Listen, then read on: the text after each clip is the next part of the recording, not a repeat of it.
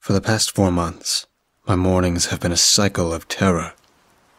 In that space between sleep and wakefulness, before conscious thought kicks in and control is back in your hands, I am gripped by all encompassing fear and panic.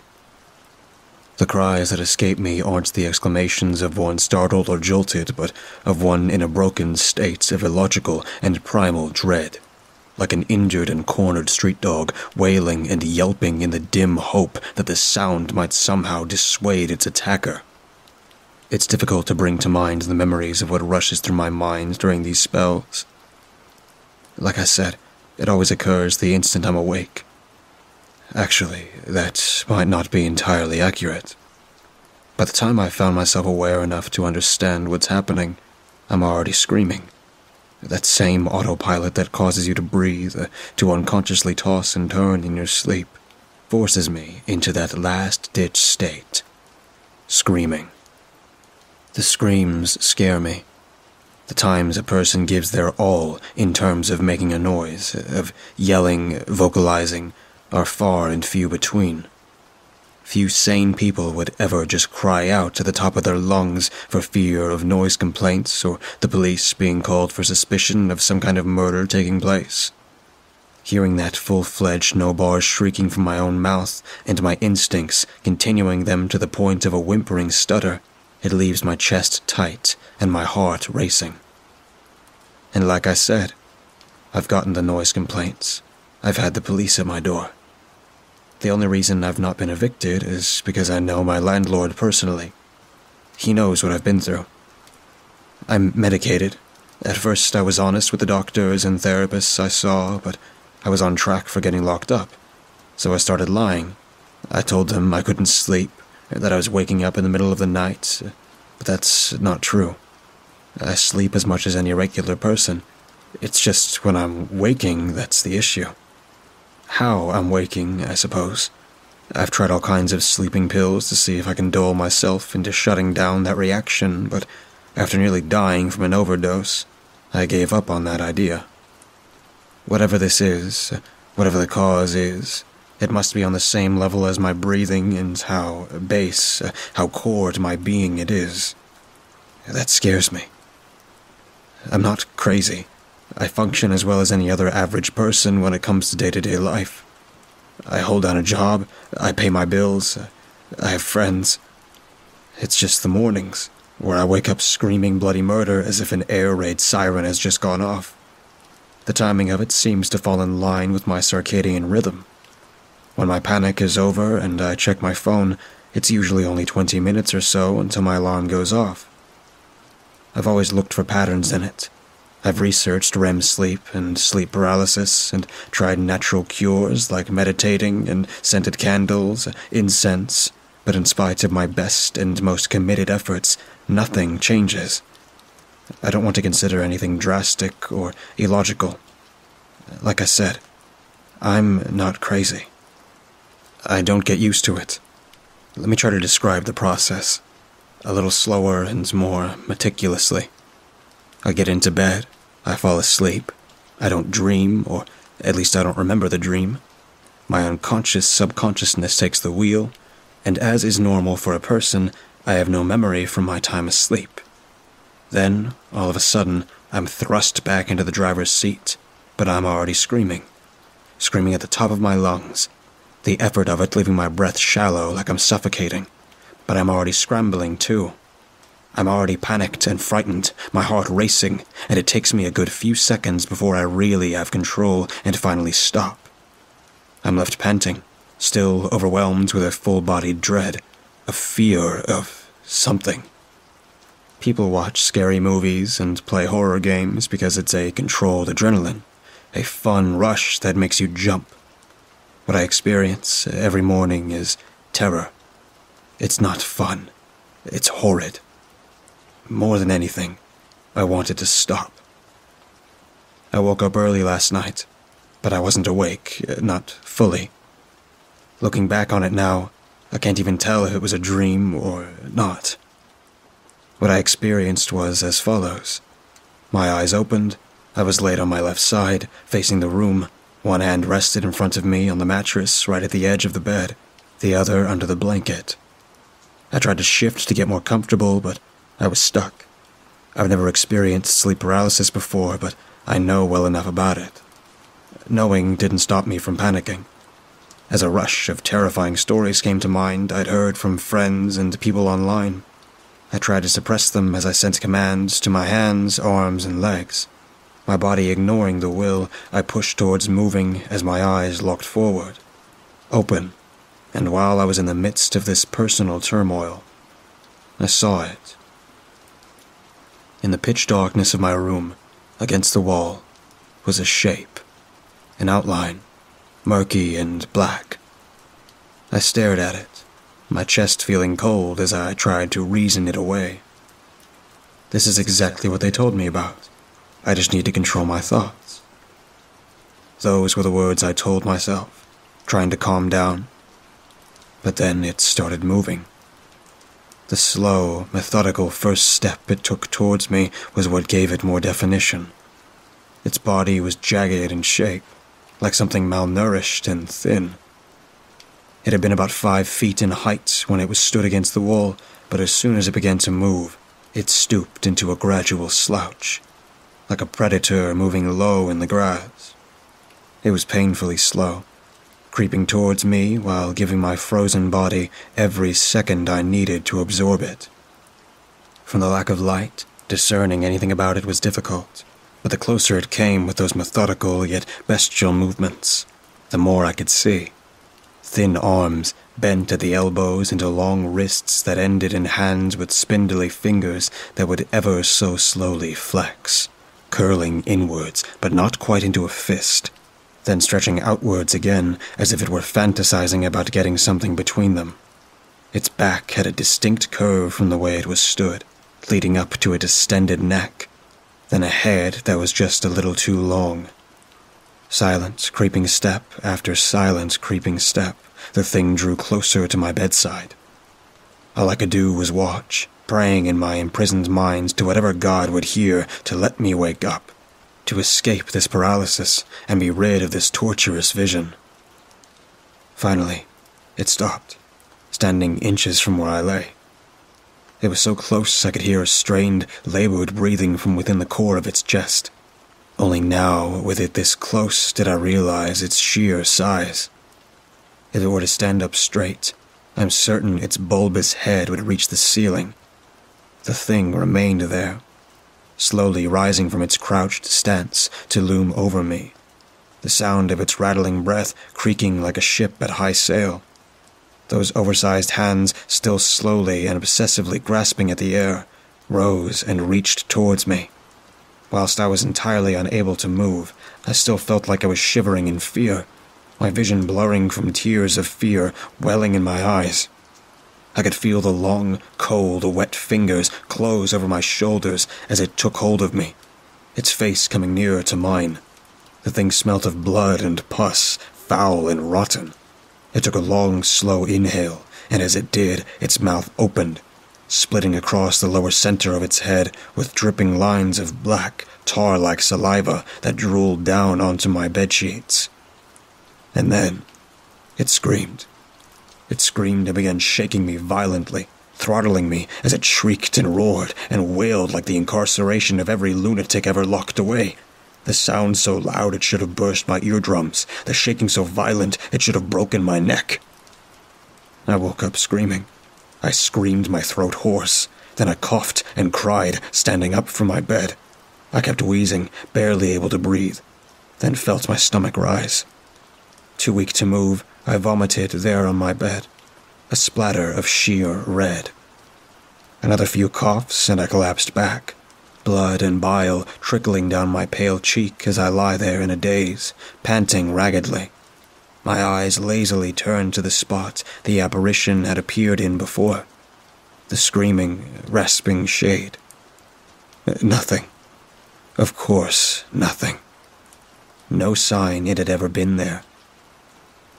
When my strength returned, I called off work and saw a doctor. I told her about what had happened that morning, which prompted her to run a number of tests. She put me through a lung function test, then a chest x ray, then a blood test. The same day, They performed a biopsy. A few hours ago, I was diagnosed with early on stage lung cancer. Thanks to the near instant diagnosis, it's treatable. I still have a life ahead of me. That's why I'm now grateful, in spite of the fear, the panic, and the trauma. That's every morning I wake up screaming.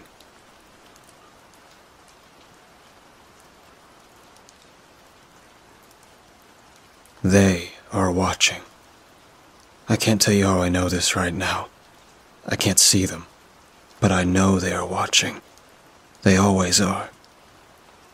You need to understand that I've seen them before. I really have. But they don't like that. They don't like to be looked at. It angers them. I'm realizing I should probably explain to you what I'm talking about. After all, I don't know if this ever happens to anyone else. Uh, what if I'm the first? Although, I don't think that's important right now. What is important is how this started. I think it was a weekend. Wait, no, that's not. There was this one time before the weekend. I didn't think much of it then, but now that I think back, it must have been relevant. It was a Wednesday, and it's, uh, wait, maybe it was a Thursday instead. Anyway, I don't think it matters now. The key point is that the day started like any other workday. I got up at 7 a.m. when my alarm went off. I slid my slippers on, I went to the bathroom, made myself coffee, got dressed, and sat on the couch to watch some TV as I enjoyed my caffeinated beverage. I do this every morning without fail. It feels almost ritualistic at times, but I enjoy when things are in order, predictable, when things just make sense. When the clock hits 8 a.m., I get in my car to go to work, as I always do. And that morning was no different. Thursday. It was Thursday. I, I remember now. Although I once again realized that this isn't. Uh, anyway, I left for work. It's usually about an half an hour drive, I started working at 9, but I like to be in early. It gives me a while to get things sorted before the day starts. I like it that way. So I got in as usual, parked in spot number 10, pulled the handbrake, turned the car off, grabbed my bag, patted my pockets to make sure I haven't forgotten anything, and locked the car. As I walked into the office, our receptionist welcomed me as she usually. I just realized that today is also Thursday that feels ironic or uh, poetic in some way. Or it could be neither. It's just funny how we live our lives in that seven day system. Uh, why seven? Why not a more convenient number, like five or a ten? Uh, I'm off track again. As I was saying, she welcomed me the same way she always does. Did you have a safe drive? To which I responded, I always do. She knows I like consistency. I'm not a big fan of change. I made my way to my office. I should probably explain what I do. I, am a manager at a small IT company. We do a lot of things, but mostly we sell printers. Anyway, I got to my office and placed my bag near the window in the same place I always do. And I sat in my chair. Uh, it was a nice chair, uh, comfortable.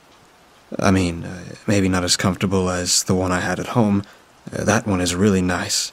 I bought it two years ago on a sale, and it has been one of the best things I ever. This isn't relevant, I'm just. Never mind. As I switched my computer on, that's when the first strange thing happened.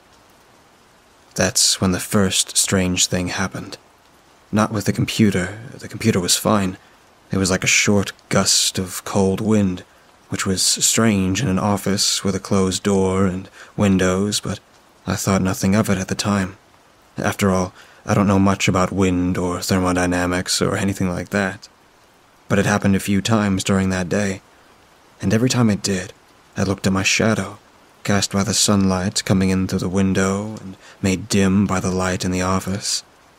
And now that I think about it, I can't explain why I did that. I mean, if I knew then what I know now, things might have been different, but at the time I brushed it off.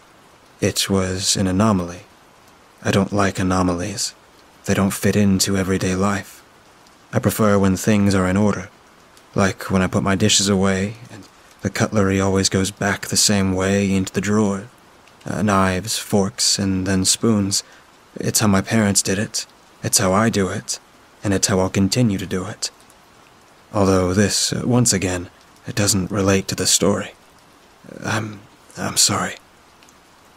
That wasn't the only thing that happened that day. I mean, uh, this cold wind thing happened multiple times, but that's not what I mean. This other thing happened during the night. It was a few minutes past 2 a.m. This happened to me sometime. I wake up, I go to the kitchen, drink a glass of water, lay back in bed, and drift back into sleep as I think about miscellaneous things. That night, however, was different. As I awoke and opened my eyes, I glimpsed something darting out of my bedroom. Not quite a person. It wasn't like a solid mass. It, it was kind of like a shadow, but not really. I can't explain it, but I also didn't think much of it at the time. Just my head playing tricks on me in the dark, I thought. I'm a rational person in most. Uh, it was 12 minutes past 2 a.m. I remember now because I like the number 12. It's not the same as a 10, but there's something structured about the number 12 that makes a dozen. Uh, half a dozen is how many eggs I buy, uh, which is also confusing because eggs are sold in packs of 6, 10, and 15, usually at least. And these are strange numbers to go by, but. But I'm off topic again. As I was saying, I didn't think much of it. I did, however, check my entire house just to be sure, and everything seemed fine. Until the weekend. Sunday, to be more precise. I remember because I don't really like Sundays. This is also when I noticed that something was wrong. It may have been my day off, but I dislike change, so my morning was much the same. I got up at 7 a.m. when my alarm went off. I slid my slippers on, went to the bathroom, I made myself a coffee, I got dressed, and then I sat on the couch and watched some TV as I enjoyed my caffeinated beverage. I didn't have anything planned for that day, so I was going to work on my project. I'm writing a book, you see. It's nowhere near finished, but it's coming along slowly. It's a love story and I'm leaning towards a sad ending. Uh, or uh, I was, but I don't think I'll be getting a chance to write anymore. Before I can decide what I was going to do with my day, I saw something out of the corner of my eye. A movement. I looked down at what it was. And this will sound strange, uh, I know, but it was my shadow. It was uh, twitching, I think. It's hard to describe exactly what it looked like. It was kind of like a vibration, but slower, uh, more deliberate, kind of like when a tree branch sways in the wind, except you know it's not the wind, but something pulling on the branch. You can tell that sort of thing if you look close enough. Or at least uh, I can. I've always known I was different from other people. I tend to notice things others don't. Things that seem obvious to me, others just uh, walk by. Like that one time when. Uh, stop. No, uh, I mean me. Uh, I'm sorry, I just. I, never mind. As my shadow made these subtle movements, I began to look around my room. Maybe it was just the source of light that was causing this, but uh, no. The light was coming from my window, from the sun. Not to mention that all other shadows around the room were fine, stationary, like a predator, waiting for the right moment. That thought, at the time, made me feel vulnerable. But before I had time to panic, it stopped. I was left there just thinking at a spot on my carpet, a dark spot that wasn't there before. It just looked like someone dropped a tomato sauce covered meatball on the floor, then tried to wipe it with a dry towel. I tried to clean it. I had this fabric cleaner I use regularly for carpets and my couch. It's very good at getting stains out. I cleaned both wine and blood stains with it, and it has uh, no problem. I wonder, what do you think about? The stain did not come off the carpet. It was just there, mocking my attempt to remove it. I just left it and moved on with my day, occasionally glancing over at it. I was too distracted to do anything productive, so I just procrastinated for the rest of the day. Cleaned some other parts of the house. When the day came to an end, and I decided to double check if all my doors and windows were locked.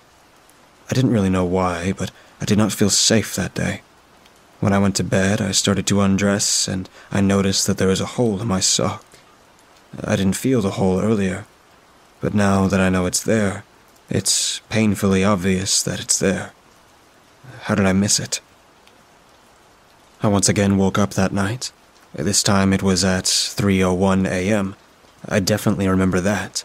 This time there was no figure, nothing dashing out of the room. I just woke up. I got up to grab a glass of water, and as I did, I glanced at my shadow on the wall, which was caused by the moonlight streaming in through the window. As I looked at it, I expected it to move again, but it didn't. I did, however, feel something brush against me, uh, I think. I tried looking around at what it could have been, but it came up blank. As I looked back at my shadow, I noticed some spots on it. Uh, no, uh, not on it. They were on the wall, the same kind of spots as the one on the carpet. At this point, I'm at a loss. I mean, uh, does your shadow bleed? Once my alarm woke me up, I did the same thing I always do. But when I went to leave, I realized my car keys were gone. Uh, sorry, uh, let me rephrase that for you. My keys were in their usual spots, but my car key that I usually attached to them was not there. I spent a solid ten minutes looking in every spot my key could have ended up, and I could not find them. To you, or uh, to most people, this may not seem too strange, uh, misplacing an item but I don't lose things, ever. I gave up looking for my keys and decided to take the bus. I didn't have to wait long, thankfully. The bus went past many places I don't usually go by, uh, like the coffee place that I had my first date in, or the convenience store that I've only been to three times since I moved. This reminds me, I need to buy some AAA batteries after work. Uh, the ones in my TV remote are getting low, which is causing the remotes to. Wait. I did lose something once. I was eight, and I found a coin in the park. A strange coin I had never seen before, but when I got home, it wasn't in my pocket where I left it. I got to work on time. It was a little later than usual, but I wasn't late. I didn't see or feel any strange things for the most part. There was another one of those stains that formed on the floor in my office, but I didn't give it much attention, because this time I heard things. It's hard to describe noise. Kind of like the hum of a microwave, but uh, sharper. Does that make sense? Maybe it was closer to white noise, and it wasn't coming from anywhere in particular. I just heard it at the same volume whenever I went. You might imagine that would drive me mad, but it was very quiet. So quiet, in fact, that I didn't realize it until about halfway through my day.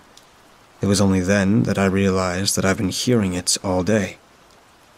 It is kind of how you can cut yourself slightly and not notice it, and it only starts to hurt once you acknowledge it's there. This tends to happen with minor paper cuts. Uh, sorry, I don't usually go off topic so much. I kept hearing this noise after I left work, and even after I got home. It wasn't getting any louder and quieter, it was just uh, there. I spent some more time looking for my car keys with no luck. I decided I'll grab the key tomorrow and get a new one cut, and I went to bed. The next day is supposed to be Tuesday, and to be honest, I don't really like Tuesdays.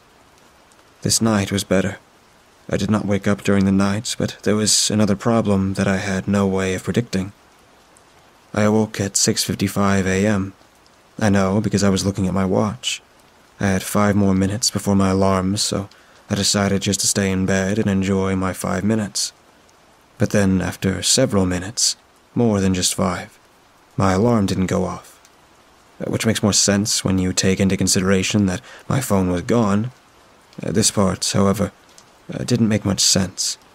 I left it on the nightstand like I always do. There has never been a day that this wasn't the case. Uh, no, wait. There was this one time when my phone broke, and I had to wait a day until I. I don't think I'm alone in this room anymore. I was confused, to say the least.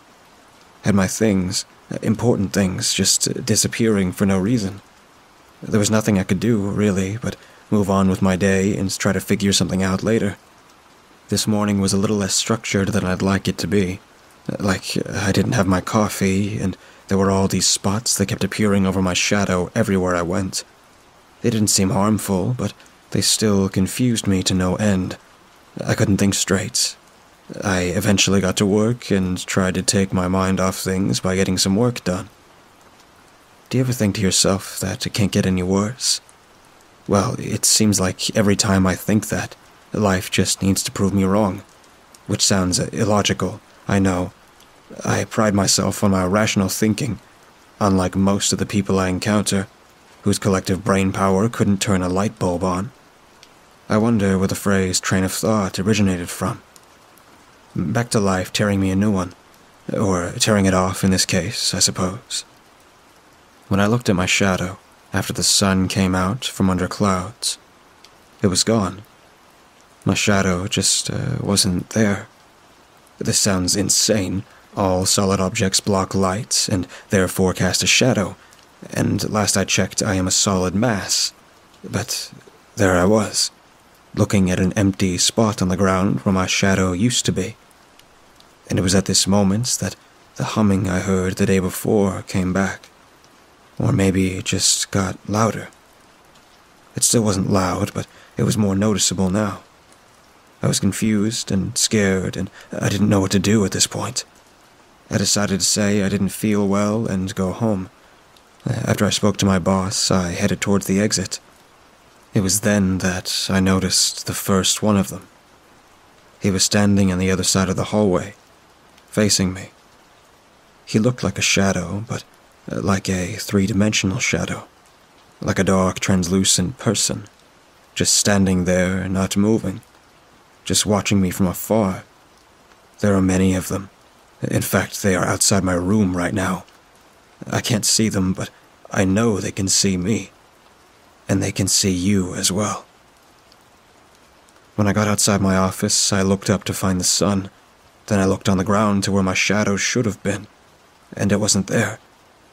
Just like in my office. I ran back to my car. I couldn't think of anything better to do than just go home.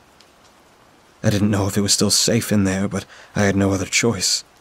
As I drove home, I started to see more of them the shadowy figures. They weren't as obvious as the one in the office. These I could only see out of the corner of my eyes, but I knew that they were there. Just like I know now that there is someone outside my house. I can hear them whisper. I got home and I really needed to check something. This lack of a shadow thing, I mean, it scared me. But it didn't hurt or feel strange or anything like that. I felt uh, normal. I switched the light on in the living room and picked up a book. And there it was a rectangular shadow of the book with nothing around it. Nothing holding it, according to the shadow. I could cover the book with my body, and it made no difference. Uh, somehow this felt uh, uh, comforting, yet it was strange, but at least it was uh, consistent. How would you act if your shadow vanished? I looked out the window to see if I could see any more of them. The shadows, I mean. There were only a few people walking about, and nothing out of the ordinary. Until I saw one. He wasn't standing and watching like the others were. He was just uh, walking. I mean, like a regular person minding his own business. He walked from one end of the street and passed where I could no longer see him, or it. He didn't notice me, maybe because he couldn't see that I had no shadow. I tried to sleep that night. I really did. I felt safe enough in my own home that I thought I could, but I spent all night trying, and. What if our shadows are the reason we can't see them? What if our shadows protect us from them? We were never meant to see them, and I think our shadows are the reason we can't. What if they wanted to harm me? What if I escaped the illusion? How do you know that you're not dreaming right now? Wednesday was more terrifying than I could have imagined. They called me. The figures, I mean. Not on my mobile phone. That was still gone. But on my house phone. I thought it was my work calling, Uh, since I didn't show up to work that day. But when I answered the phone, all I heard was that noise I've been hearing. But this time it was much louder. There was no voice on the other side, just a static like noise. I unplugged my phone and tossed it in the corner. I half expected the noise to continue after I unplugged the phone, but it didn't. All I heard was silence. Even the quiet noise I've been hearing all this time stopped. I was standing in my room in pure silence, and it felt. I forgot to buy the batteries, the ones for the remote. Uh, as I was saying, they tried to contact me, uh, but what did they want from me? I also kept seeing them walking by on the streets outside. Uh, most of them paid no attention to me, but a few turned their heads. I don't know if they saw me. I did my best to keep low, but I haven't been myself lately. I've been forgetting things and uh, misplacing them. I found my car key as well. It was in the freezer for some reason.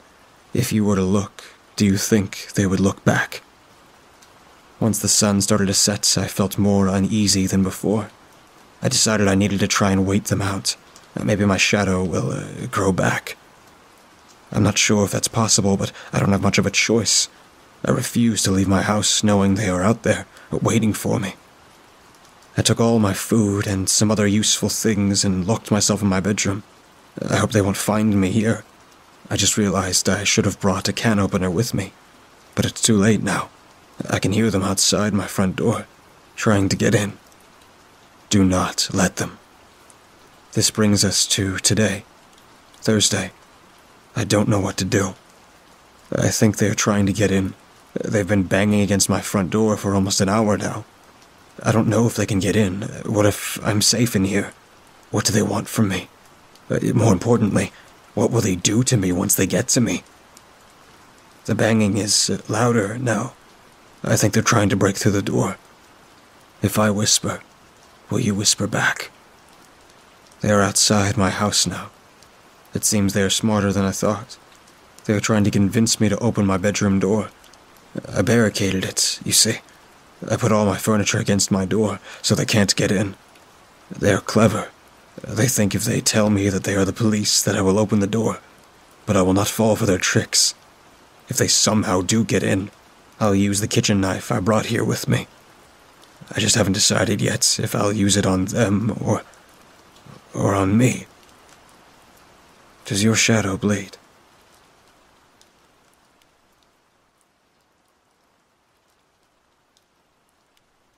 My mother has a cat named Thimble who stalked me when I was a child. I was ten or so at the time, and I had just witnessed my first death in the family.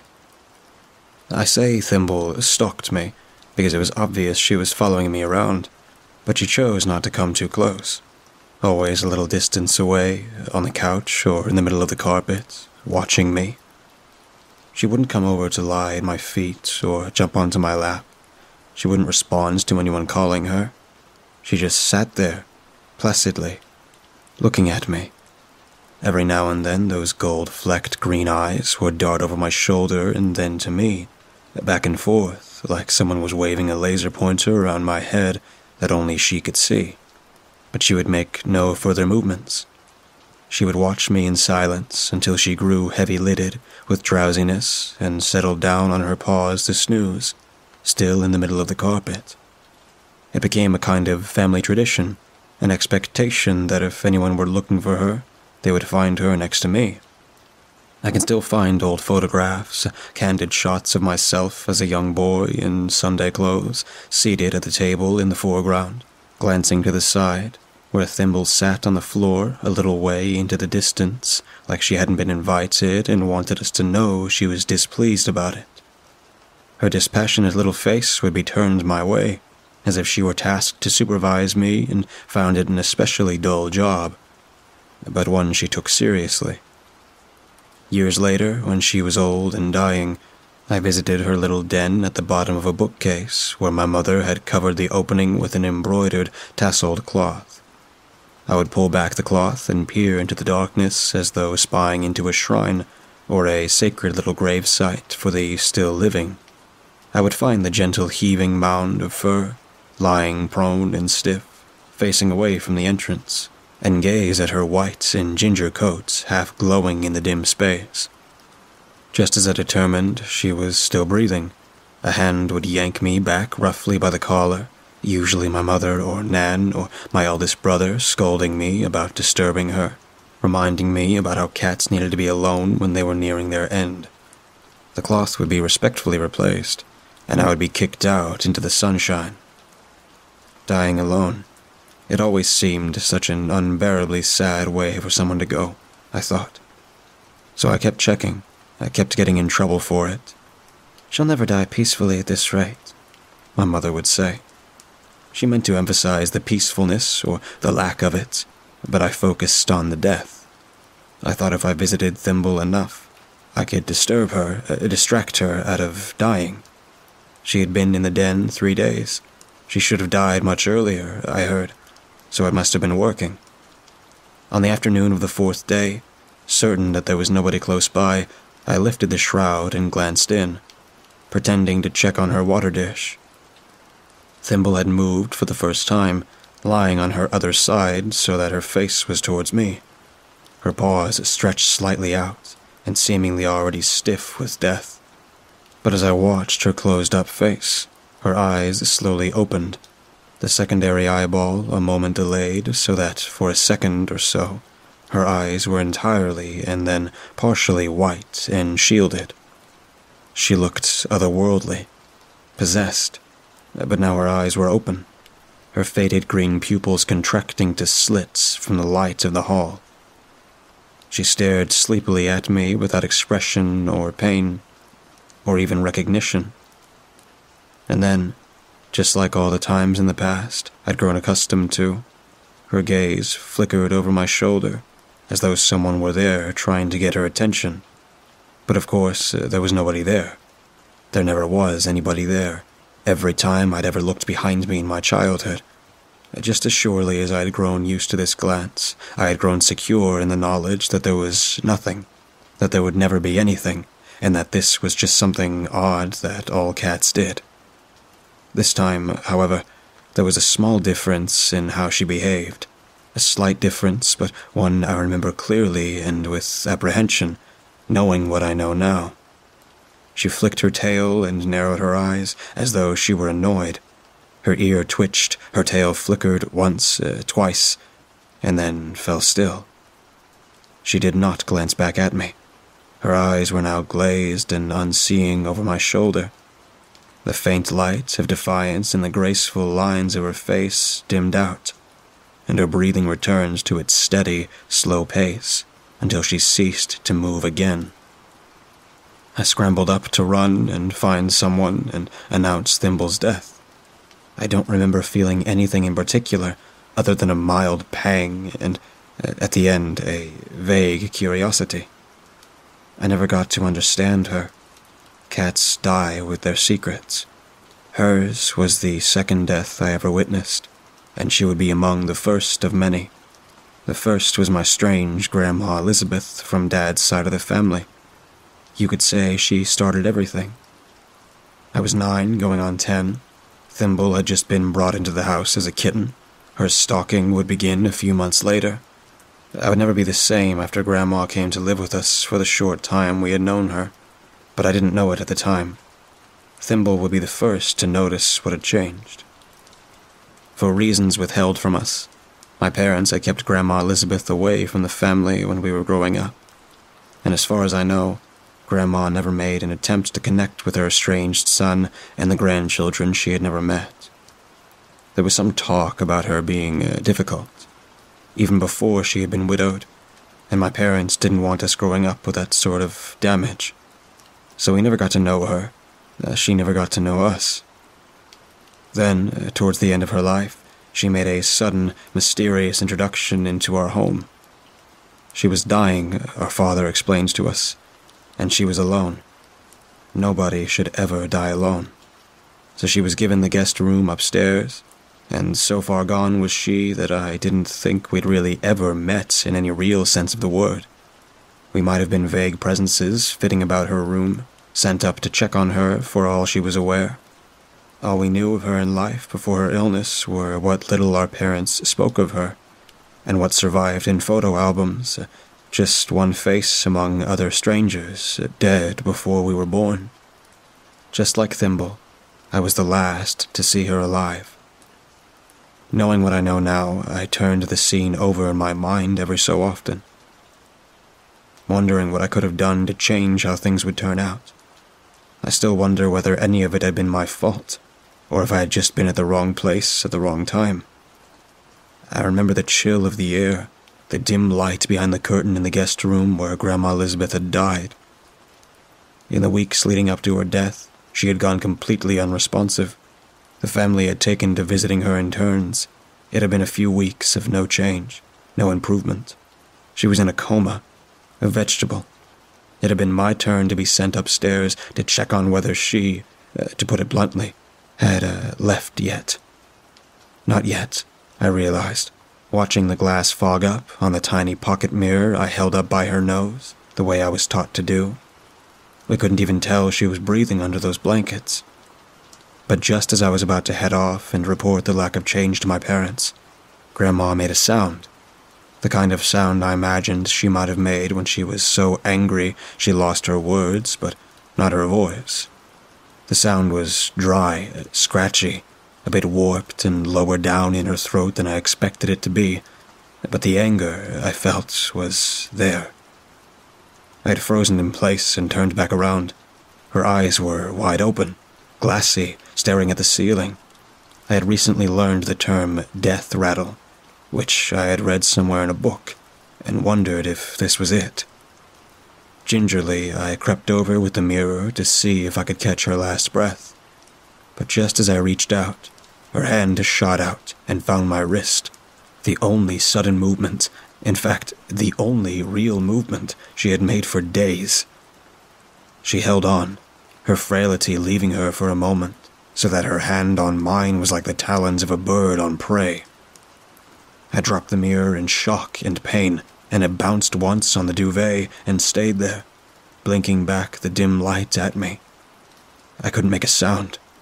Her eyes were still wide and glassy, points of pale green light reflected in her irises like the mirror lying on the duvet. And now they were looking at me, or at least in my direction. I couldn't tell if she could ever register my presence, much less recognize me. Neither her hand nor her eyes let me go. The sound came again from her throat, whispery now, like she was trying to tell me something without being able to move her lips like she was trapped in her own failing body, trying to reach out to me for help. The idea of it frightened me more than the fact that she was dying, or the fact that she was already dead, that she had died looking into my eyes, her hand on mine. Helplessly, struck mute, I stared back until the noise died away. The twin points of light glimmered out of her eyes were as flat to me as those of a fish. Her hands did not loosen from my wrist. Already they were tightening in rigor mortis. She had escaped her body with her last breath, but now I was the one trapped.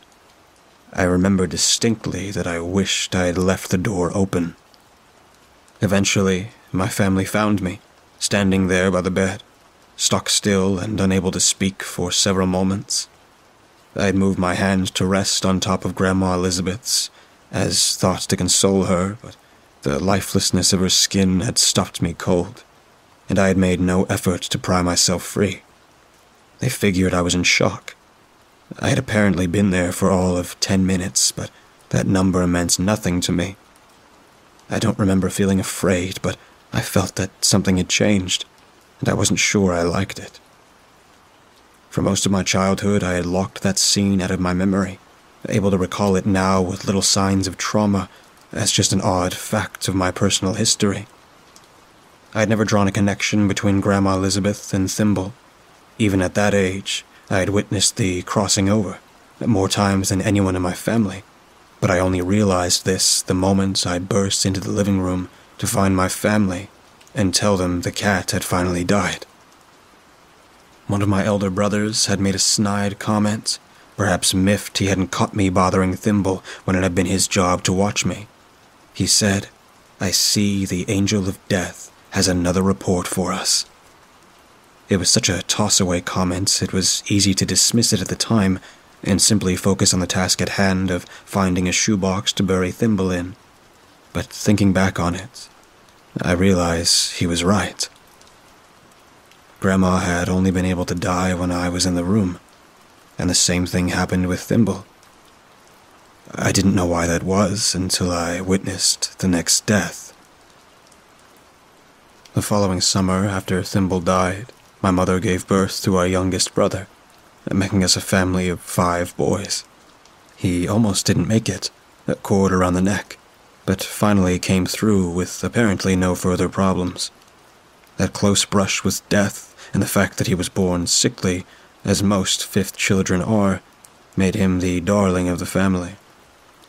I, for one, showed no special affection for the newest sibling, who was named Todd, yet he clung to me the most outside of our mother.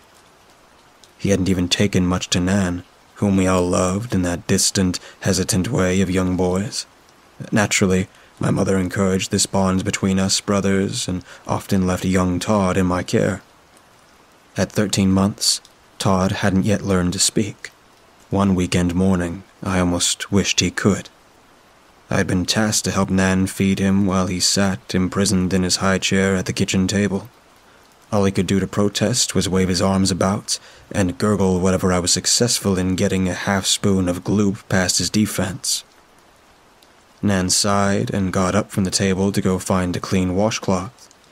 Once she had gone, I relaxed in my efforts, and then I noticed that Todd had gone silent too. I glanced at him, relieved, but his expression gave me pause. He was looking intently at me as though confused by what he was seeing. It was almost comical seeing a worry crease on a baby's forehead, like seeing an infant dressed up in a businessman's suit and tie. He was gazing into my face, eh, for once eh, not responding to my smile, and then, as if perfectly trained by the cat Thimble, who had died before he was born, he glanced over my shoulder I turned and saw the creeping white roses of our wallpaper dimmed by my shadow. Nothing else. I looked back around. Todd continued to watch, flicking his eyes to something just a little behind my head, something completely insensible to me. He would not, of course, answer any of my questions as to what he was seeing. Uh, Nan came into the kitchen then, happy at how I had gotten Todd to behave. I was rather unnerved and said nothing. As soon as I picked up the spoon, Todd went reassuringly berserk again. That would be the first time of many that I would catch him staring at me and over my shoulder, and I had to learn all over again not to look, to get used to the fact that I would not find anything. But I was no longer sure that there was nothing. I still maintained that Thimble had been more intelligent than a toddler, but somehow I had to take the knowing glance of a human being a little more seriously than that of a cat, whose ways are always easily misconstrued by people. For years, I had never sensed anything off about Todd aside from that glance, and neither did anybody else. He never glanced like that over anyone else's shoulder, uh, just as Thimble hadn't, only at me. And just as my family had marveled at Thimble following me around, they marveled at how Todd latched on to me. Photos of my early adolescent years now featured a toddler rather than a cat, standing or sitting some distance away, always at a distance, content to just watch me, sometimes for hours on end.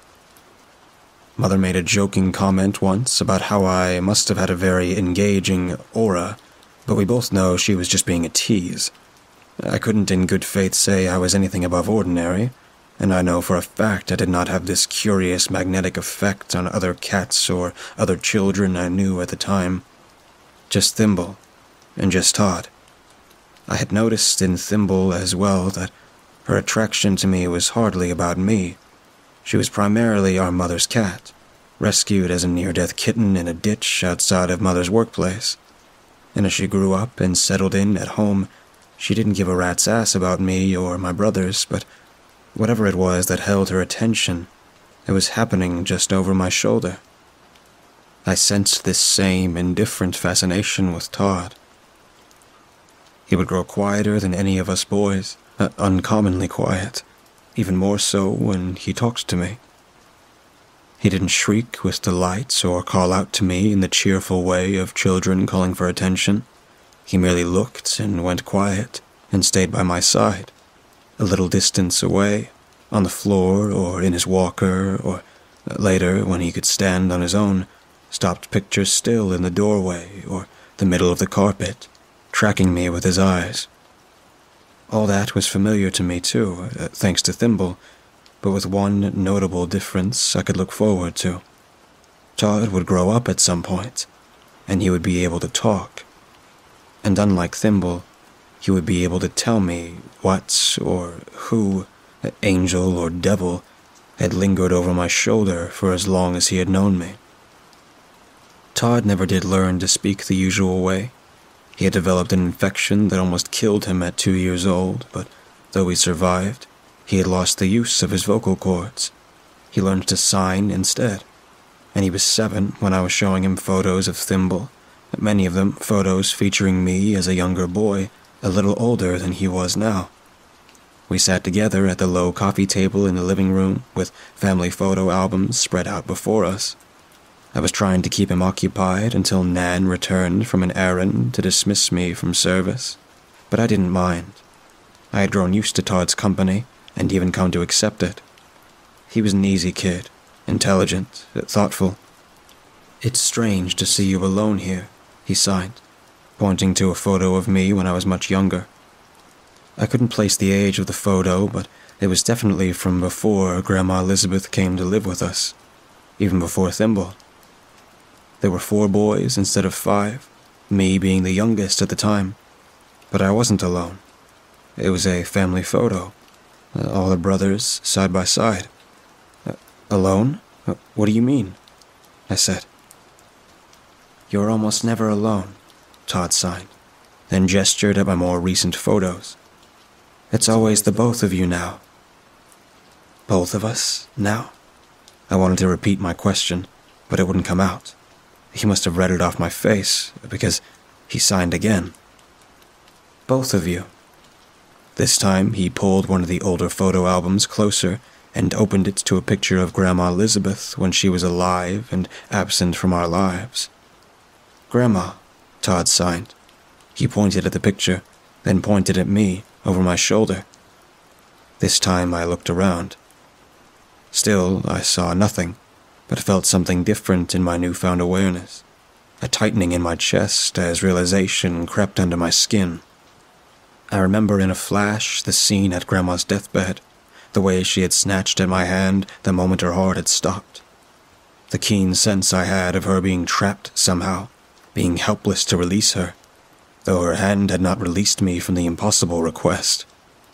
When little Todd pointed over my shoulder and signed, Grandma, what I remembered most was not her eyes or the wincing pain of her fingers clawed into my wrist, but the sound in her throat, the strange misplaced anger in it.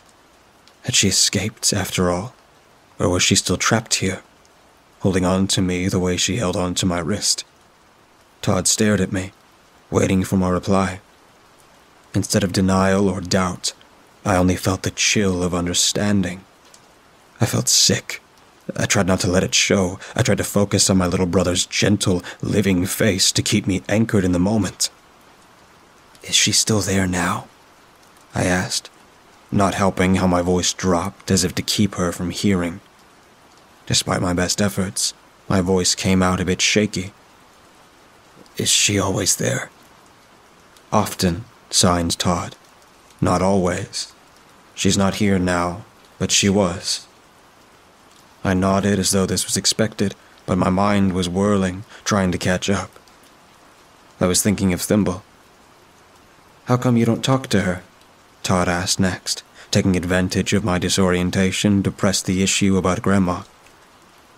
I noticed nobody talks to her, or about her. We don't know her too well, and we can't hear her, I said, honestly, but was unsure what else to tell him. What could I say? We can't see her? She isn't even supposed to be here? Why not? he asked, predictably. She can't talk, I said. It's like how you can't talk. Some people can't talk. She can't. I had to stop myself short. I couldn't bring myself to lie to him outright. Not when he knew things we did not. He was looking at me strangely now, disbelieving. I think she can talk, he signed. I paused. You hear her? I asked, and he nodded without hesitation. Does she talk to you? This time he had to think about it for a moment. He shook his head, then shrugged. His uncertainty unnerved me. She's trying to say something, he signed, finally. At least, I think she is. But it isn't in words. She just makes a sound. I stared at him. What do you mean? What sound? He hesitated. Then his hand hovered somewhere uncertainly over his neck before lightly clasping his own throat. He was having trouble describing what he was hearing, but I understood all too well. That death rattle, that sound deep down in her throat, unexpectedly angry. A strangled sound. Todd lowered his hand when he saw that I understood his meaning. Does. does she. I paused, found my nerve, and tried again. Does she sound angry? Instead of answering, he glanced over my shoulder, under his eyelashes, then averted his eyes. He nodded. Yes, yes, she sounds angry. She hadn't escaped after all. And just like all those years ago, standing by her deathbed, she had latched on to me in her failure to escape. And just like all those years ago, I felt helpless to do anything about it. I'm sorry, I whispered back to him. And I was. I was sorry he had to see that. See what I had seen on that wasted face years before. The unseen look in Grandma's eyes. And to keep seeing it when the rest of us were mercifully blind, mercifully deaf. Todd wouldn't look up at me. I had to ask, Does she scare you? A frown crinkled his brow as he thought about it, wanting to give me an honest reply. He had seen her over my shoulder for as long as he had been alive.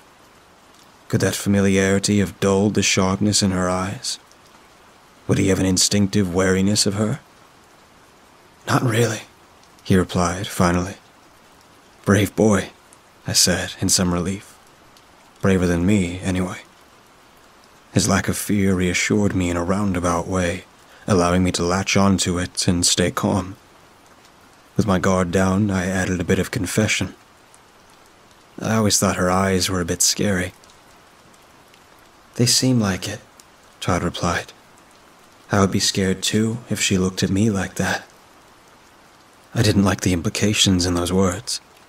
Uh, how does she look at you? I asked. He paused a moment before answering, as if confused by my question. She doesn't, he replied. She never looks at me. She only makes that noise, and she always looks at you. As if cued by his words, I felt a pinprick awareness of eyes at the back of my head. I dared not look around. Maybe if you talked to her, she wouldn't be so angry, Todd sighed. I leaned both elbows on the table, feeling suddenly heavy and light-headed at the same time. Again, the helplessness. What on earth could I possibly say this time? To him, uh, to her. I'm sorry you couldn't get away, but leave me alone. I thought again of Thimble. Todd was signing something else, but I didn't look up at him to read his words until I was ready to take it any more. He got impatient and tugged at my sleeve, but I was the one who spoke first. Do you ever see a cat around here? Todd frowned at me as if I were making fun of him. Uh, never mind, I said. I decided to not let the dead interfere too much with the living, no matter that some of us had eyes to see and most didn't. Just before Nan came home, I made Todd promise not to talk of Grandma Elizabeth again, and thought he still had many questions about her. He didn't. The staring, however, was a habit I could not shake him out of. A few months later, I watched my little brother die. This would be the third time we would be waiting for death. It had been weeks of waiting before Grandma Elizabeth died, and days of waiting before Thimble did. But it had taken only hours for Todd, the one person of all I wanted to hold here longer. The infection he had narrowly survived had come back, and this time it wouldn't leave without him. his death is the blurriest in memory, though it was more recent, because this time I cared. Love is half blind, and the memory grows cloudier in time the more I obsess over it. I remember his ashen face, the shadows under his eyes, the antiseptic smell of death outside of home, the insulting cheerfulness of the cartoon animals on band aids hiding the IV needles disappearing into his skin. Our parents were out, getting coffee and making phone calls, waiting for my brothers to fly in, crying on their shoulders. Hell is a waiting room, I remember thinking. I hadn't cried yet. We were alone in the room. I remember holding Todd's hand, watching his eyes flickering open at the very end. He looked at me, blankly, and then his eyes shifted over my shoulder. My hands tightened instinctively over his. I won't let her hurt you. I found myself whispering for some reason. It was a promise I didn't know how to keep. His eyes kept flitting between my face and over my shoulder, like thimbles had. I wanted to get up, and scream at the air, and tell her to leave us alone. But before I could, Todd raised his trembling hand, I thought to sign something to me, and waved hello, but not at me. He had always been a polite child. I glanced around over my shoulder and then back at him, a silent question on my face. He looked at me and signed. She's looking at me now. She had never done that before.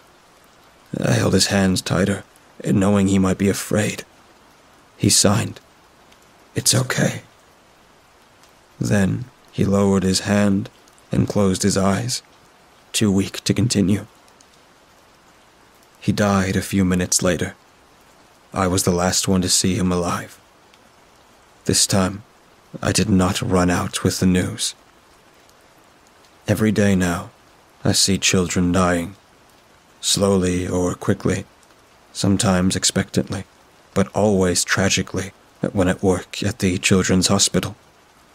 At cancer wards and ICUs, I see Todd's face reflecting back at me a hundred times over, staring back placidly under the watch of crying strangers.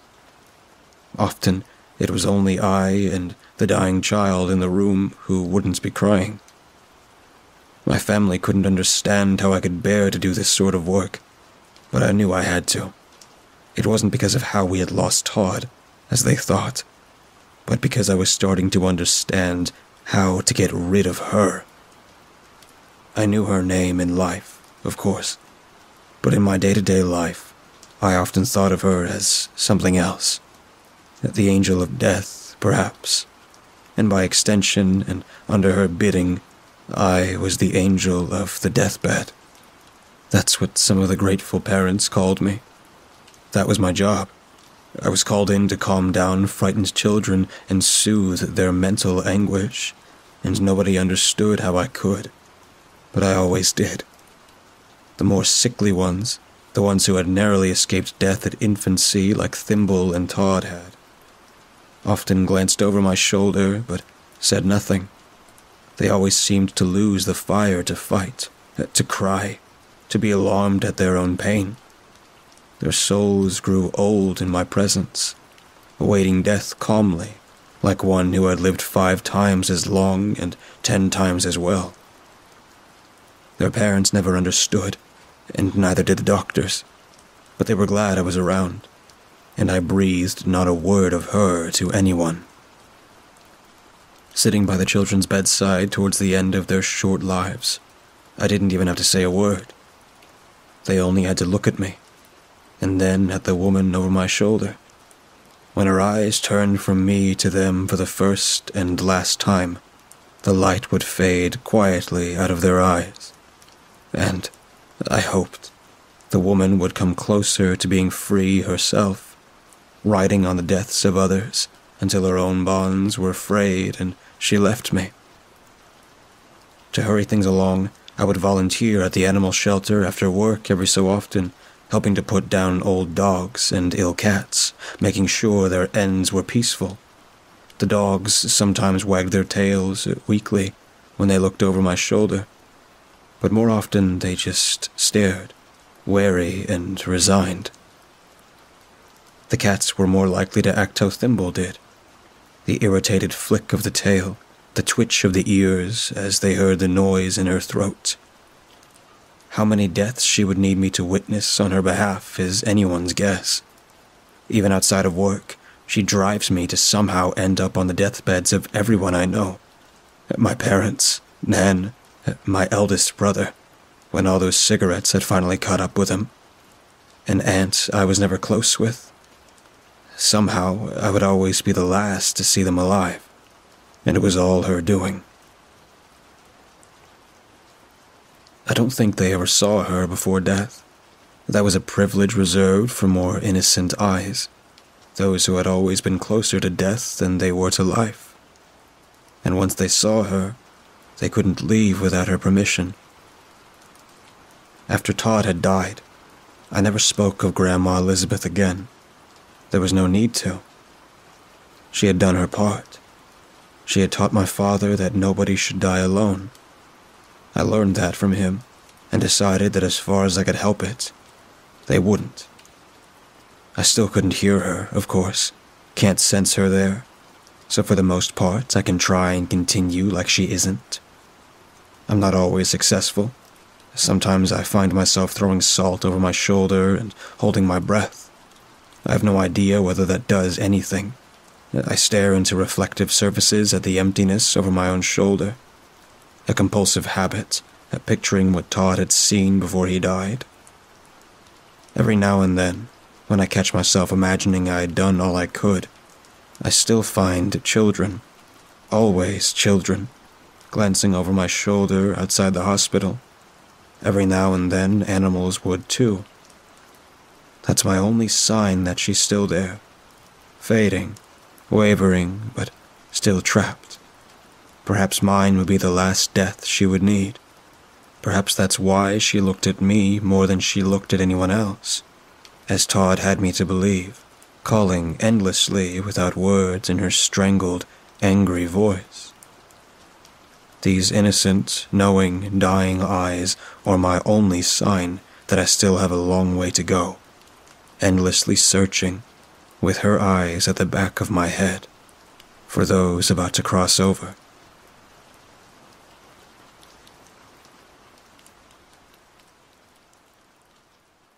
The scarecrow stands about twelve feet tall, a lone, misshapen sentinel in the midst of a dark field beneath the blood of a clotted red sky. His shadow is long across the crops, comprised not of two simple poles and a sack of straw. This monstrosity is a veritable wicker man of crisscrossed slants and beams of wood. He leans to one side and weaves ever so slightly in the breeze of the dying day. Luminescent bulbs or LEDs or flashlights or somethings have been placed deep in the back indents of his eyes, and from each glows a pinprick of fiery orange.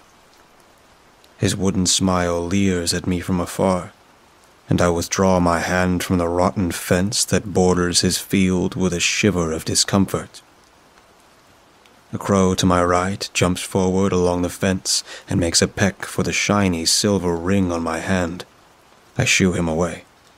Leave it, I warn him, as his brothers and sisters flap and fly all around. They cover the fence and circle in wide arches above the scarecrow's field, but none dare descend, and none hop down to its earthly ground. The twisted scarecrow to his credit, is doing a good job of keeping the crows away, and I don't blame them. The scarecrow's field gives off a disturbingly nightmarish aura, one of a watery dream that is about to go quickly south. You don't know how exactly, but you can feel that something terrible is coming. Paradoxically, however, the feeling is an addicting one. It's fascinating and otherworldly and it's what keeps me coming back here again and again, despite it being over an hour out of my regular routine. the crow makes another jump for my ring. Scar, I've nicknamed him, on account of the grayish scratch that crosses one of his beady black eyes. Get away, I murmur, shaking his hand at the bird. He only hops up onto a nearby post and cocks his head, looking me up and down. The scarecrow stands tall and alone, far out in the middle of the field behind him. It occurs to me that I've never taken a picture of this hideous thing. If it were suddenly taken down one day, then I'd have no proof it even ever existed. I reached into my pocket for my phone and draw it out, angling it up toward the field. I'd rather you didn't take that picture, pray, murmurs a voice to my left. I gasp in alarm and swivel to the voice's source. There stands an elderly man, face deeply lined and shadowed beneath a wide brimmed hat. He leans casually enough against the fence, yet gives off to me the impression of a coiled spring, one set to release at any second. Folks will want to see it, you understand, if they know it's here. He adjusts his stance a little. They'll come in their cars and their crowds and crush the crop, and the crops are well needed. I just stare at him in awkward silence. Why have such a spectacle of a scarecrow at all, then, if you don't want people to see it? I think, but cannot form the words. Seemingly reading my thoughts, or perhaps just anticipating the next question, the old man gestures to the scarecrow. He's a beast for sure, but like the crops, he's well needed. Nothing less will keep away the crows. The crows love the crops, and the crops must grow, lad.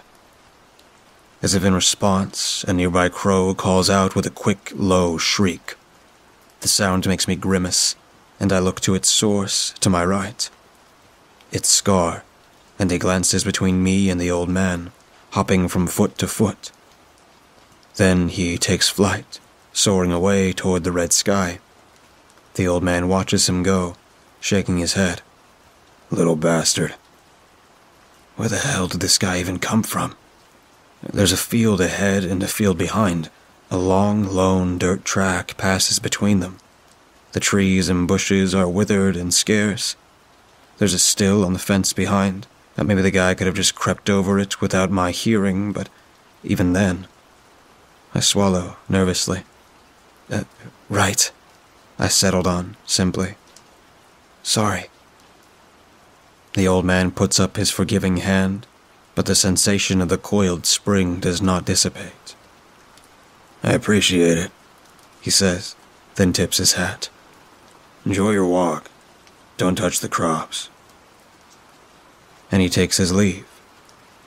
The air cools as he passes me by and I watch as he walks away down the rough rural track, step by step, his boots sending up little clouds of dust as he goes. Creepy ass old man, I mutter once I'm sure he has left earshot. I turn to look at the scarecrow. If such a behemoth can even be referred to by so humble a name, and consider taking that picture anyway. I glance back along the path, but the old man has disappeared. My fingers itch by my pockets, but I leave the phone where it is. Ah, frustrated by my surprising lack of courage, I chew my tongue and make to take my own leave. I reach for my bike and ease it away from the fence, and as I do so, my eyes are drawn once again to the stile. A little wooden step over the opposite fence. There's a narrow footpath on the other side that carries around the edge of a low hilled field the one facing the Scarecrow's own, and I consider my options, though I don't consider for particularly long. There's still time before it gets totally dark. Screw it, I have time to walk. I rest the bike back up against the fence and stride right over to the stile. The second I grab hold of the post and lift myself up to cross the fence, however, I am surrounded by the sound of crows and the wavering air of beating wings. Come on! I shout as they shriek and caw. They dart in and out of my vision, and I do my best to wave them away. I stumble and slip from the stile and crash down into the field with a grunt, shielding my eyes as I curse the crows. Leave me alone! Jesus! Scar settles himself on the post and looks down at me silently, as the others all circle and swoop and swirl. I climb back up to my feet in defiance. What the hell is this? Creepy old men, crazy crows. I shake my head and do my best to dispel the madness. This is a public footpath. I'm not doing anything wrong. I'm free to walk. Uh, why are you talking to crows, Jordan? I sigh and brush the dirt from the sides of my jeans and head out for the remainder of my evening stroll, starting with a quick pace and keen to leave the crows behind. Spooked out of taking a picture, I have been left frustrated, and maybe this walk will settle my urge to do something different. I can't help shooting glances over my shoulder along my journey. The enormous scarecrow disappears gradually from sight, yet keeps itself in my range of vision for far longer than I would have liked. The enormous scarecrow disappears gradually from sight, yet keeps itself in my range of vision for far longer than I would have liked. Those pinpricks of orange light in his eyes only growing stronger as the day darkens. I pass through great fields of curious crops. I take it for wheat at first, but the farther I walk, the darker it becomes. From pale gold in color to a pallid gray, then further to a sickened deep purple, and then eventually to black. They rustle softly in the breeze. I scratch at my neck and begin to wonder if this was such a good idea. The path runs round the edges of more fields and hills ahead, around gatherings of trees. It isn't obvious if it would be quicker to keep going or to head back. I hesitated, but decided upon continuing. It looked like it looped around a bit farther on, likely right back to the dirt track. I pass by coils of tomato plants and resist the urge to pull one of the little fruits right from the stem. They look so good, so red and juicy, but I'm no thief, and I leave them where they are. I wonder if all these fields belong to the farmer. I wonder if he was the one who built the scarecrow. I start to actually process the implications of the things he said to me for the first time. The scarecrow keeps away the crows. The crows like the crop, and the crop must grow. The sky deepens in color as the breeze blows. What the hell kind of crop would warrant such a terrifying scarecrow? Something special, surely. I slow the speed of my walk and look to my left. The path has once again been bordered by the towering strands of black wheat, wavering softly in the breeze. Curiosity overwhelms me, and I reach out a hand. I lightly brush my fingers against the stems. As I do so, the tall black wheat dissolves at once into ash. I recoil in quiet terror, watching as the ash falls to the ground in a low clump. Oh, Jesus. There's a fine black powder against my fingertips, and I hastily rub them against the side of my jeans as I look in confusion at the ash. Ash which, as I watched, started to shake. With a stem connected to the earth, an oily black vine pushes angrily out, dispersing the ash. I stare in surprise and dismay as the vine writhes and squirms from beneath the ground, like something insect like and uh, alive. And with a squirt, it hauls from the earth a rapidly twitching, slithery mass, rolling around in the ash, frothing at the edges. What looks like a feather is stuck to the obscenity's back, coated in dark mucus and quivering in the breeze. The hell with this. I'm not going a step further. I turn back the way I came, walking as fast as I can, jogging, really, heart pounding as I try not to think about anything that has happened this evening. Screw it, I'm going home. The fields, it would seem, agree. It's subtle at first, I scarcely notice it. But once I do, the effect is undeniable. The fields and the ground are impossibly tilting up, impossibly tilting upwards.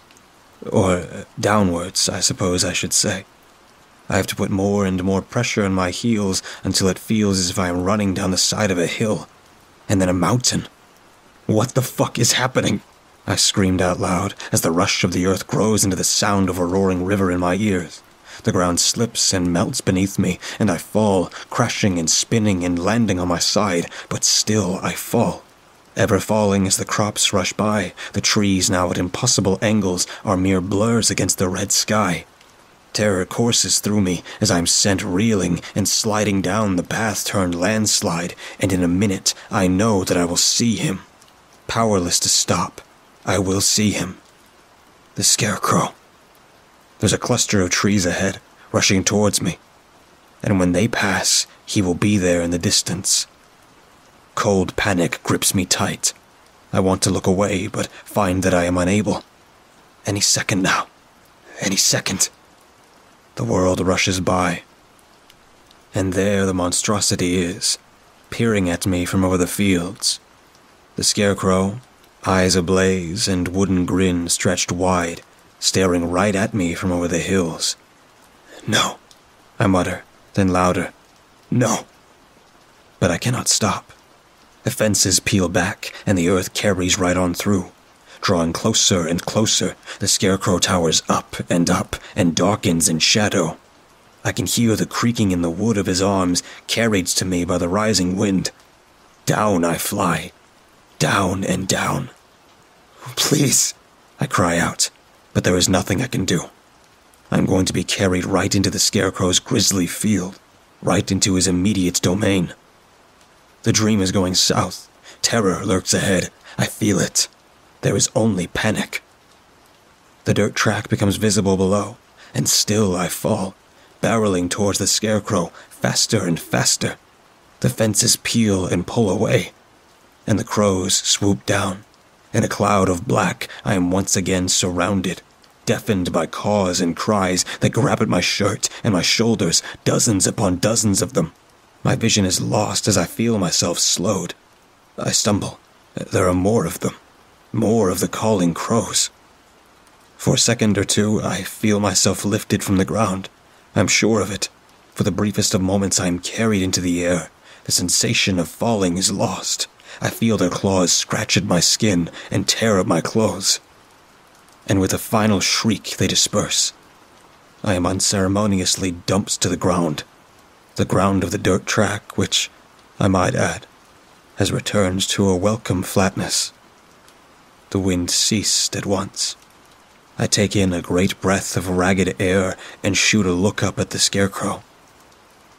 He does not rush towards me. He stands tall and silent and still in his field. A field blocked by that rotten old fence. I turn around, knees bleeding into the dust. There is no great mountain, no sudden steep drops, just fields. Fields and low, unobtrusive hills. Some of the crows are mid flight, but many of them settle themselves on the fence. Rows and rows of them, silent and watching as I catch my breath. I stagger to my feet. The eyes of the scarecrow glisten bright.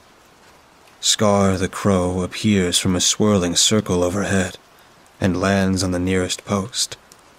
He hops a little and quivers his wings expectantly. We look at each other for a moment, and he gives a brief caw. All right, I said. All right.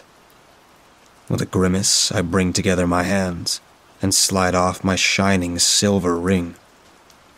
I drop it on the fence post, and the crow picks it up at once in his beak. Enjoy, I mutter as I climb up onto my bike. And with one last look behind, I head on home and pedal the hell away.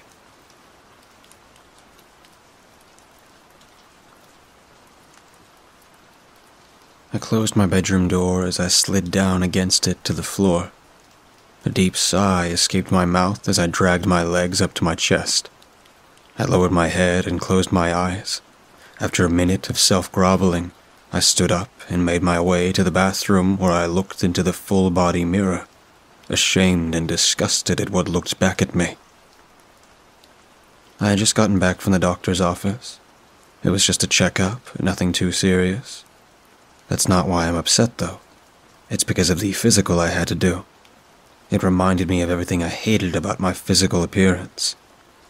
You see, I'm what you would call a stick, and a short one at that. I've always been small. I was born a month premature, five pounds and three ounces to be exact. The runt of the family, you could say. Ironically enough, my family is full of giants. My father is a whopping 6'11, my mother 6'5. My parents are pretty tall, so naturally, you'd expect their four offspring to be tall as well. You'd be mostly correct in this theory. Keyword mostly. Let's dive in, shall we? My oldest brother, Ethan, is taller than my father, measuring at seven foot one. He could have had a career in basketball, but my 26 year old brother chose to engineer instead. Next is Mary. She is 24 and my one and only sister. Uh, don't let her giant stature of six foot eight fool you. She is the sweetest, kindest, and most caring person you'll ever meet. And finally, my older, dorky brother, Marcus. He's been sticking out since kindergarten, literally and he's always been the tallest in his class. Even at 23, he's standing at 6 foot 10. So how tall am I, you ask? I must be up there with my parents and siblings, right? Wrong. I am 4 foot 6, and I have been so since I was 12. It's insufferable having to live in a world full of giants. My parents saved up enough money to have a custom house built, expecting their kids to grow up nice and tall, just like them. Everyone except for poor little Amelia, who had to carry around her own little step stool just to be able to wash her hands. What's worse was the torment from my brothers and the occasional offensive remark from Mary growing up. While they shot up to great new heights, I stayed down in the mud. I'm shorter than the average American female, for Christ's sake. I've always envied my siblings for their bodies and loathed my own. Well, Miss Emerson, everything looks fine, Dr. Goodman informed me. However, there is one concerning thing that I can't seem to figure out. My heart dropped in my chest. I had an inkling of what was about to happen. Looking over your family history, we've noticed you're a little stunted compared to other members of your family. Your BMI was also a little low as well he said, reading off my chart. I let out a sigh. Yeah, I get this a lot, actually. I can't really explain it, but I'm just really short compared to my family. I explained. Have you tried any dietary changes, or have you sought any hormone therapies? He asked. I drank my milk and even binge ate for a while, but nothing. And I'm way too poor to afford hormone therapy. You and I will just have to live with the way I am, I answered. After that, I promptly left. Quite embarrassed, too. So there I was, looking in the mirror, self loathing. My phone chimed, bringing me out of my dark and self deprecating thoughts. It was my mother, telling me dinner would be ready soon and I should start my journey over to the family estate. I don't know why I kept going over there, but there I was, every Sunday night for family dinner. I quickly throw on an oversized hoodie that belonged to one of my brothers to hide my short, plain, and uninteresting figure. Where's little Emmy's stepping stool? Ethan questioned as I entered my childhood home. Har har, jerk. I say, rolling my eyes. And so begins the make fun of me to inflate your own small, fragile egos feast, I thought to myself. Dinner went as it always did. Mom asked us about our weeks, and we responded with the same mundane stories as every week. When I brought up what happened at the doctor's, my siblings broke out in laughter, and my parents gave me those disgusting, pitiful looks they always did when these things happened to me. I couldn't take it anymore. I hated being this family's butt of the joke. I hated being picked on because I was short. I was just done with everything. You all find it so funny I'm so short? Well, have you ever thought about what it's like to live like this? With you? You don't, and you never will. I'd kill to be as tall as you guys. I'm done. I'll be damned if I ever come back to this house. I exploded in a rage, and doing what I did at the doctor's, I stormed out of the house and drove home with tears welling up in my eyes. I cried myself to sleep that night, like I always did when I was reminded that I was nothing but a small, insignificant ant.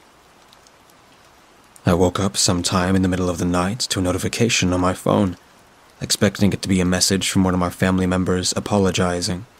I was instead met with a Facebook Messenger message. Typical, I thought. The message was from an old high school friend of mine who I hadn't seen in years. Her name was Madison Grove. Sorry it's late, in your time zone at least. Anyway, I was wondering if you wanted to go out for coffee or something on Saturday.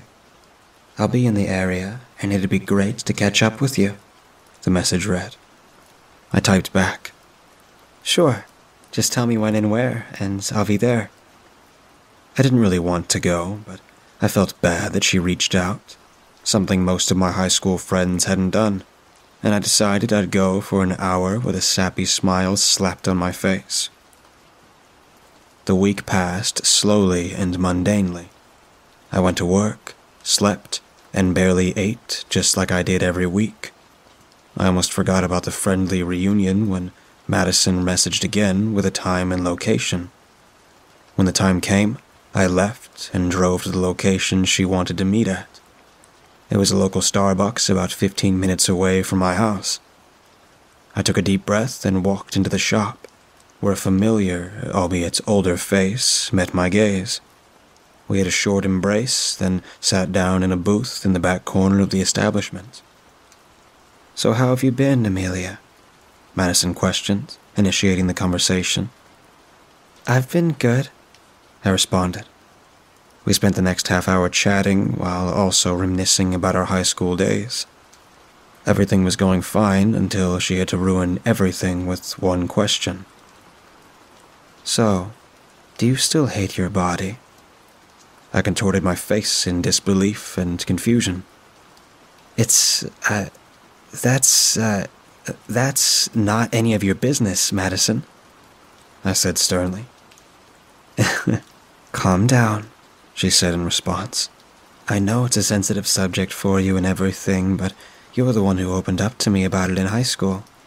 I just want to make sure you're all right. I cleared my throat and stated, uh, Thank you for your concern, Madison, really, but I think we're done here. I began to grab my things to run away like I normally did when Madison stopped me. Wait! She yelled, rather loudly. The people around us stared, and my face went red. I sat back down, waiting for the judgmental stares to cease. I have something for you. I know it's not much, but I hope you'll keep it around, she said in a lower tone.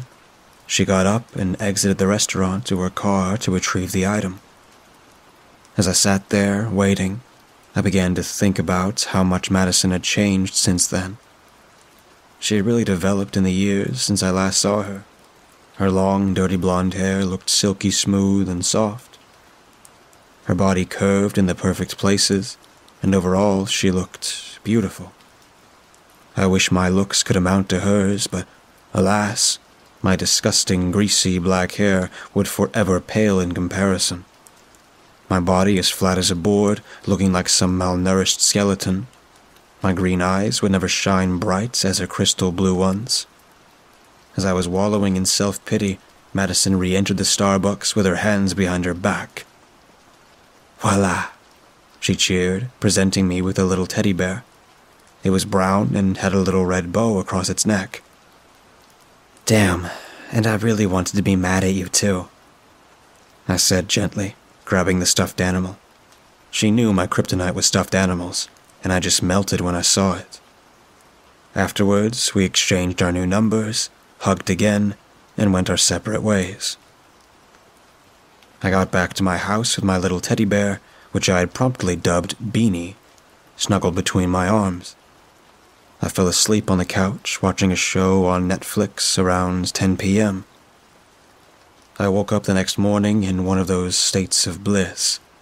It quickly dissipated when I noticed that my feet were hanging off the side of the couch and my shirt was feeling tight around my throat. I chalked it up to me shifting down the couch, as that happens sometimes. I opened my eyes and stood up. This isn't right, I thought. My center of gravity was off, and a slight soreness set in deep in my bones. I looked down, and my sight seemed distorted. The ground was farther away. I made a run to the bathroom.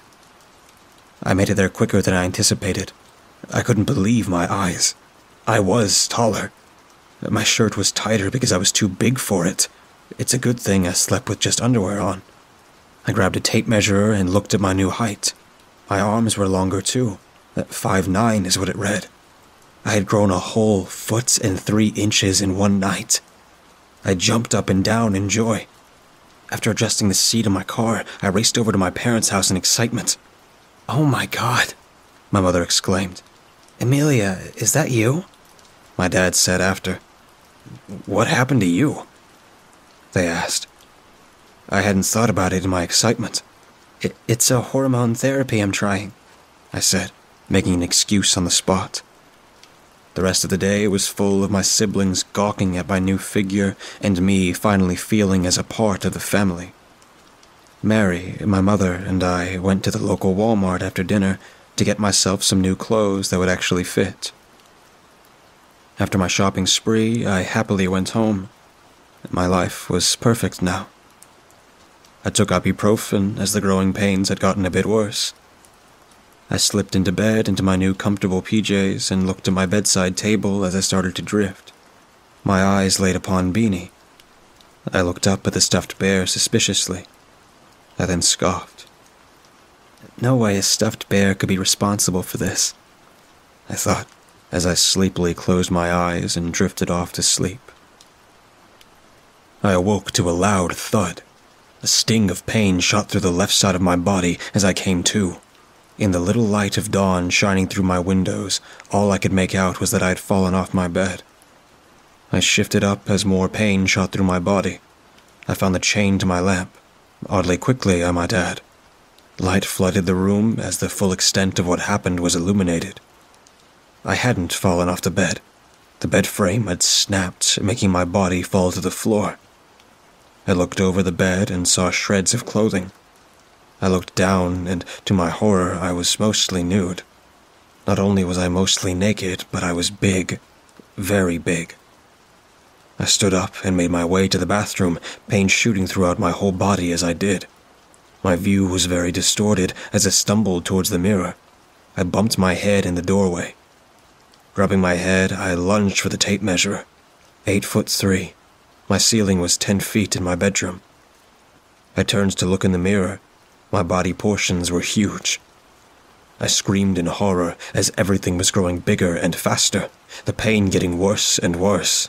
Not only was it getting taller, but fatter and wider as well. My long, fat feet made my wooden floors creak as I ran down the stairs. I feared I would fall through. I was rapidly expanding now, the pain exploding as well. I began to sob.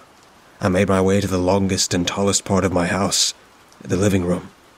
My living room ceiling was 15 feet, luckily, and it stretched to 25. Soon I was so tall I had to sit, but that wasn't enough. My huge feet eventually reached the other side of the wall, and I had to duck my head to avoid hitting the ceiling. I was quite literally a giant now. Eventually, I seemed to have stopped growing, but I was in so much pain and in a very uncomfortable position. I heard my phone begin to ring upstairs and at that moment I was glad I installed Alexa. I answered the call using the in home assistant. It was Morgan. Amelia, listen to me. Do you still have the bear? I answered in an unintentionally loud voice. Yes, uh, I'm kind of busy right now, though, so I'll have to call you back. Wait. I'm on my way over. The bear is cursed, and by the sound of it, you're bigger than you desired, aren't you? I was shocked. So, it was the bear? I said. Yes. To tell you the truth, I'm a witch. and I cursed the bear so that he would grow a little bit taller. However, it seems I made a major hiccup, she said. I am about to burst out of my house, I said angrily.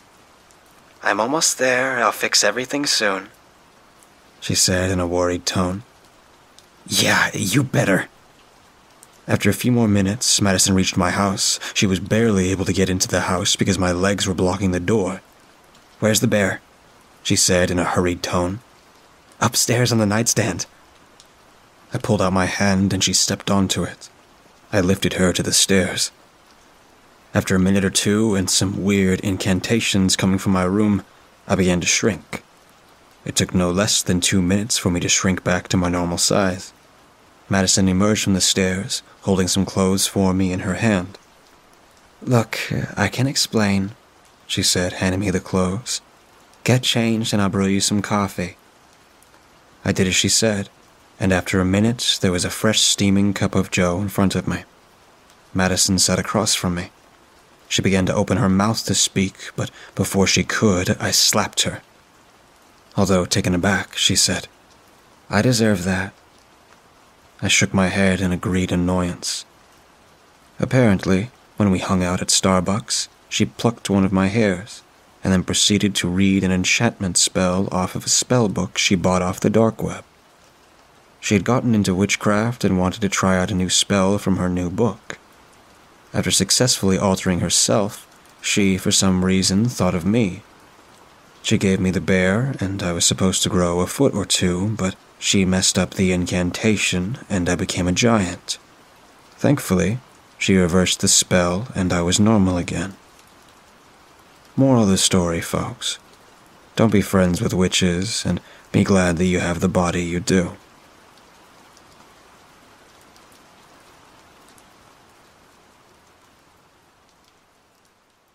When we lived in the city, and it came time to put Muncher to sleep, Dad said we had to leave his body at the vet's.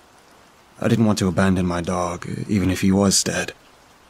Muncher looked so vulnerable lying there, with his tongue lolling and his limbs splayed out like a puppet. He could almost be asleep, except for that his eyes were wide open. I was nine years old when we brought Muncher to the vet.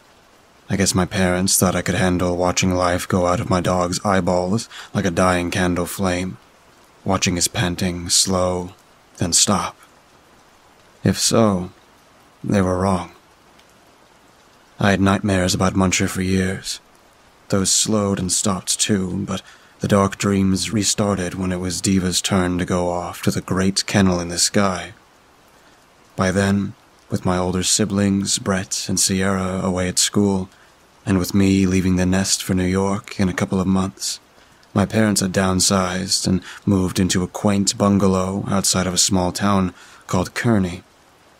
When you live out in the country, you don't leave your dog in a white room at the veterinarian's office for their corpse to add to the summit of a mass grave. You bury them out back on your own property. Most of the bumpkins substitute euthanasia for the business end of a shovel when it comes time for their dog to pass. But Diva went quietly in the middle of the night before we had enough thought about how she would go. I loved Diva. Uh, she was a rescue, a beautiful Belgian sheepdog. We got her straight after Muncher, and she saw me through the toughest times of my young life. She was there to confront me when Brett and his friend tossed water balloons into my bedroom when I was asleep, ruining every book I had. She was there for me after my first high school breakup, when I thought my heart might explode out of my chest like the creature in Alien and for the second breakup, when I was sure that it did. Diva was there when my dad got cancer, and I'm positive she was the reason he ended up beating it. Cancer free for four years and counting. It was like Diva absorbed the disease, lifted the manic cells out of my father and into her own body through sheer force of will. It was barely surprising when the tumors emerged under her skin, and less so when the disease killed her in less than one month. My whole family knew Diva would die for any one of us, and cancer had waited four deceptively calm years to take a life. It could not wait any longer. I buried her myself, Dad wanted to do it. Uh, I think more than he wanted me not to have to do it, but I told him it was fine. Mom didn't say a word when I left the house that morning with a shovel and a pine wood box, but I didn't expect her to. She had always been uncomfortable with the idea of death, never mind being within arm's reach of the thing. I took Diva's body out into the forest out back. I didn't go too far in, and I think that was my first mistake. My parents bought a place right on the edge of town limits, and if I had gone maybe 20 or 30 steps farther in, maybe Diva would have stayed dead. The coffin I made for her was heavier than I expected it to be, and I felt that as soon as I was out of sight from my own bedroom window, I had gone far enough. Goodbye, girl, I said, staring down the fresh hole. My hands were blistering from digging. You were a good dog.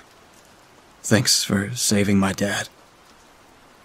I stopped, feeling I should say more, but the moment passed. Before I knew it, I was shoveling dirt back into the hole.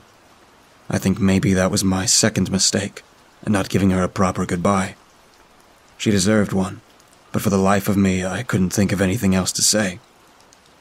I packed a heavy rock to serve as a tombstone and wrote out an inscription with a sharpie I pulled from the house.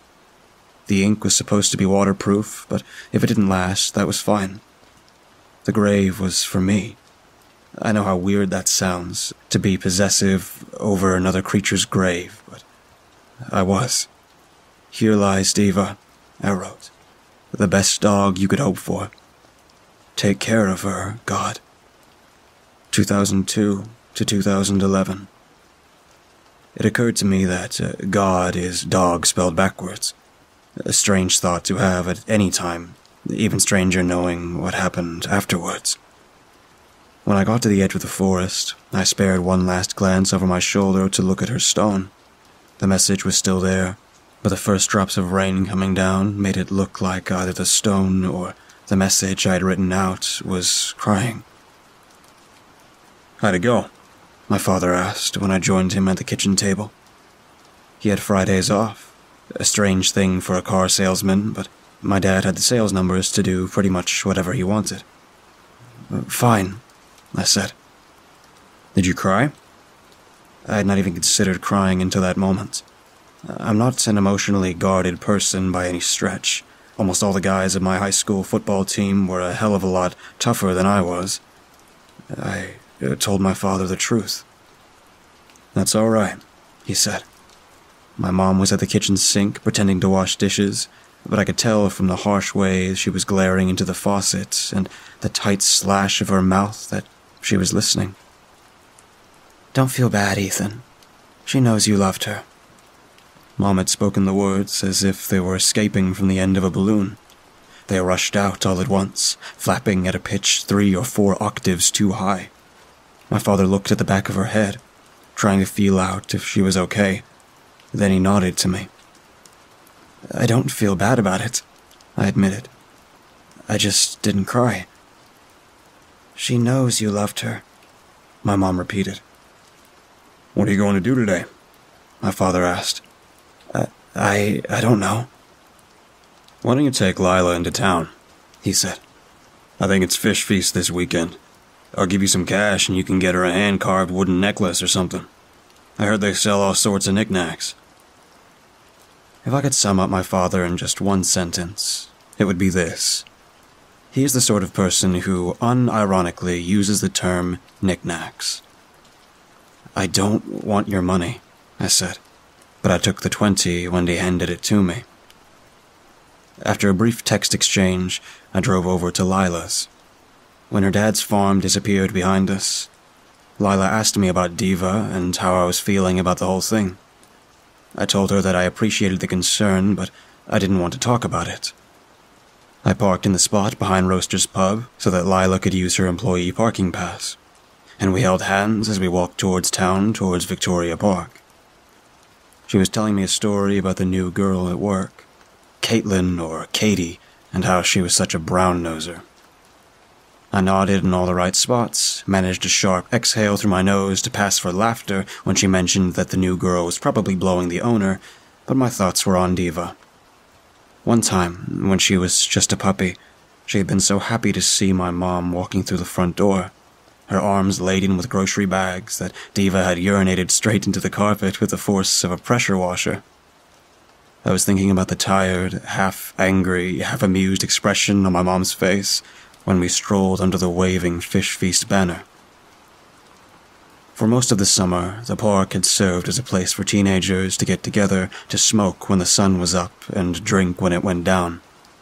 Now, though, uh, colorful booths with local vendors and their customers lined the park. Farther along, the cooks and their grills were set up, dispensing deep fried fish and french fries with genuine smiles. We passed straight by the jumbled merchandise and collectibles and straight towards lunch. The fish vendors were arranged along the perimeter of a semicircle stretch of glass. This area was crowded with tables and chairs, and there was a large plastic trophy painted gold displayed in the center. Whoever served the best dish, as voted upon by the attendees of Fish Feast, would have their name engraved into the trophy to join the elite club. It was the height of honor in Kearney to participate in Fish Feast as a prestigious affair akin to winning the Stanley Cup to be the year's victor. Lila went to one of the booths, and I went to a different one. Thank you for choosing Harry's House of Halibut, said a teenage girl who might have been Harry's daughter or niece. What can I get you? I don't care, I said. My dog died today. Her smile faltered, and she shoved a plate into my arms and all but shooed me away after I paid her. I didn't care. I was thinking about how much Diva would have liked to chow down on deep fried meat, and that she wouldn't have minded the newspaper appetizer that the fish was wrapped in. Lila offered me a bite of hers, and I took it into my mouth, uh, chewed and swallowed without much enthusiasm. I wasn't hungry. I offered her a bite of mine because it seemed like the thing to do, and when she asked which I liked better, I said hers. They both tasted the same to me gray mush.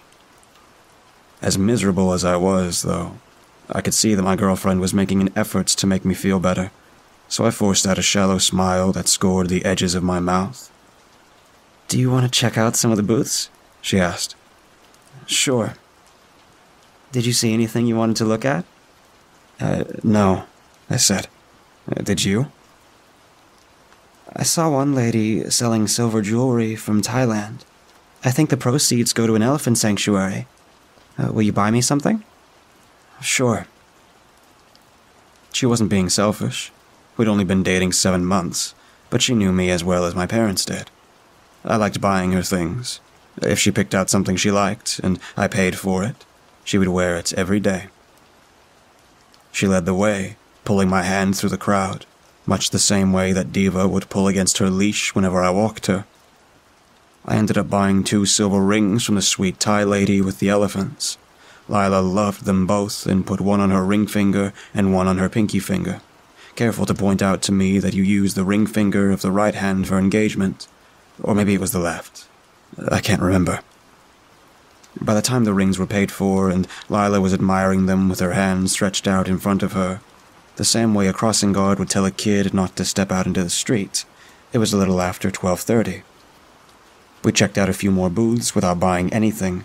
And my mood was improving, and by 1:30 I had parted through most of the dark gray morning clouds and could see the sun on the other side. Let's go to your place, I said.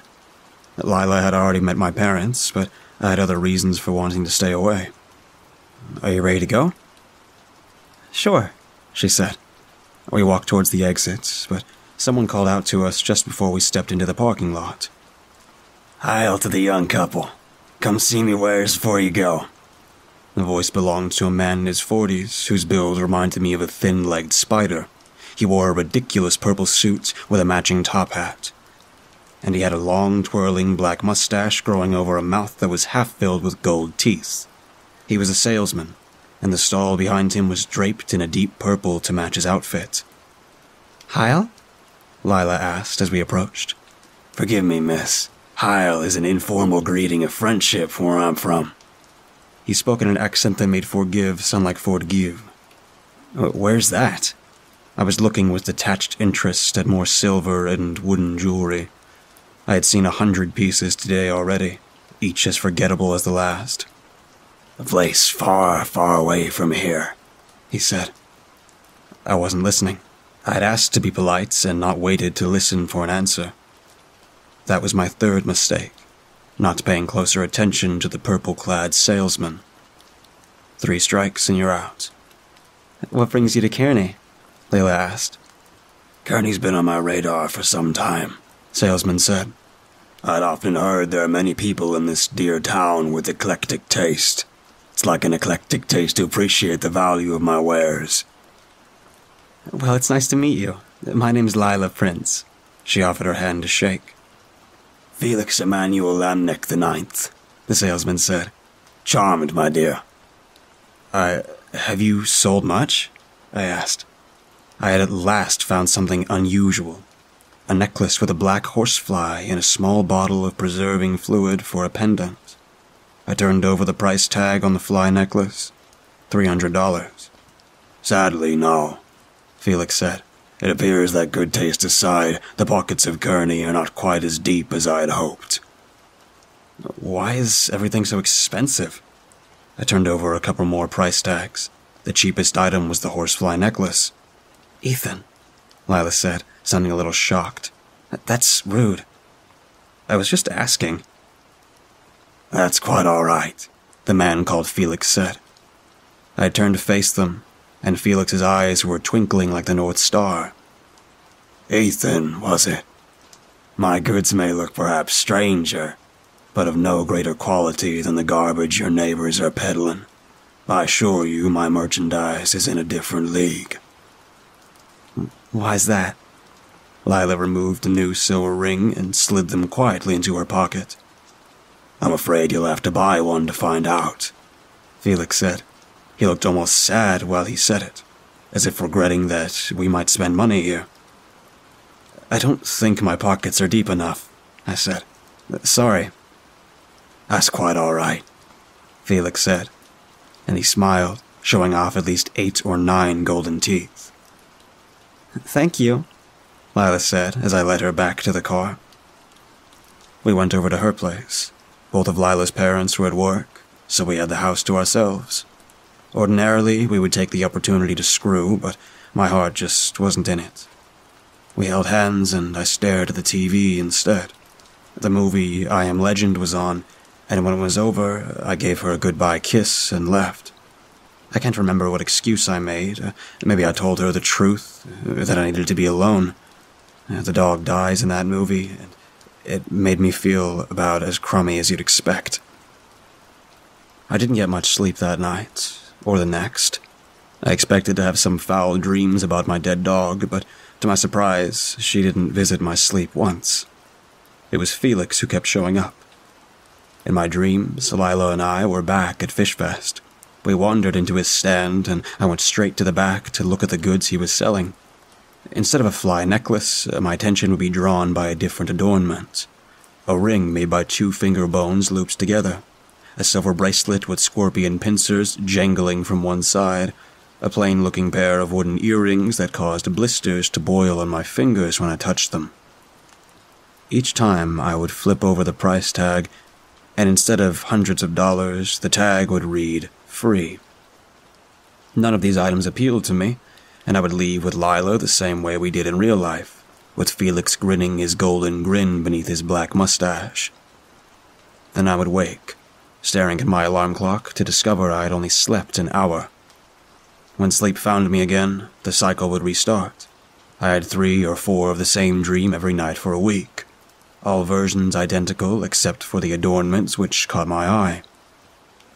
When I phoned Lila, ready to confess that I was cracking like an egg, she would cry. She told me that she was having the same dreams that I was, but with one difference. Last night, during her third repetition of the dream, she gave in and took something from the booth. I asked her what she had bought, and she told me in her dream I had picked out a copper colored necklace with a whistle on the end and draped it over her neck.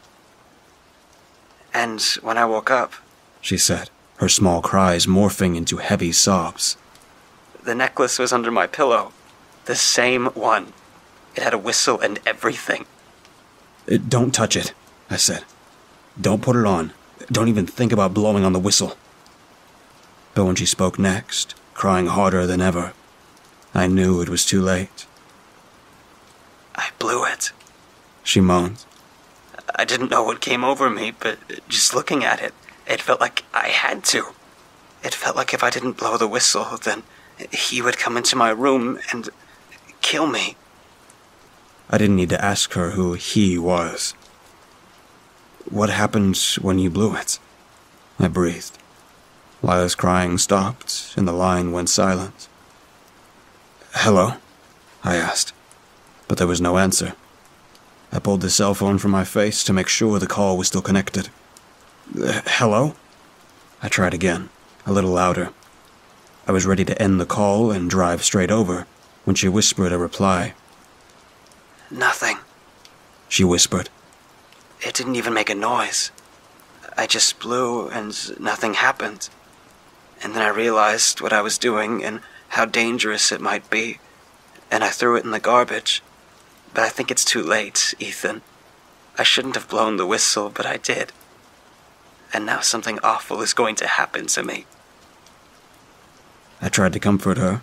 I told her I would drive over, that it was just a coincidence that we were having the same dream, but my heart wasn't in it. Lila thought something awful was going to happen to her, and I was sure she was right. I got dressed and showered, but as I was stepping out of the door, I heard my mother. Ethan? Her voice was wavering and hushed, like there was a burglar sticking his pistol into her ear and demanding she remain calm. "Uh, Are you okay, Mom? Diva is in the backyard. I ran back into the house, through the kitchen to where my mother was standing. She was staring out the window. Her skin was as white as milk. I was ready to tell her to relax, uh, that whatever dog was in the backyard, it could not be Diva, and if it didn't have rabies or something, we could see about getting in touch with its owner. I stopped cold when I looked out the window. My blood cemented in my veins. Diva was coming towards us, or at least what was left of her. Most of her hair and skin had decayed or been eaten by worms, and the remains tattered of her were coated in dirt and scuttling insects. One of her eyes was gone, and a yellow mushroom sprouted from the socket. I could see more of her guts. One loop of intestines was dragging across the ground like a fleshy tail. She was moving towards the back door, which was perhaps ten feet away. I noticed a splinter of her pine wood coffin sticking up from between her toes. I sprinted to the back door and got the lock down on the screen door just before Diva, just before Diva jumped to paw at the handle. Her remaining eye had been dyed a dull red, and when she saw me, she snarled. She tried the door handle again, and when it didn't give, she backed up a few steps. She barked at me and hurled herself against the screen door. Her face crumpled into the mesh, then burst through. Hysterical barking filled the house, wild and furious. She was trying to force herself through the gap, twisting and gnashing her rotted teeth. She rammed the door frame again, and some of the wood splintered. I ran. Mom, we gotta go, I said, dashing into the kitchen to grab her. Go? There was a crashing at the back door. Some of the door, maybe all of it, had broken apart. Go, I yelled. Get in my car. I grabbed her shoulder and had to drag her through the house to the front door. I have to get my wallet, she said, her mind having snapped at the sight of our snarling, decaying dog, and she tried to break out of my grip. There was another crash at the back door, banged out of its hinges and hit the floor, and a quick, irregular scuttling across the wood. It was her claws. Diva was inside, maybe thrown off balance as she erupted into the house. But maybe not. She was barking again, and I managed to shove my mom out of the front door as Diva came screaming into view. The mushroom in her face waggled stupidly at me, but her lone eye burned, now as bright as the devil. I slammed the thick oak door between us. She barked again, smashed into the solid oak, and went silent. I heard her run away from the door and knew she had not given up. She was going a long way to get at us, out the back door and around the house. Mom was standing on the porch, staring at me. Mom, the car! Ethan, she said, "Uh, Diva is sick. I shoved her towards the car, too hard, and she almost toppled down the porch steps. Diva was still barking, and she had never stopped. She was outside already and rushing around the house, faster than she had ever been in life. Move! I raced ahead, not to leave her behind, but to get the car unlocked and her door open ahead of time. Mom was coming a little faster now, but at a light trot and not the breakneck speed she needed. I wondered how long it had been since my mom ran to or from anything. I was in the driver's seat, the car was rumbling, and the passenger door was open. All Mom had to do was climb in and shut the door. She was five or six steps away. Diva hurtled around the side of the house like a banshee, baring gray teeth as sharp and serrated as kitchen knives. Mom didn't see Diva coming or couldn't bear to look. She took one shaking step into the car, and Diva was still on the other side. She was going to make it. She had maybe less than a second to spare, but she was going to make it. That was when Diva leapt clean over the car. At first, I didn't realize what had happened. Diva was there one second, a zombified monster, and in the next moment, she had disappeared from my car window. Then Mom was shrieking. Diva had pulled her out of the car. Then the screaming stopped. Diva was tearing at something wearing my mother's clothes, tearing it apart. I pulled the door closed and backed out from the driveway. I would have erupted into inconsolable tears if I looked back, or even took the time to think about the horror that I was leaving behind, but I didn't. I put the gas pedal to the floor and drove. The drive to Lila's farm normally took ten minutes, but I did it in five, sending a huge cloud of gravel and dust along my trail. On the way, I passed an older woman in a yellow sundress, screaming to high heaven. She was being pursued by the fleshless skeleton of a greyhound. It was moving without tendons or muscles to propel it, barking without lungs or throats to funnel air. Before I could even think of stopping or slowing down, the skeleton had knocked her onto the gravel and was pulling the lady apart. Blood splattered across the yellow dress, and I turned to look away. A minute later, I drove by a pack of medium sized dogs in various states of decay. They saw me coming and chased the car for 30 seconds or so before giving up. One of them got distracted when it noticed a nearby farmhouse, and the pack broke off from me to chase a man who was driving a tractor and facing away from them. I rocketed the car across Lila's lawn without bothering with her driveway. Far off in her daddy's field, I saw three dogs ripping and tearing at something in denim overalls. Blood was popping from the body like a string of engorged zits. One of the dogs looked at me when I got out of the car, one with three legs and no lower jaw. It left its brothers and started a brisk lope towards the house. I sprinted across the front yard and through the front door. Lila! I shouted. Ethan? She was upstairs. I took the steps four at a time. Lila was sitting on her bed. Tracks of tears were glistening on her cheek. She had a good view of the field from her bedroom window, and I could guess why she was crying. Ethan, she said, did I do this? No, I said, but the copper necklace tinkled in clasped hands, and I knew I was lying. One of them is coming, she said, as I got her to her feet. I know. They just came out of the ground, she said. They didn't even shake off the dirt. Uh, one of them is Julian. She died three years ago, but I don't recognize the other dogs. What's going on? I don't know. They probably belong to the people who lived here before you, I said, or the people before them. How far do you think? How, how many dogs? All of them, I said, and she paled. All of them in Kearney, at least. I got Lila into the car. She was scared, but she didn't freeze in terror like my mother. And by the time the rotted hound who had been named Julian was bashing her skull against my car, I was already pulling out of the driveway. Where are we going? Lila asked. Coastal dealership, I said, thinking it was unlikely any dogs were buried in the center of town. I had to get my dad. Okay, Lila said, and rubbed her arm against her face to get the tears out of her eyes. I just realized I'm an orphan, she said. I reached over and squeezed her hand, not sure what else I could do. Lila's mother had died when she was 11 in a drunk driving accident. and her father was still back in the field. Lunch for the undead. I brushed against the necklace she was still holding and jerked my hand away in surprise. The whistle was freezing, so cold it burns to touch. I rolled down my window, took the necklace from her, and threw it into the dust. What if we needed that? She cried. What if we needed it to stop the dogs? That whistle brings them towards us, I said. There's only one person who can put an end to this, and we're going to deal with him after we pick up my dad. Felix? She asked, and I nodded. Kearney was in a worse state than I thought it would be.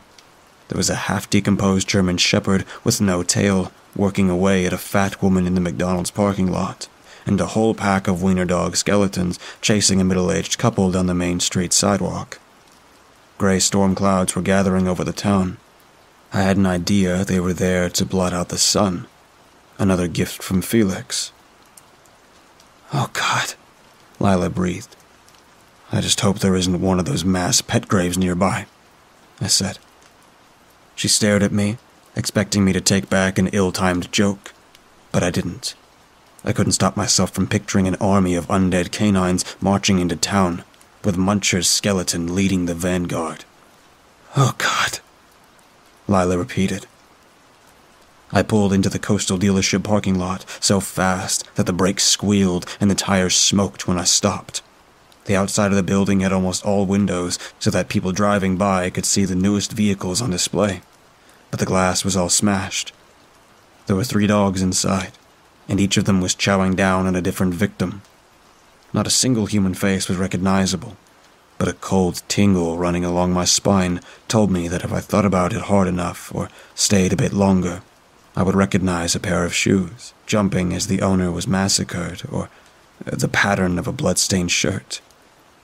I could stay and wait for that to happen, or I could go. I kept driving. Ethan, Lila said as we turned back into Main Street. Are you sure? I'm sure. Okay. She didn't say anything for another minute or so.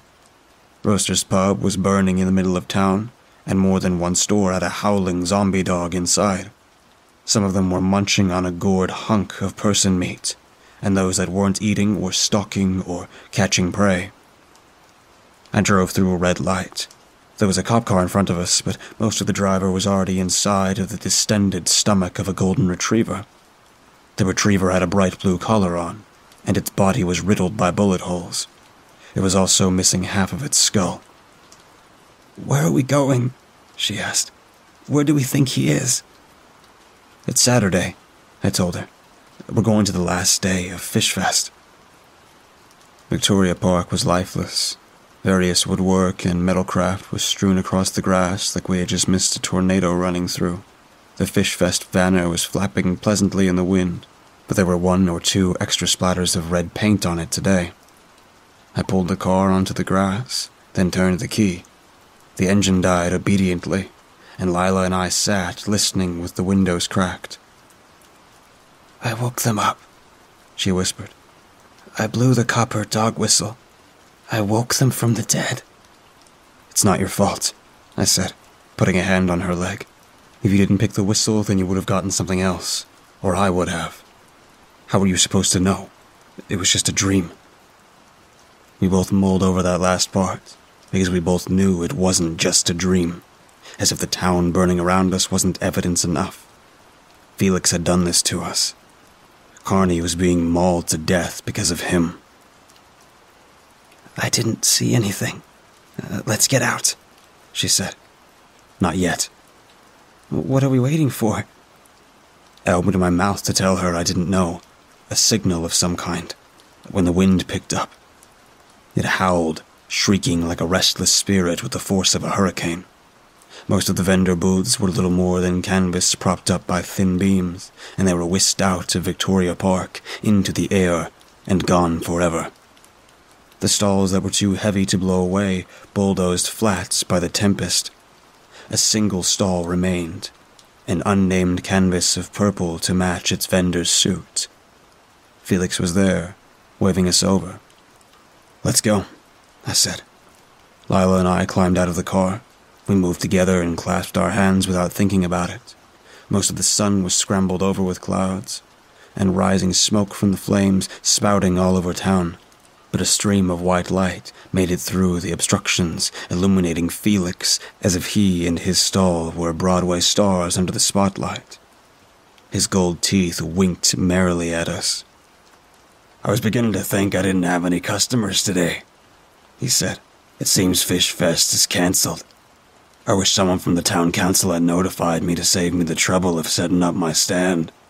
Though from what I had seen today, I'm hardly surprised. I suspect the mayor's busy with other matters. Make it stop! I had to shout to hear myself over the wind. Dreadful. Just dreadful. Felix continued, as if I had not spoken. Look around. Not a soul to be seen. Not even the fish peddlers could make it. I suppose today they are being served for lunch. I wonder who'll taste best. Felix laughed, and it sounded like a poker raking over hot coals. Behind Felix's booth, plastic chairs and folding tables lay helter skelter in the patch of grass. In the center of the clearing, the trophy lay blown over in the wind. It seemed to twinkle sadly at me, wondering where all the smiling faces had gone. What did you do? Lila shouted. We stopped ten or so feet from Felix. He was no longer smiling. What have I done? he asked. I've come a long way for you, Lila. I heard your dreams and wishes, and I made sure that no one else in your rotting, stinking town came to my booth. I wanted to make sure you got what you asked for. I put that whistle on layaway for you. I expected you to come thank me. You begged Ethan to yourself. You give anything to keep him in Kearney with you. Isn't that right? You said it every night for weeks. I looked over at Lila. She was shaking from head to toe. Dogs barking a few streets away, and I hoped they were not eating someone else I cared about. This was your doing, girl. If you had just let the dogs eat you, and let me do it my way, the two of you would be together forever. You would have had eternity. You did not want the dogs to eat you. You should have picked something else from my selection. Something else. I suppose in a way that solved the mystery of the dreams. Whatever I might have picked, or whatever Lila might have picked, would have tried to kill both of us. I ran at Felix to hurt him, to strike him with my fists or feet or whatever I could hit him with. With the casual, jittering speed of lightning, Felix grabbed my collar and hoisted me into the air with a single gloved hand. I'll have no more interruptions from you, he said, and heaved me into the air. I soared, shouting for Lila, and crashed into the earth. When I opened my eyes, the Fish Feast trophy was looking back at me. Felix had thrown me the distance of half a football field. I turned my head. My neck cracked in protest, strained but not broken. Felix was saying something to Lila, but they were too far, and the wind too strong for me to hear what. She was sobbing with her eyes shut, and she was walking to her, one hand outstretched. I didn't know what kind of deal Felix had made, more with himself than with her, but I could guess what he might be taking from her. When dogs climbed out of their graves and mysterious salesmen struck satanic deals in your mind, of course it would be the immortal soul he was after. If Felix was not the devil himself, the two of them were at least in the same line of work. I climbed to my feet, and without thinking about what I was doing, I armed myself with the Fishy Feast trophy. The second my fingers closed around the stem of the trophy, it began to glow. It was warm in my hands, and I turned it upside down, coming towards Felix with my two handed club. The trophy seemed to be speaking to me through the warmth and shining gold as I wielded it, through my hands and into my brain. It said that there was a force giving me power through the trophy, not God or anything so grandiose, but the good and white to oppose Felix's evil red and purple. The gold and good was equal to Felix at best, certainly not greater than him, and maybe a little weaker. The trophy was an object which people had, in their own way, poured their souls into. Hope, camaraderie, laughter, and other elements of good had been poured into the golden plastic ever since it had served as the emblem of Fish Feast. And that was why the white and gold force was able to use it to channel its power through me. It told me that the good force would not last forever. I had perhaps one good strike before the power faded to nothing, and we were done for. Felix spun as I grasped the trophy, sensing that I had found a weapon or that the weapon had found me. His eyes burned with black flames. Die! He screamed and pointed a long pale finger at me. His fingernails were ink black and sharpened to razor thin points. Nothing happened straight away, but the trophy throbbed forebodingly in my hands. Time was short. I accelerated my shambling walk towards Felix into a jog, and as I broke into a run, the ground beneath my feet shook like a mild earthquake. Something was coming. Undead dogs stampeded into Victoria Park towards us. They snapped and barked at us. Some of them were laughing at us too. Deep, squawking laughter that came into crow like bursts. Most of the zombies were nothing but skeletons, and it was easy to pick out the dog in the lead. Diva was tied to me by the bond we had when she was alive, and she had followed this bond, like a physical thread linking us together, into town. I guessed that she had been sprinting towards me since I drove away from my house. I ran at Felix, coaxing the last bursts of speed from my aching legs. The light of the trophy was beginning to fade. It would be gone any second now. I swung at his head, but he backstepped, and I missed him. Lila screamed behind me. I had swung too hard, and Felix took a step forward again, the trophy still swooping in its arch. Too heavy to pull back in time. He reached a hand at me, and I dropped my weapon. She caught it under my arm.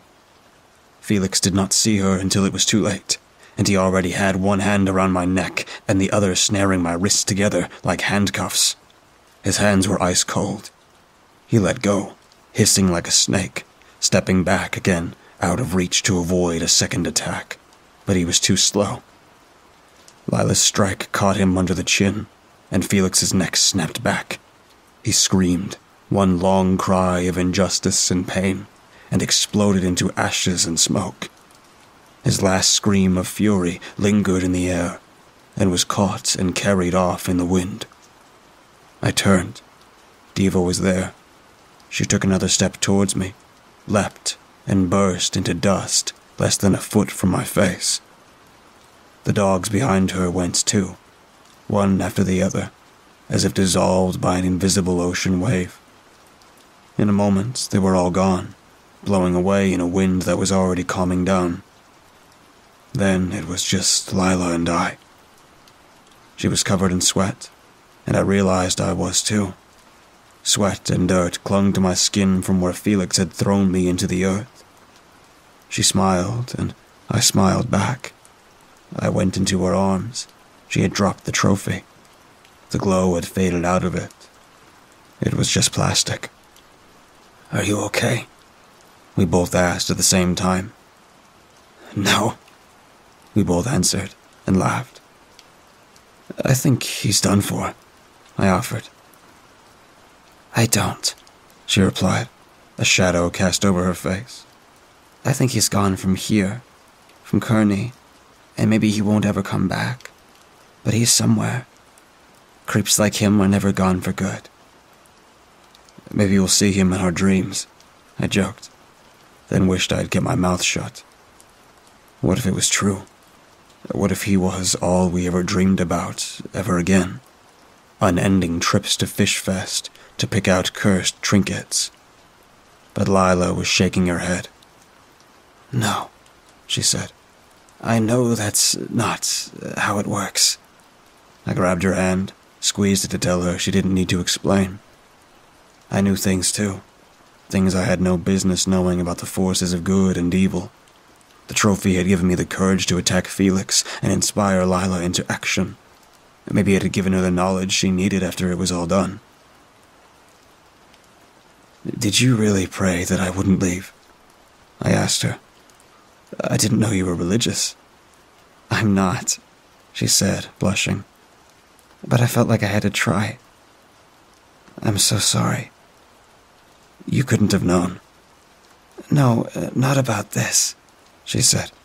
The hand not holding mine swept over the chaos around us. We passed under the Fish Fest banner again and strolled into the parking lot, and she continued. It was selfish of me to want to hold you back. I know you have to go away to school. I love you, Ethan. It was the first time either of us had said it. I love you too, I said. Then, in a burst of passion, I added, Come to New York with me. Come with you? She asked, climbing into my car. Why not? The ownership of our parents' houses will pass to us. I'll have to split the money with Brett and Sierra, but I'll make them sell. They won't argue. You could sell too, and we could get an apartment together, and. She put her hands to my lips. Let's do it, she said. She kissed me. I kissed her back, and I drove. We let the town of Kearney burn around us and didn't look back. Let's get a cat.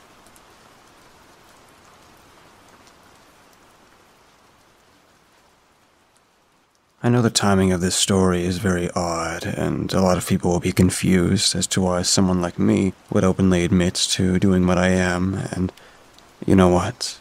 I don't blame you. I wouldn't dare confess to what I've done, but I feel like it's time for me to explain why I do it. First, I do not condone or support other killers. In fact, two of my uh, victims were murderers of the worst degree. Second, all of those I have killed have committed at least one of three crimes. One is murder, but it has to have been committed by no other reason than pleasure or enjoyment or in cold blood. The other two might cause this to be taken down, but one is forcing minors to do unspeakable things, and the other is forcing themselves onto others. That's all I'll say on that. Because of these crimes, they would have a first class ticket to hell. That means they were the perfect candidates for what I had to do. I wouldn't blame you for thinking I'm just a sicko making excuses. I would think that too. But my time is limited, so I'll just get to the points point and give you the reason I do this. I kill and sacrifice them to stop the world from ending. This all began on a night out with two of my friends, Luke and Juno. We were at a bar and Luke was talking about his terrible teacher when Juno whispered to me, Hey, Matt, I think you have an admirer. I turned to where Juno was looking and saw a beautiful brunette smiling at me, with teeth as white as pearls. I smiled back at her and raised my glass. The woman returned the gesture with a wicked smirk. For context, I was only out of a long term relationship with a woman I truly loved. We were happy, till I found her in bed with her uh, best friend. Because of this, I was a bit rusty and reluctant to jump back into a relationship or even a one night stand. Luke glanced back and saw the woman. Holy hell, dude, he began. That's one hot bit woman. Juno cut across him while giving him a glare that could turn Medusa to stone. After their staring contest, Luke berated me and told me to go and talk to her. After a minute of this, and Juno's gentle nudges to do so, I got up and approached the bar. I leaned on top of the counter as I called for the bartender. When he got to me and asked what I wanted, I said, One Bud Light, and whatever the lady here wants.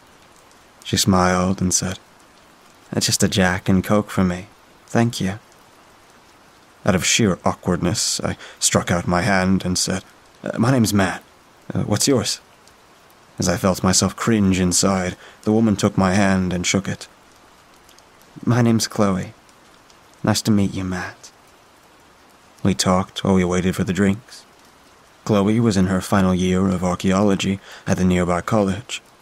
You're uh, beautiful for a 22 year old, I said. She giggled and said, No, I'm actually 26. I was in a terrible job for a few years before I eventually made it here. Well, uh, you could have fooled me. You look only 20. I chuckled. We continued, and I told her about myself. I eventually brought her over to introduce her to my friends. They seemed to like her, especially Luke. As we talked, I saw two people enter the bar and look around. One was a tall, bulky man with long black hair and an extended goatee that made me jealous. The other was a short, slender woman with her blood red hair tied back in a ponytail, and her face was covered in freckles. Chloe saw them and said, while waving to them, Those are my friends. Do you guys mind if they join us? Before I could say it, Juno said, The more, the merrier and we took two nearby chairs and made room for the two newcomers. When they got to us, Chloe made the introductions. Uh, guys, these are my friends, Nate and Amanda. We said hello and shook their hands while Chloe continued. This is Luke, Juno, and Matt. As the night progressed, we all got sufficiently drunk.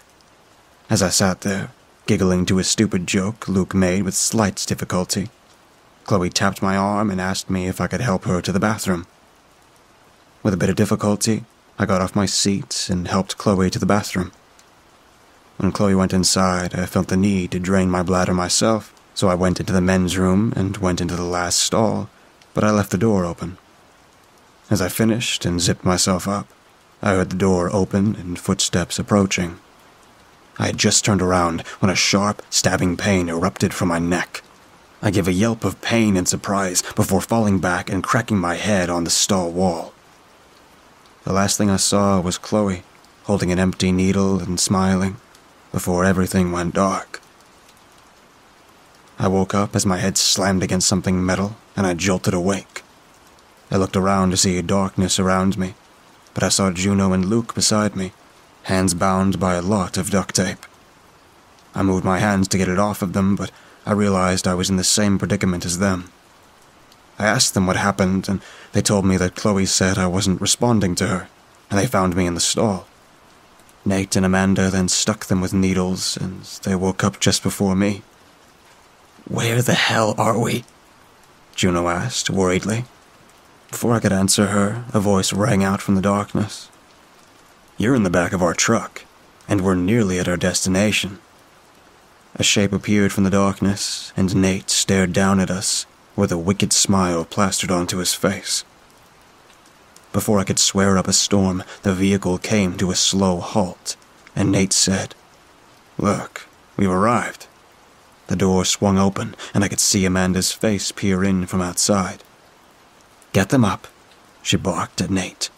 Nate gave her a mocking bow and said, Yes, Your Highness before grabbing Juno and Luke's bonds and dragging them to the door and carried them out, one then the other, like a bride on her wedding night.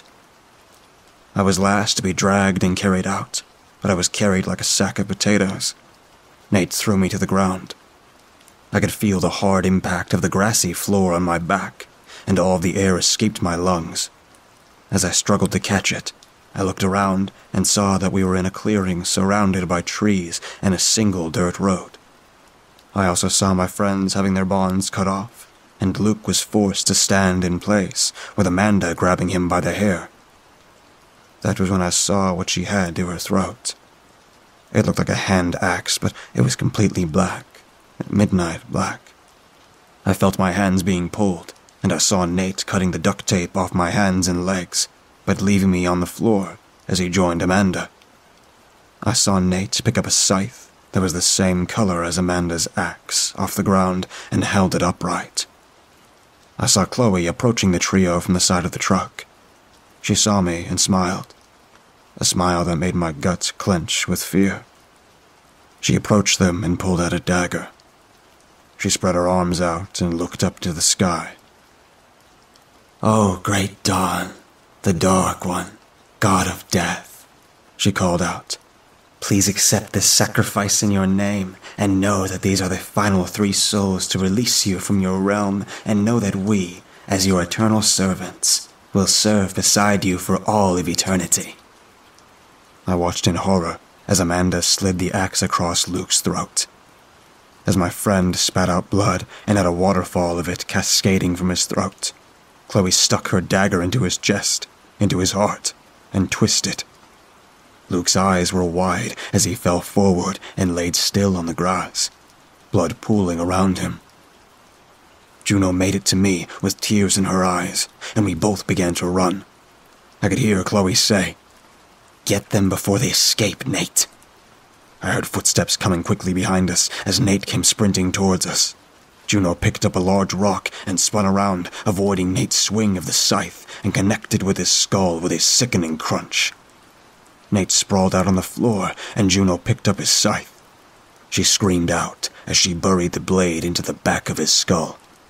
As she freed it from his skull, I called out to her when I saw Amanda quickly approaching. Juno turned to face her, but Amanda's axe caught her in the stomach, and Juno went down, dragging the axe from Amanda's hand, but threw the scythe towards me. I scrambled to the scythe and picked it up as Amanda freed the axe from Juno's stomach and was about to deliver the killing blow when the scythe caught her under her left breast and threw her back. Amanda dropped the axe and fell backwards, dead before she hit the ground. I knelt down and tried to get her on her feet.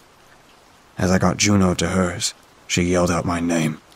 I turned and felt a sharp, burning pain emanating from between my lower ribs on my right side. Chloe retracted the blade from my body and went for a second stab to my chest. No, Juno said as she swung the axe into Chloe's side. Chloe cried and buried the blade into Juno's throat.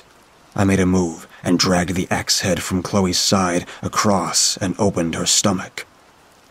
Chloe's eyes went wide as she fell to her knees and stared at her insides. She gave a shaky smile and said, I will live forever by the side of the Almighty Dawn as he shapes this world into his own. Before she fell back and stared, without looking, at the stars. I stood there, covered in blood and in a state of shock. I was just about to puke when I heard someone clapping from behind me. I spun around and stared into the face of a shadow. The featureless being separated from the shadows of the trees and approached me. Well done, it said. Its voice was as smooth as butter, and I felt a sudden sense of calm. You are the last one standing. I am amazed. I stared in awe as the thing began to take form. Its body took on a large but slender frame, and its face took a human like shape with a small but sharp nose, a mouth full of sharp white teeth, two blood red eyes, and black hair that hung down to his ears. What the hell are you? I asked with a shaky voice. It smiled at me. I'm the god of death. Some even refer to me as a lord, but you can call me Dawn. I stared at it. What are you? Didn't they need one more sacrifice? It gave a smirk and replied, They gave me enough souls to appear in your world, but I cannot affect it physically. Are you waiting for me to die to claim mine?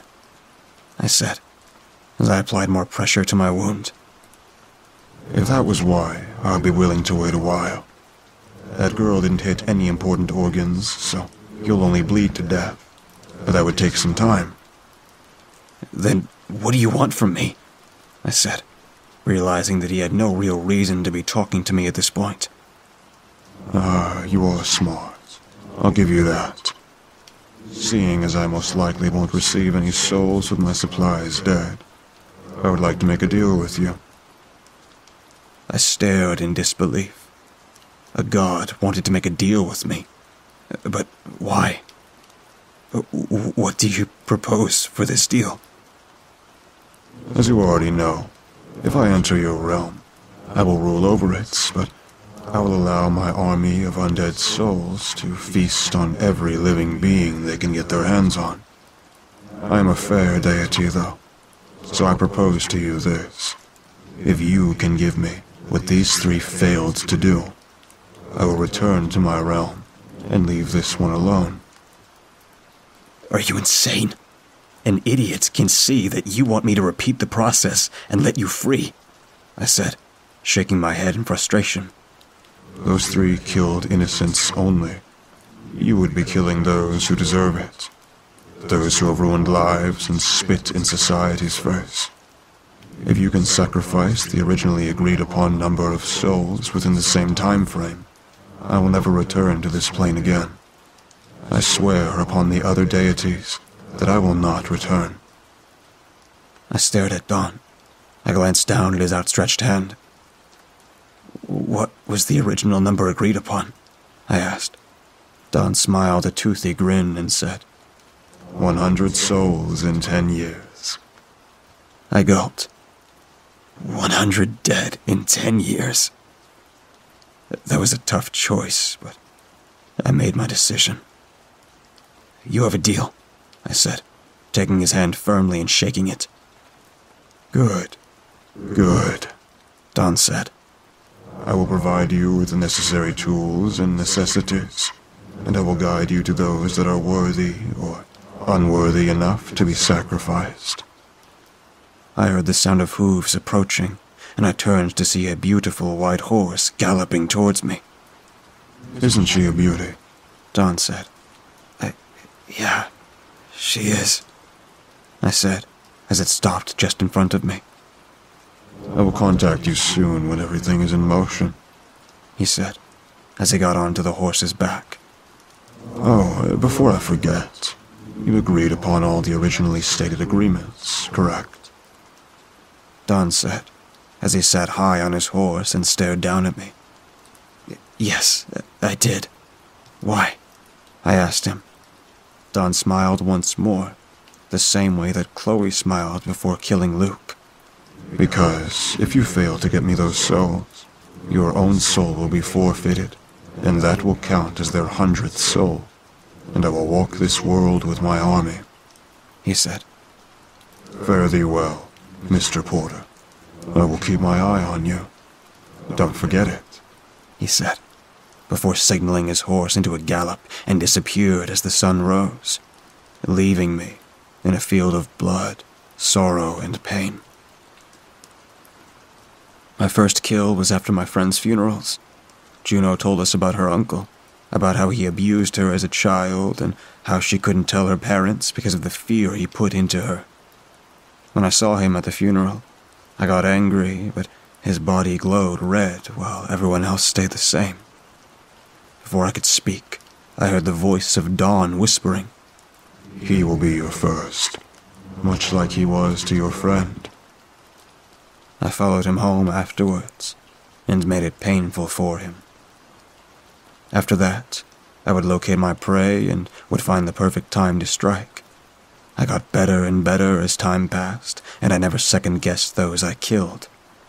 I would always get flashes of what they had done, courtesy of Dawn, that cemented their fate. This worked until now. I was watching a man enter his home late at night, and I knew he was going to be my last. It had been nearly ten years since that night, and I've killed 99 criminals. I decided that this was my moment to strike, so I did. I entered through the back door and crept into his living room.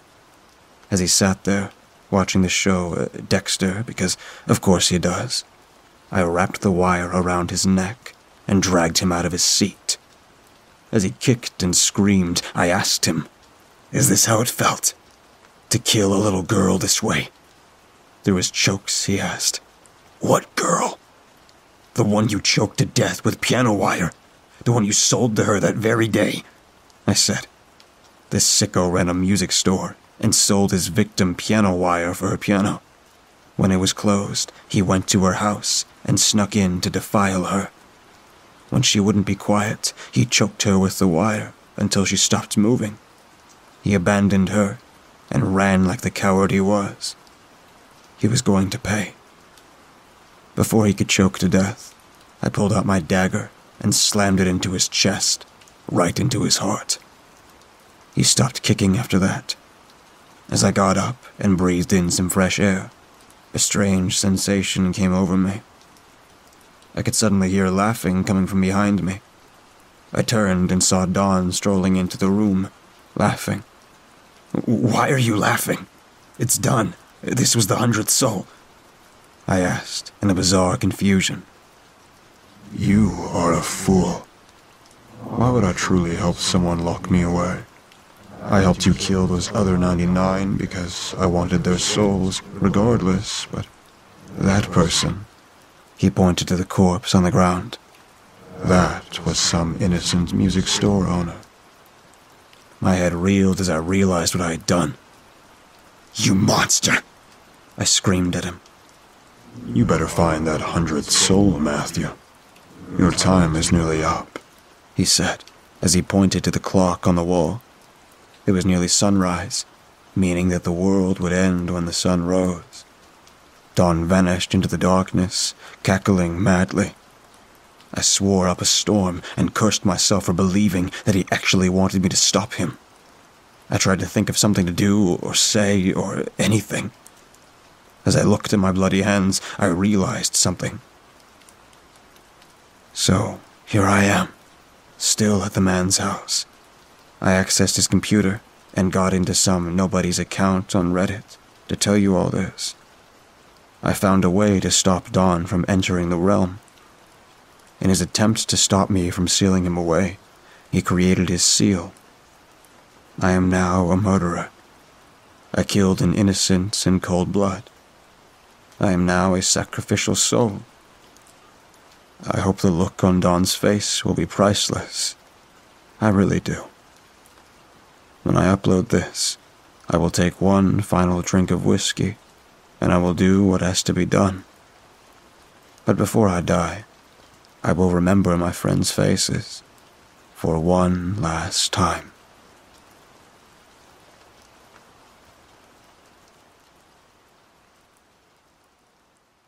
I was in high school, 15, 10th grade, oblivious, totally unaware of the curse that had been bestowed upon me. I remember very clearly where it first happened. I was at home, watching the news, and then I saw it. Paul Newman had died. I didn't read the newspaper. I didn't have a phone back in 2008, unless you count a crappy call and text only Nokia, so it was the first I'd heard of it. Have you ever felt like your throat swells up when you cry? Have you ever choked, uh, even momentarily? Imagine those two things simultaneously, but somehow unlike either one. It was strange. It is strange, and I still find it difficult to describe outside losing analogy. When I saw the story on TV, I started choking, or my throat swelled up, or an invisible demon wrapped an arm around my neck. Take your pick. At the time, I wasn't sure what was wrong with me but I wasn't concerned because the sensation was painless and went away after a couple of minutes. Well, before my mom called me to dinner and uh, my father grumbled about work. The next morning, I woke up in real discomfort. This time, edging into pain that I can only equate to bronchitis. That raw feeling you get in your throat from a virus spreading its clones inside your body. I wanted to see the nurse at school since I was otherwise fine, my teacher didn't believe me. So I went on my lunch break, of my own volition, evading teachers and hall monitors under the guise of a bathroom break. The nurse didn't know what I was sick with, only that I was definitely sick. She called my mom, and I was taken home for the day. Fortunately, my father worked, so he didn't have to pick me up. That would not have gone down well.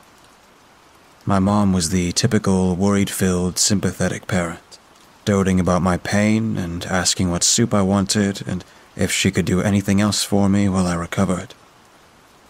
As it was, my father berated me when he got back that day. What are you sick with?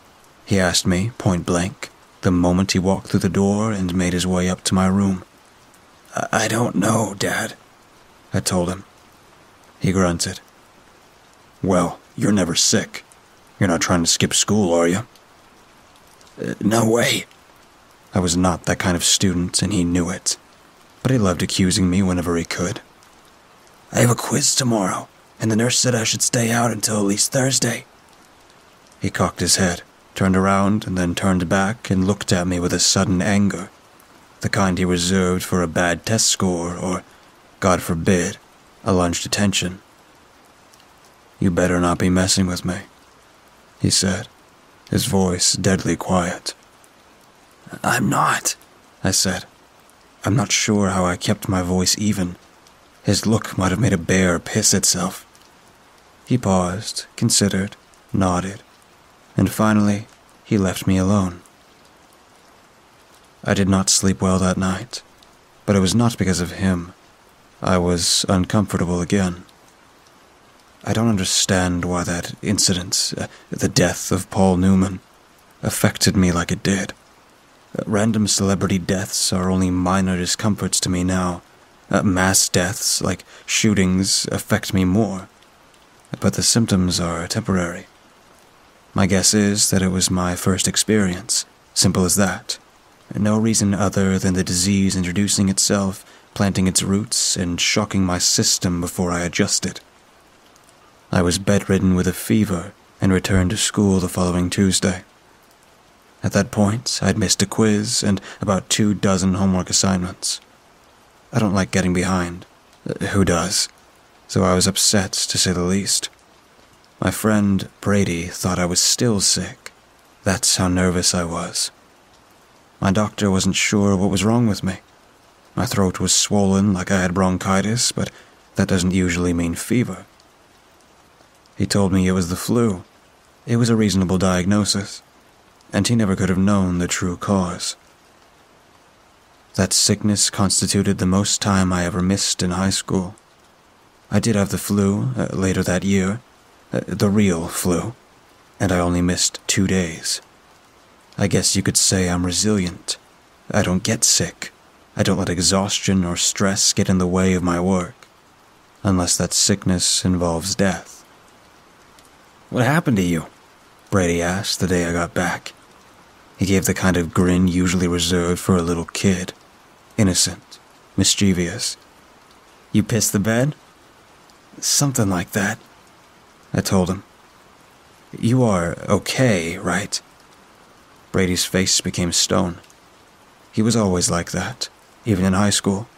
He could joke around with you one second and then become more serious than a funeral director. Sure, I said. I believed it at the time. There was no real reason to think my flu had been anything but a fluke. No one avoided getting the flu in high school, not even me. I was okay, in a physical sense. I didn't know what had happened. That revelation would not come until years later. The freedom of adulthood merged with the responsibilities, red, none, of childhood, all mashed up into a party filled drunken stupor, is what some remember as college. I enjoyed it, sure, but I wasn't an English or phys ed major. I wanted to be a chemist. Uh, people who haven't done STEM don't understand just how rigorous it can be. I've taken English classes, and they require work. Can even be confusing at times, but you never stare at a book and say, What the hell is this? You never struggle for hours with a single problem, wanting to rip the head off of your professor and chunking it into sulfuric acid. You never find yourself buried in your notes at four in the morning, despite keeping up with your studies. I had fun. I went to a couple parties, but my focus was always on my coursework. Brady had teased me about that in high school. He often told me to get my books out of my rear end, and I suppose he had a point, because he made a good living as an electrician after going through trade school. He didn't struggle, didn't want to bash his head against a wall before a physical chem exam. Maybe that's why it took me so long to understand. I kept my head in the sand, went through the motions, made friends, but none that I kept in touch with later. I went to clubs that padded my resume, but were not exactly fun. Throughout all of that, I swallowed death. Celebrity death. I thought something was stuck in my throat. Mass shooting. Sharp pain in my throat the morning after, like I'd screamed until it was raw. Family members my great aunt died right before my 19th birthday, and I really did get bronchitis. The doctor tested for it. Not that it was the real cause of my pain. It's so obvious to me now. Back then, I didn't understand. I didn't connect the dots because there were no dots. only random points in space, like stars that didn't quite form constellations, far off masses that to my eyes were no more than specks, not even visible beyond the clouds. I met Caroline that summer. I was doing an intramural soccer program. She did track. We hit it off instantly. I can't exactly say why. Uh, we didn't have much in common. Our majors were different, our hobbies were different. I barely managed intramural sports while she could run a mile in about five minutes. I didn't deserve her from the start. She was beautiful in every sense. The type of person that volunteers at dog shelters, not for her resume, but because she loved animals. I have no idea what she saw in me. I was a gangly 19 year old college kid, a, a nerd, my personality droll compared to her own. She was the one to ask me out on a date, about a month after we first met. She took me to a little hole in the wall burger place that served fries dripping with grease on scratched plastic plates. We talked about a lot of stuff that I don't remember. Most of it's inconsequential. Uh, news, uh, the latest student gossip, crazy stories from our brief time spent on campus. I remember telling her about a guy that pissed on another girl at a party. Uh, she told me how she'd pissed herself once, and I found that so hilarious that I was crying from laughter. We didn't only talk about the mundane. After that first date, we delved into politics. Fortunately, there was no friction there. Uh, philosophy, plans after college, and beyond. I, of course, wanted to be a chemist. Uh, she planned on becoming a nurse. It would have been the perfect job for her. She was radiant, could bring energy into a room of depressed, sleep deprived college students. She already volunteered at a hospital. When a friend of mine from high school was paralyzed in a skiing accident, she came with me to visit him six hours away. And I think she talks to him more than I did. She wasn't just on the same wavelength as me. We were linked as if by quantum entanglement, inseparable across infinite distance. Talking to her was easier than talking to my mom. Sex with her was pure ecstasy, like an injection of pure morphine, and it wasn't because she was my first. To this day, I hadn't had an experience like I did with Carolyn. We dated for nine months, up until her death. My parents loved her. My father didn't care. He only paid attention to my grades and my future career. My mom gushed to her friends about the lovely young woman I had met.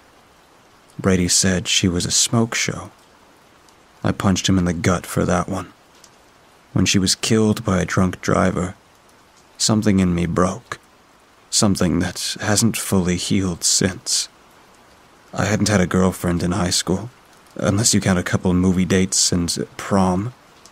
I wasn't outgoing, and I hadn't had the guts to even ask Carolyn on a date in the first place. She was killed the day after I finished finals that fall two days before her last exam. I don't remember much, only going home and sulking in my room, alone, browsing YouTube videos about people laughing while I cried, shaking off my mom even as she tried to comfort me and yelled at her for it, hurting her as much as I hurt myself. My father came to visit that weekend, the first one after Carolyn's death and the day before her funeral. He smiled gave me a hug and tried his best to show his support. I treated him like an outcast. He wasn't the worst dad in the world, but he never cared about anything except my schoolwork, had never expressed interest in Carolyn. And since his divorce with my mom the year prior, he had essentially checked out of our lives, just doing the bare minimum by paying for my education. My mom said she stuck with him for my own sake. He made the money and did work around the house and carried the weight that no child support could. He never abused her, and he didn't abuse me either. He just didn't care about me. My mom was the type to save a stray puppy on the road. My father would have kicked it to the curb, wouldn't have even bothered calling animal control. I was indifferent to him, and somehow he understood. I'll give him that much. When it was clear that I had no intention to reconnect, certainly not at a time like this, he backed off. He left and didn't come back, except for holidays and family gatherings. He was pleasant enough at those. I just couldn't get past the cold, judgmental man from my childhood. I'm old enough now to know that people change. Back then, I wanted to cut him out of my life forever. The funeral was awful. Carolyn's parents cried on each other. Her family was beside themselves. The minister had trouble making it through the service. At least, that's what I was told. He might have had trouble because of me, but I doubt it. Carolyn wasn't the kind of person you forget, even if she hadn't been active at her church. The minister couldn't care less about me in comparison. I tuned it out. I tried to block my emotions because I'm not an emotional guy. Word of advice to anyone who loses a loved one talk to people, share your feelings, and definitely don't withdraw from your social circles. The minister had just started talking. That's the last thing I remember. I felt like someone had wrapped an arm around my neck. My vision wavered, and within a minute or so, I had blacked out. The doctors called it shock. My professors told me to take a couple weeks off before the next semester. My mom cared for me like I was her infant son again. Only I knew the truth and I had been introduced to it in the worst possible way. I swallowed death.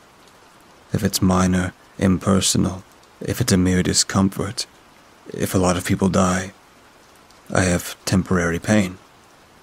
If it's someone close to me, it hits like a truck, and I'm out of it for days, if not weeks.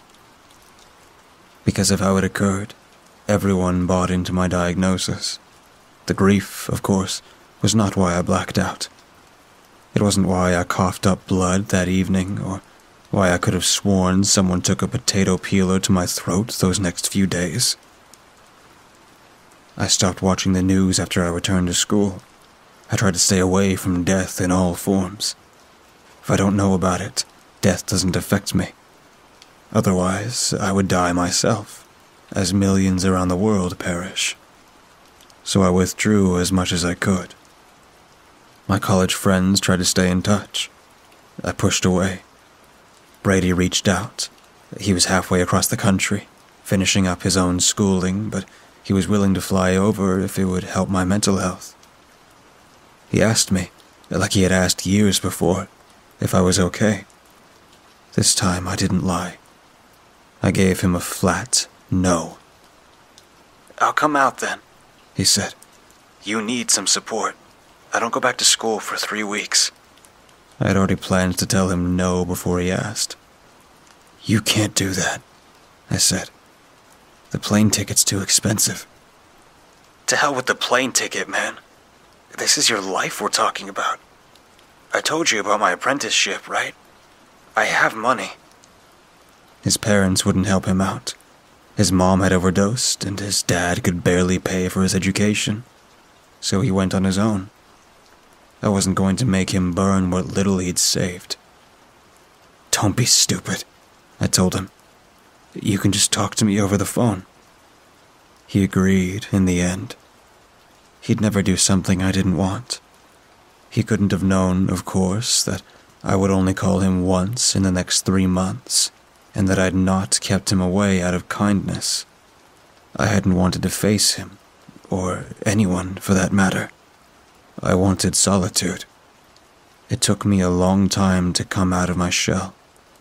I did, eventually, just in time for the final stage of my condition.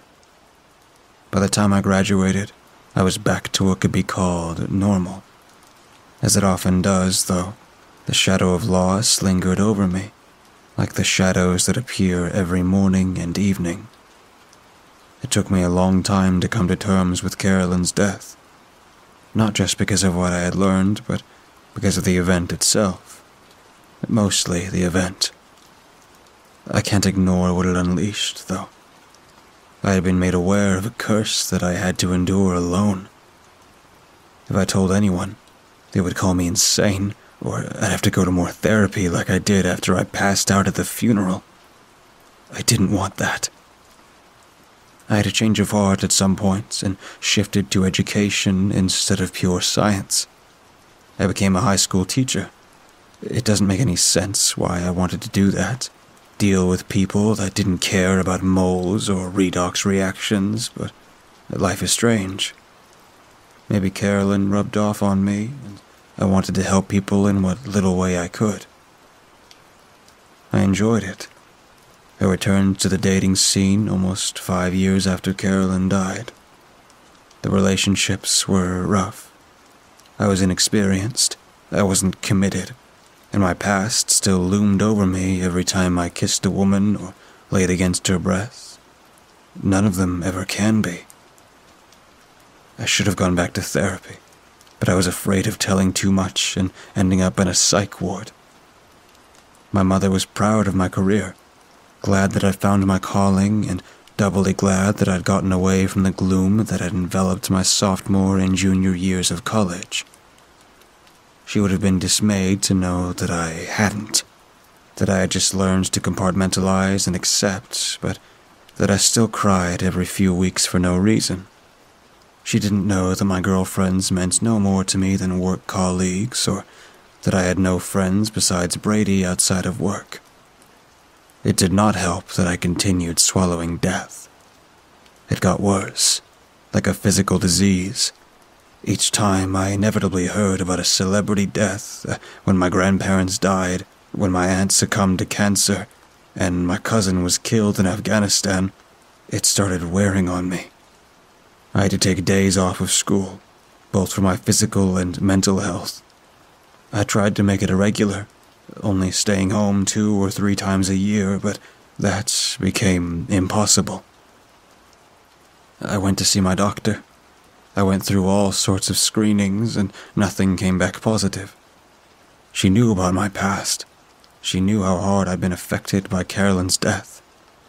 Still, that could not explain the almost continual rawness of my throat, or how I'd coughed up a pint of blood after my cousin's death.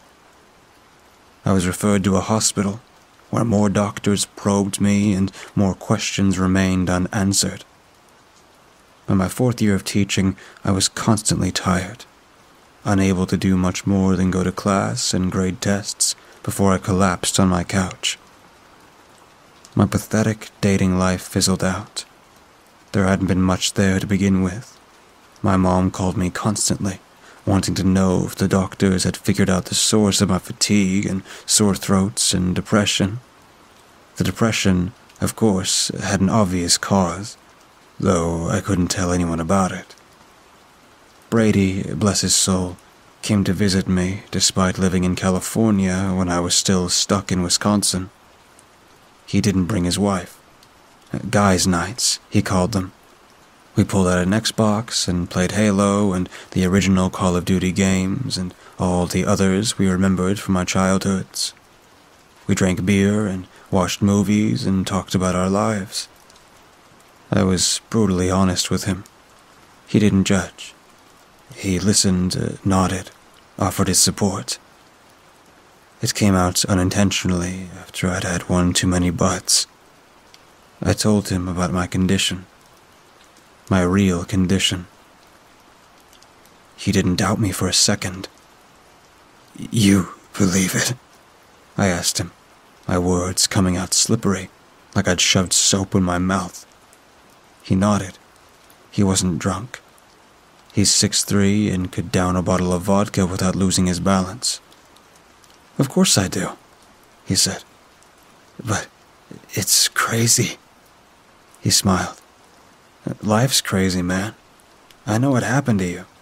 With, um, he didn't need to say it. Anyway, I know what you've told me, too. Your fatigue and everything. You believe me? I had to hear it again from him. I couldn't believe it myself at the time. I've known you for 15 years, Jack. He leaned forward, his eyes intense. his muscles taut. I can tell when you're lying, even when you're drunk. And you're not lying. He is the only person to this day who knows what is wrong with me. I never had the guts to tell him in the first place. The alcohol made me. I couldn't have told my mom, because knowledge of my suffering would have destroyed her. In the end, it didn't much matter. The diagnosis was unexpected, to say the least. She was 61, and never smoked, ate healthy, exercised. Yet, she had lung cancer. And by the time it was detached, it had metastasized. She died a year and a half after that diagnosis. She lasted longer than most, from what I've been told. She was fortunate to have made it for so long. I felt about as fortunate as a political refugee. I felt like my life had been unraveling ever since that first time I swallowed death. Two days after my mom's funeral, I stopped breathing. It wasn't instantaneous. I felt my throat swelling up and managed to call 911 before I passed out. When I woke up, I was intubated and unable to breathe on my own. I was conscious, which surprised the doctors almost more than my condition itself. They didn't know why my throat had ballooned and then deflated, leaching blood like a sponge, or why my lungs had failed when they were right there, fully intact and healthy. Brady rushed over as soon as he heard the news. He understood. He grabbed my hand and told me that I'd make it. I responded with my phone, telling him that was ridiculous. Brady, always the realist, amended his statement and said that I had to enjoy what little life I had left. What is there to enjoy? I wrote. Everyone I love is dead. What more can I get out of life? Life is always worth living, he told me. You never know what might come next, and you have people that care about you. I couldn't laugh, but I smiled. I care about you, Jack, he said. I don't want you to die. Is this really better than death? I asked him, living on a ventilator until someone else dies and pushes me over the edge. You don't know when that'll happen, he said. It could be in one year or ten. Hell, you could live longer than me. People like you have lived perfectly good lives. I knew what he meant. Stephen Hawking, Christopher Reeve, Helen Keller. People make fun of her, but she really was a remarkable woman. They had lived through worse. I can still move and see and write. I just can't talk or leave my hospital bed. Not that it matters. My health insurance covers most of my care, and everyone Brady, uh, previous coworkers, friends of friends have chipped in. I won't have a problem with money unless I do outlive Brady. Brady missed his calling. He should have been a therapist or uh, maybe a guidance counselor. I'm not sure how much longer I have. I was confined to a hospital bed seven months ago. I'm still doing well, physically at least. The doctors are just as confused as they were before, but thrilled at my overall health. I eat and breathe through tubes, but find that I don't really care about that anymore. I used to be afraid of a moment like this, when my condition would take me to my own death. I find now that I do not fear what will come. I've lived as well as I could struggling through tragedy and pain of all kinds, and managed to make a living despite it all. It seems that people do care about me, because the donations and visits haven't stopped. That is what I missed all those years ago, when I withdrew and never quite came out of my shell. We must value life instead of mourn death, celebrate those we have lost and those who still live. You can't forget about the dead, but dwindling on their fates is just as dangerous as the physical condition that I have now. It can destroy you. Maybe what I have isn't a curse. In the past months, I have come to appreciate what I have, despite all that has been taken away. I don't think I ever would have come to that conclusion myself.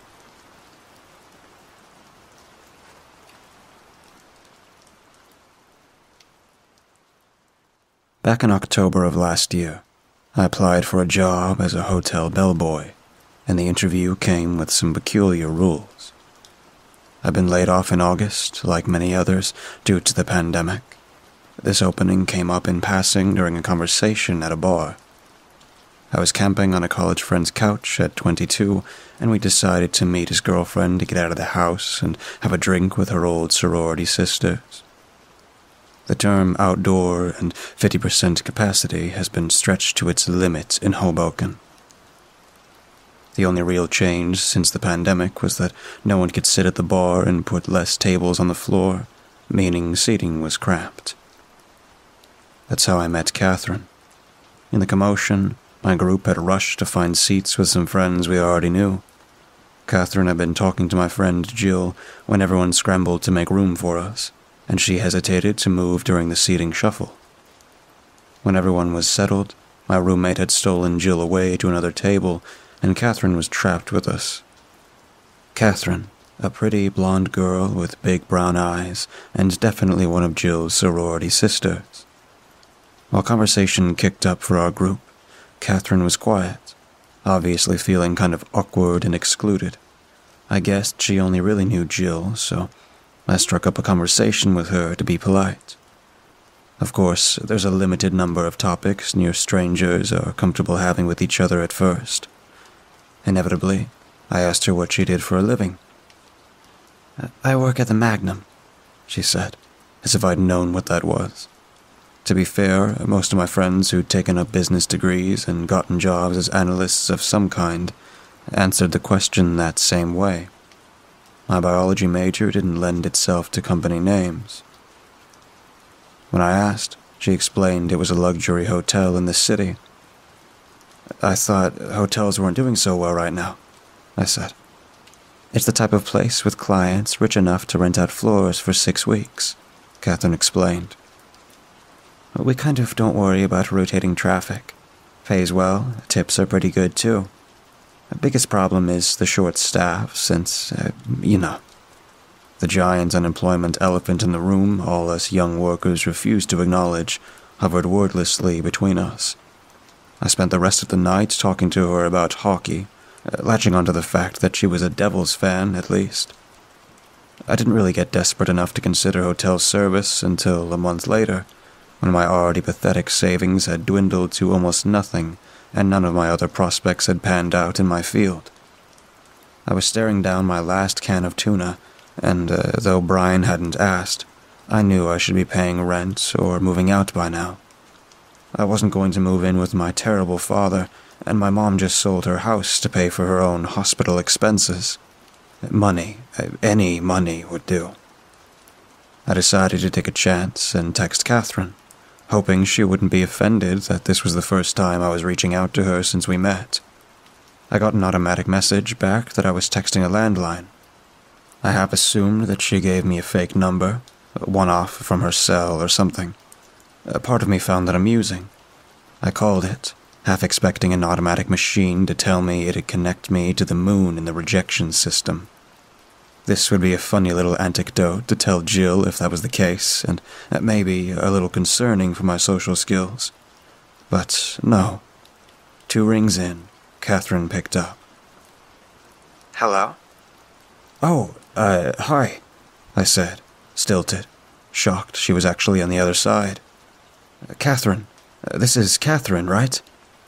Right about then, I realized I didn't remember her last name uh, from the bar the other night for Jill Delaney's sorority sister reunion. It's uh, Jessie, by the way. Smooth as sandpaper. Yes, I remember. You all right over there, Jessie? Uh, yeah, I just didn't expect you to answer a landline. Right, she said sheepishly. I forgot that. They don't really let us use cell phones here, so I kind of fell into the habit of giving out people my work phone. Sorry. You can call me Cat, by the way. Cat, uh, okay. You're working. Uh, I can call back, or you can call me back, or. I heard myself making a bigger deal out of a simple question than it should be. I had a question about your job, uh, if you were still hiring. I mean, the Magnum. Like, if it was still, uh, hiring. I was listening to myself nervously rattle off nonsense, wondering why I wasn't dropping dead from mortification yet. Somehow, after that mess, Catherine didn't immediately hang up. She even told me she'd asked the manager about potential openings.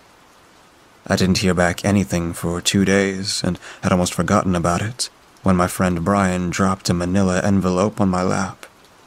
It was addressed to me, though I usually had my mail forwarded to my mom's in South Jersey. But there it was, and when I opened it, there was a little introductory letter to me in type and textured paper. Dear Jesse Fawkes, your interest in joining the Magnum's hospitable team we have been referred your information and believe that it may fit the goals of our hotel. We would like to extend an invitation to conduct a formal interview and further discuss your skills and qualifications in relation to further opportunities. Please arrive at the following address at no later than 10 a.m. sharp on Saturday, 10 10 2020. Before your interview, please be sure to study the following rules before arriving and to come prepared. 1. If you arrive by car, you may park on the east lot in any blue space. Do not park in the white or reserved spaces. These are for guests. 2. You will enter through the eastern entrance. An eagle in the bronze filigree on the door is the correct entrance should you not notice any signs. 3. If the door is open, walk in and proceed to step 3A. 4. If the door is closed, walk around to the south side entrance marked with a decorative woman, and proceed to step 3B. 5. Please bring a printed copy of your resume. 5A. If you have arrived at the situation described in 2A, hotel staff will be there to greet you. Give the blonde attendant your coats and hats and other personal belongings if you have either, and drop any electronic devices on your person into the bin sitting on the accent table beside the mirror. 5b. If you have arrived through the situation described in 2b, you will be alone. Place your electronic devices, likewise, into a bin on the nearest accent table without a mirror in front of it. Leave your personal belongings, including purses, handbags, backpacks, timekeeping devices, wallets, keys, papers, notebooks, books, pens, pencils, and hats on the chair beside the table. You may proceed with your coat. 6. Proceed to room 002N on the map provided. Please take the time to memorize both routes. You shall not be permitted to speak to staff or guests under any circumstances. 6A. Do not interact with the staff or diverge from the most direct route possible. 7. When arriving, knock twice. Enter when you hear two knocks in return. 8. If you have arrived in situation 2A described above, sit in the chair to the left. If you arrived in situation 2B described above, sit in the chair behind the desk of your interviewer. In the unlikely event that there is only one chair, stand in the left hand corner. 9. If it is only you and the interviewer, you will introduce yourself first with the following phrase What a swell day it is to be yonder. Lovely to meet you. I'm your full name, hear about the position. If you entered through the situation described in 2b, however, you may introduce yourself as you please. 10. If there is anyone else in the room, you are to wait to be spoken to. If there is a woman in the room wearing green, or a man with a feather in his breast pocket, do not speak to them no matter what they say to you. If there is a man in the room with a hat, Look immediately to the floor and do not look up at him for the remainder of the time he is in the room. If there is a man wearing red in the room, do not say nor confirm your full name throughout the duration of the interview.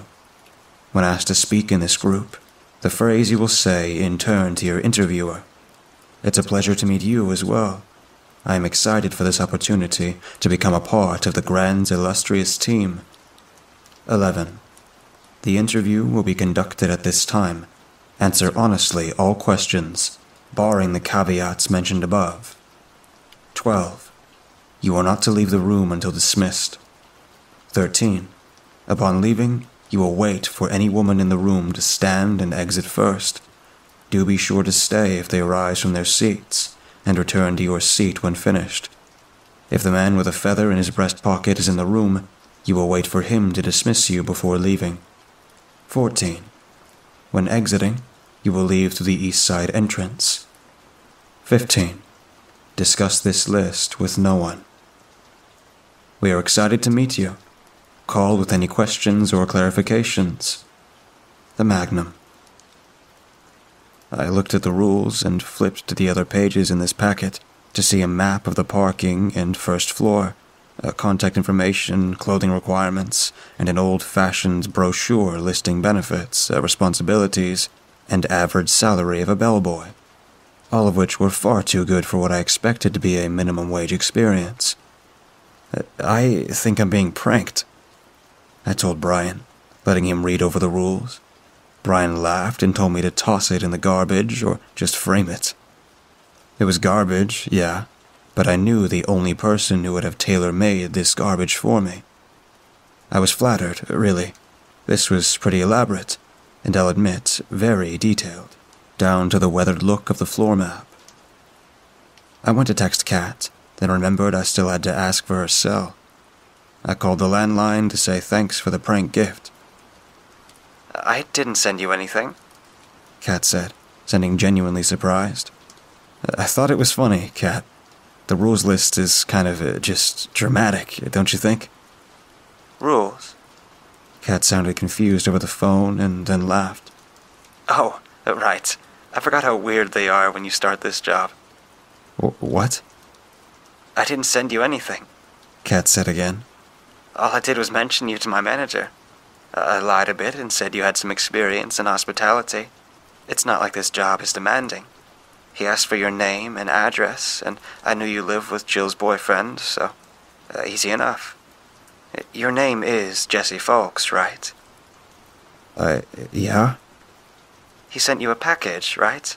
Uh, lots of weird rules. If it is only you and the interviewer, you will introduce yourself first with the following phrase What a swell day it is to be out yonder. I read dramatically. yeah. Kat said, laughing a little. You're actually supposed to follow them. Uh, seriously? I'm not going to remember all this trash, I said. Uh, not without a checklist or something. Hold on. Kat hung up, and she didn't call back in a few minutes. Uh, she didn't call back until the next day. Hey, uh, Jesse. Kat said. So, I asked around, and I was right. You don't have to worry. It's always the same. The rules are overcomplicated. If you want, I can go over them with you, but essentially, you're supposed to follow the 2B rule set. Uh, that's it? Yeah. I felt the biggest weight lift off my chest then, thinking of having an income again. If these people wanted me to sing and tap dance, I'd learn the choreography.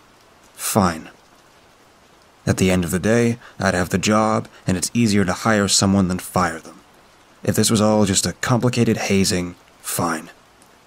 I asked Kat exactly what lines I had to know for my play act of an interview. She started listing them off casually, but then sort of petered off. If you don't think you'll have it by Saturday, Kat said, a little hesitantly. I can come over and help you go over it. I grimaced. She was inviting herself over. Kat seemed sweet, and I wanted to think of it as a kind gesture, but this felt a little too above and beyond. I held the phone to my chest, panicking, looking for Brian to hiss my concerns at, but he was off at the gym. Suggest somewhere public, I thought to myself. Uh, how about we talk it over at, uh, like, the park instead? Uh, tomorrow. When do you get off work? I'm off at 6 tomorrow, actually. It'll be dark by then. Uh, there's a coffee house nearby. Uh, we can meet at the green. She agreed, and I hung up, feeling pretty good about relocating it to somewhere impersonal. Brian laughed at me, and I realized I probably made it sound more like a date. Well, perfect. The not date review of the rules was actually not as bad as I thought it was going to be. Kat seemed truly eager to get down to business, reviewing what to do and when. She kept the list in her hand and made me recite each step. We ignored all the caveats and kept to the bare necessities of the path she and the other employees went through. And after, you leave your stuff in the bin. But the jacket I can take, I chimed in. When you get inside the room and sit in the back chair, you'll say, It's a pleasure to meet you as well. I am excited for this opportunity to become a part of the grand, illustrious, ridiculous team. Catherine smiled wide, observing me with wide brown eyes. You're hired, she teased. I felt pretty alright about Saturday. The attire required was another hurdle, but not as bad as the others. Black pants, black shirts with a collar, black shoes, a red tie. I had some slacks from my graduation and borrowed the shirt from Ryan. Jill and I found a tie for a buck at a thrift store. I took the subway into the city and made it to the Magnum at some time around 9:50. As Kat had promised, the east entrance was closed, which meant I was going around to the south entrance. The building itself looked like any other hotel I'd seen in the city. Tall, stone structures with filigree and crests that added some extra air of importance to the structure's existence. To add to that, it was right across from the park, but only four blocks from a Chipotle. And nothing in the city is above being neighbors with convenient fast food. Before I even got inside, however, everything kind of quickly went sideways. The east side entrance was closed, as it was supposed to be, and I hardly even looked at it before walking over to the south side. But then the south side door was closed. It was the south side door. The filigree was of a woman, and it was the door I was supposed to walk through. But I pulled on the handle, knocked, and waited. No one came, and I rushed immediately back to the east side door, half dreading that it was the open one. If that was the case, I was screwed. I only knew the rules for the B scenarios. But when I tried that door, it was just as locked as the other. The hell? I walked around the streets looking for another entrance, but couldn't find one. It was soon 10:05, and I was wondering if something had gone wrong. So I did the only thing I could think of and called Kat. She answered quickly enough. What do you mean the door's closed? Kat snapped. It's Saturday, isn't it? Yeah, it is. You're supposed to be here. I saw it on Robert's schedule. He. Uh, hold on, I'm coming down. Just go to the east side of the building and walk past the door and to the alley. There's an employee entrance there. I can let you in. Just wait there. She hung up on me, and I practically sprinted back around the wide building. The alley she was talking about was the odd backing to an otherwise opulent building. The walls were flat, the dumpsters crowded both sides and half open, reeking with garbage. Even in the middle of the morning, it was dark in that little crack of space. The door Kat mentioned was a bland gray door that looked severe and functional, completely detached from the gaudy facade that decorated the front. I paced up and down the chipped asphalt, dodging the glass chips and piles of crates. Then the white door opened, and I turned at attention. But it wasn't Kat at the door. What are you doing back here, kid? You lost? A man asked. He wore a trim red and black uniform and a little name tag that said Eddie. Instinctively, I would have answered no and babbled about being here for an interview, but I knew I wasn't supposed to be back here. This was off the interview's script, and if this was my only entrance, I couldn't be shooed away from it. Uh, I'm the new guy. Jay, uh, Rob told me to come in this way today, I said, boldly plucking the name I heard Kat use.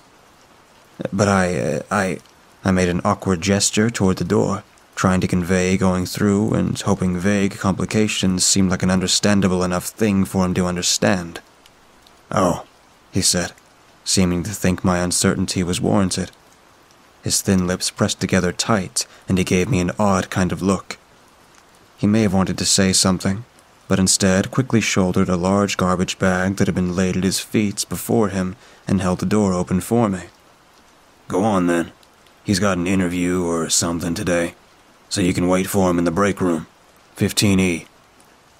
I took the door from him and held it open in turn so he could take the garbage. Thanks. Eddie nodded. His bag was dripping garbage slime, which is never pleasant, but he didn't seem bothered to have it hauled over his shoulder. When he walked it past me, there wasn't the lingering smell of garbage, but there was something like iron. He walked on, and I walked into the hotel. The door closed behind me. I looked down at the polished floor, and there were stains where the garbage bag had been. They were a little ruddy red brown, like the kind you'd see on a counter or a cutting board after cutting up a steak. Expired meat, I thought to myself. I realized Eddie wouldn't take long to throw out the trash, and I had to be out of sight by the time he arrived to not get caught. I sprinted down the hall, through a few sets of double doors, heading inwards to the best of my approximation, hoping to hit a lobby or room number to guide my way. Soon enough, the tile floor turned to green carpet, and the ornate facade was back as I walked into the main rooms. I looked at the first door beside me, 025E. It wasn't where I was supposed to be, but it gave me an idea of where to go. Kat showed me a direct route on the map, so I knew I had to walk to the north wing first, which meant following E's numbers until they dwindled to one near the lobby, and then continuing on the way I would have if I entered through the southern entrance. I still had my coats and my phone, but this wasn't unmanageable. I could fake it. First things first, I had to get rid of my stuff. The hall was ornate, decorated with slim wooden tables and delicate golden electric lighting. There were pieces of ivory, jade, and copper art that looked expensive. I quickly removed my coat and my phone by O11E and kind of bundled both up and shoved it in a nice, wide porcelain vase. I wasn't about to lose a stupid interview over a technicality. I continued on, half afraid I was already lost, until I hit the first wall with a copper bust of some 1800s guy. Kat had mentioned it before. It was in the hall directly behind the lobby, and standing directly behind the concierge desk now. All I had to do here is turn left, or I would have if I was coming from the south side. Now I just had to keep walking, and I'd be there. I'd keep going, turning right at the woman's restroom, and then 002N was on the right. As I got to the bust, two chattering women dressed as staff rounded the corner and spotted me. When they did, they went dead silent. They didn't slow down, but they stared, jaws falling a little slack at the sight of me. I tried to smile back, but they ducked their heads away and kept walking. One of the girls dropped something. It was heavy enough that they should have been able to hear the dull thud, but they rounded the corner instead of stopping. It was a key. I picked it up, and it was clearly an old fashioned room key. Not a card for an electronic door, but a heavy brass key with a little tag that said 001. I backtracked a little, trying to catch their attention. They had huddled closer together, walking arm in arm, whispering and giggling to one another. One threw her head back to sneak a glance at the empty hall and looked genuinely surprised to see me. I held the key up, showing her wordlessly what she left. She nodded and tossed her head to the side, as if to say, Get going. Uh, but she raised her hand to her lips and turned her back to me, breaking into a run arm in arm with her friend. I turned the key over in my hands. This was the part of the hall I was supposed to walk into. The instructions said I wasn't supposed to talk to staff. Maybe she knew that. And maybe she was one of Kat's friends and was helping me out. Should I have left the key on the ground? Was this a part of this weird uh, hazing? I half debated just leaving it on the floor, but it was in my hand anyway. I'd turn it in to the guy at my interview and tell him what happened, and maybe that was the point of it. Finally, I found room 002N was where Kat said it would be. The second to last door in a dead end hall. The last door 001 was propped open, slightly ajar. It was open just a crack, but the lights were off, giving me only a glimpse of the carpet. I knocked twice like I was supposed to. Come in. I heard from the other side of the door. I remained outside, at ease, knowing what Kat and I had rehearsed. Hey, I said come in. The guy on the other side called a little louder. I shifted a little, debating if I should knock again. Uh, No, two knocks. Kat had even rapped her knuckles against the table when we went over it. I was supposed to wait for two knocks. As I waited, I heard another noise just behind me, from 001. The door squeaked on its hinges. When I turned, it was a little more open, but I still couldn't see much inside from my angle. I could hear something inside, though. Someone was moving around, scratching against the wall just across from me. I heard a voice like an old man's moan weakly. Help, he said, his voice sorrowful and cracked. Somebody, help. I don't know what made me weary. Maybe it was something in the voice. Desperate and gravelly, yes, but a little too clear. Like it knew I was there to hear it. Some instinctive part of me told me to stay put. Then the groaning stopped, and there was a heavy thud, like a fist pounding the wall. I heard the man inside groan and shuffle again, slowly making its way down the length of the room, closer to the door. I knocked again at 002N. Hey, uh, hey, there's someone here. I called, only to be met with no response. The groaning crept closer to the door. Help. Jesse. Help. I rushed to door 001, grabbed the handle, and slammed it shut. I didn't look inside, but I caught a waft of the smell. The pungent stench of a sewer on a rainy day came to mind, like something had died and rotted inside. Then, a hand reached out and grabbed my wrist and tugged. I was thrown back against the opposite side of the hall, and there was Kat, pulling the door closed. Room 001 shook as the thing on the opposite side threw its full weight against the door. Kat turned and looked at me, holding her hand out. The key, she hissed. The key. My hands were shaking as I fished into my pocket for the brass key. I hardly had it out of my pocket when Kat snatched it away and locked the door. Another powerful bang sent her stumbling back to the opposite side of the hall. It was then I heard two calm, controlled knocks behind me. I nearly jumped back to the other side before suddenly remembering this was 002N and I was waiting for them. I looked at Kat, who paused, midway through fixing her blouse. Kat pulled me onto my feet and fixed my tie. Don't worry about that, Kat whispered hastily. Tell them you locked the door with no one's help. I wasn't here. Go. I practically threw the door open and sprinted in. Three members of the hotel staff sat inside, all very composed and evidently confused by my heavy breathing and my no doubt priceless expression. What's the matter, love? You look absolutely shaken. The woman behind the desk asked. I.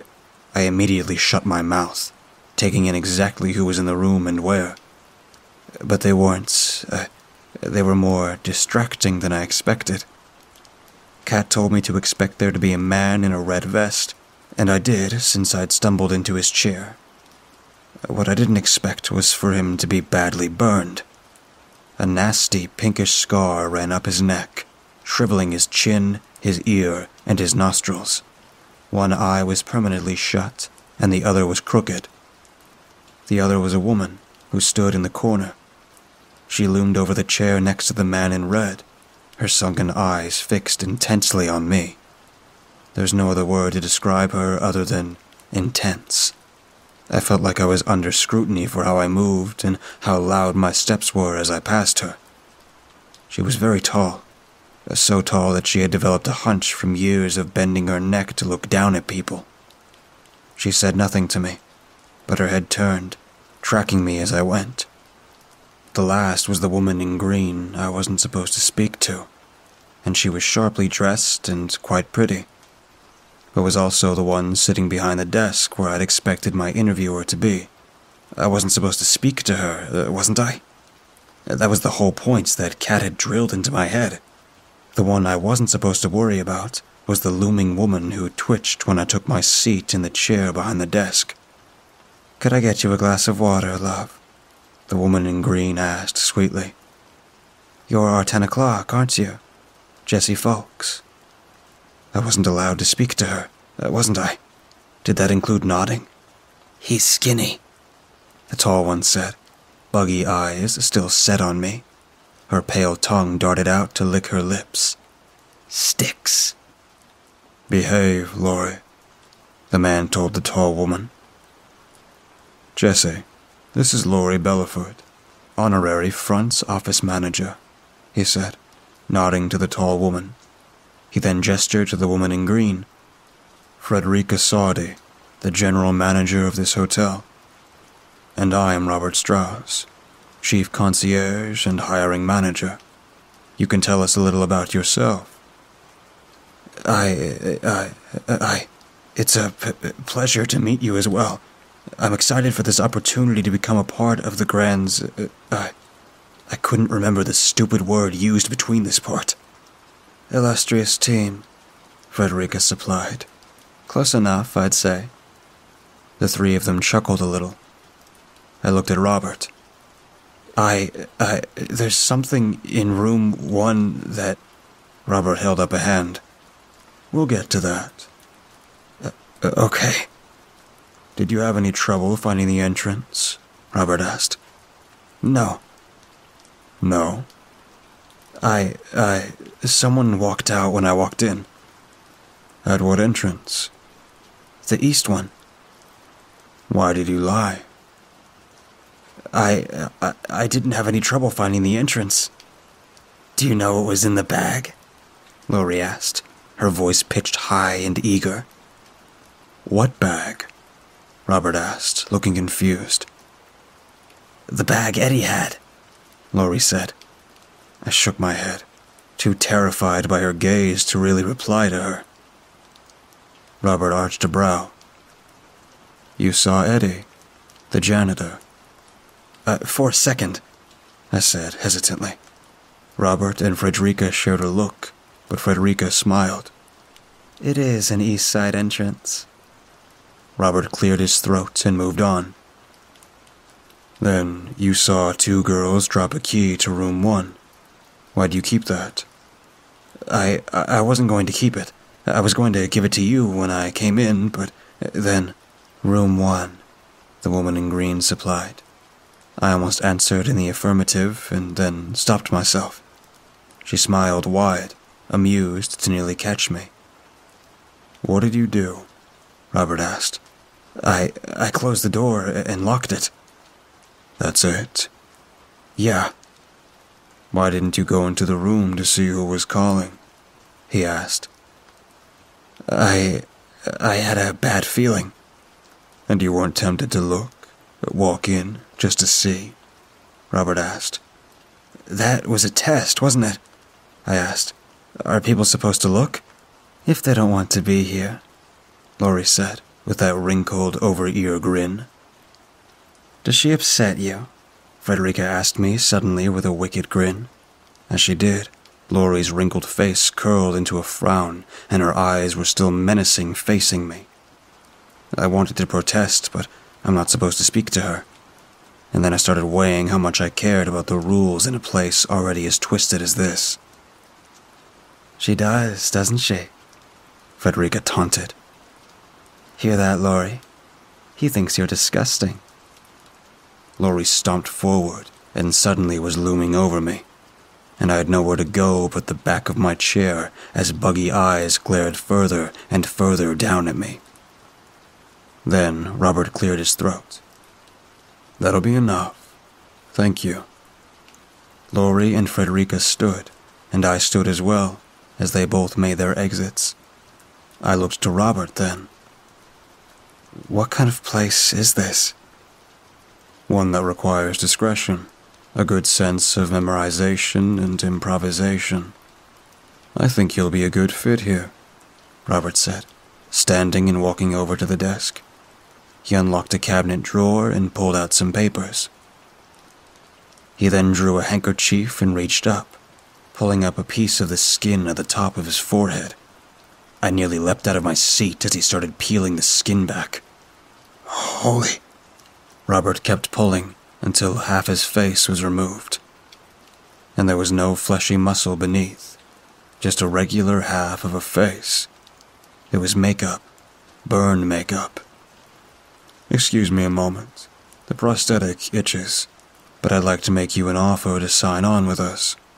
It was all makeup? I snapped. Part of the interview.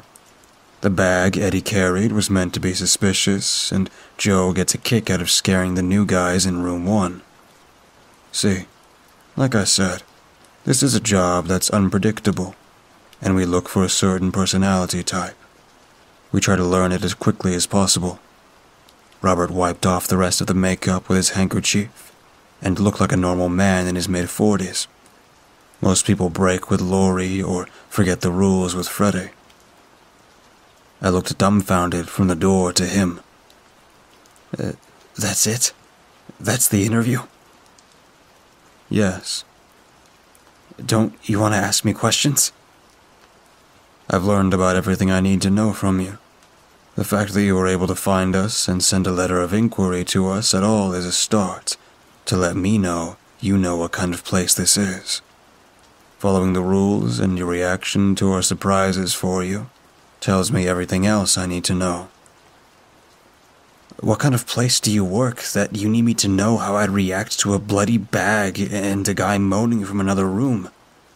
Robert straightened and smiled, as if that was a question with the most obvious answer.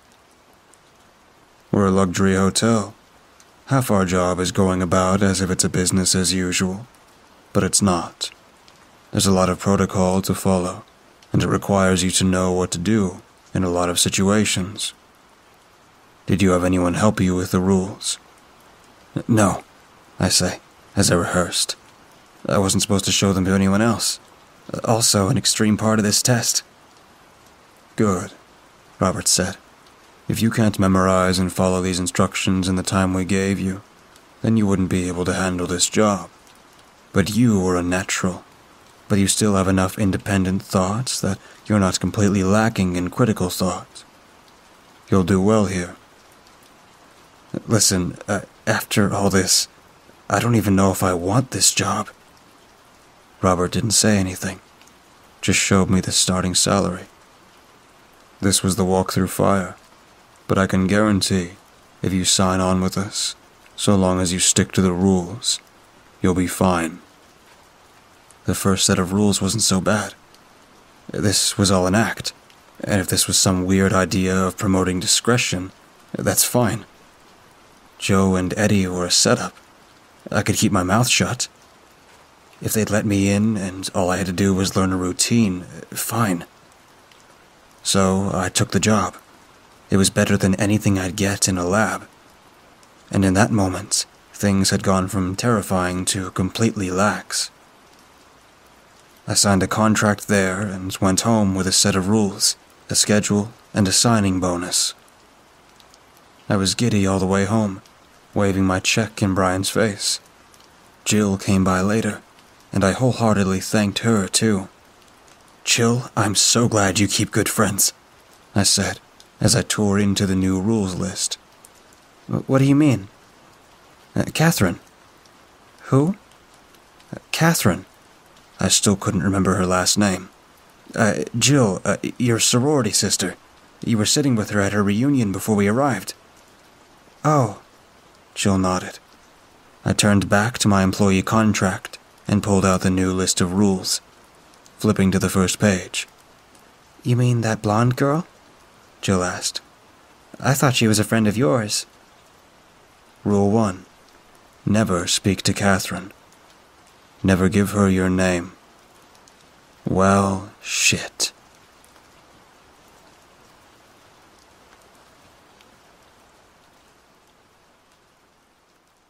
It was supposed to be a nice weekend in the mountains. Just myself and my beloved Josh. We've been together for five years. We've had happy times, but lately he's been so preoccupied by his work as a biologist that we hardly spend any time together. When we did, He was often tired and only spoke of his experiments. Uh, the papers he read, papers unfinished, uh, papers in print, and discoveries made by others that should have been his. We've been growing more and more apart recently. I only wish he'd. Now, uh, let's cut the crap. Our relationship was in ruins.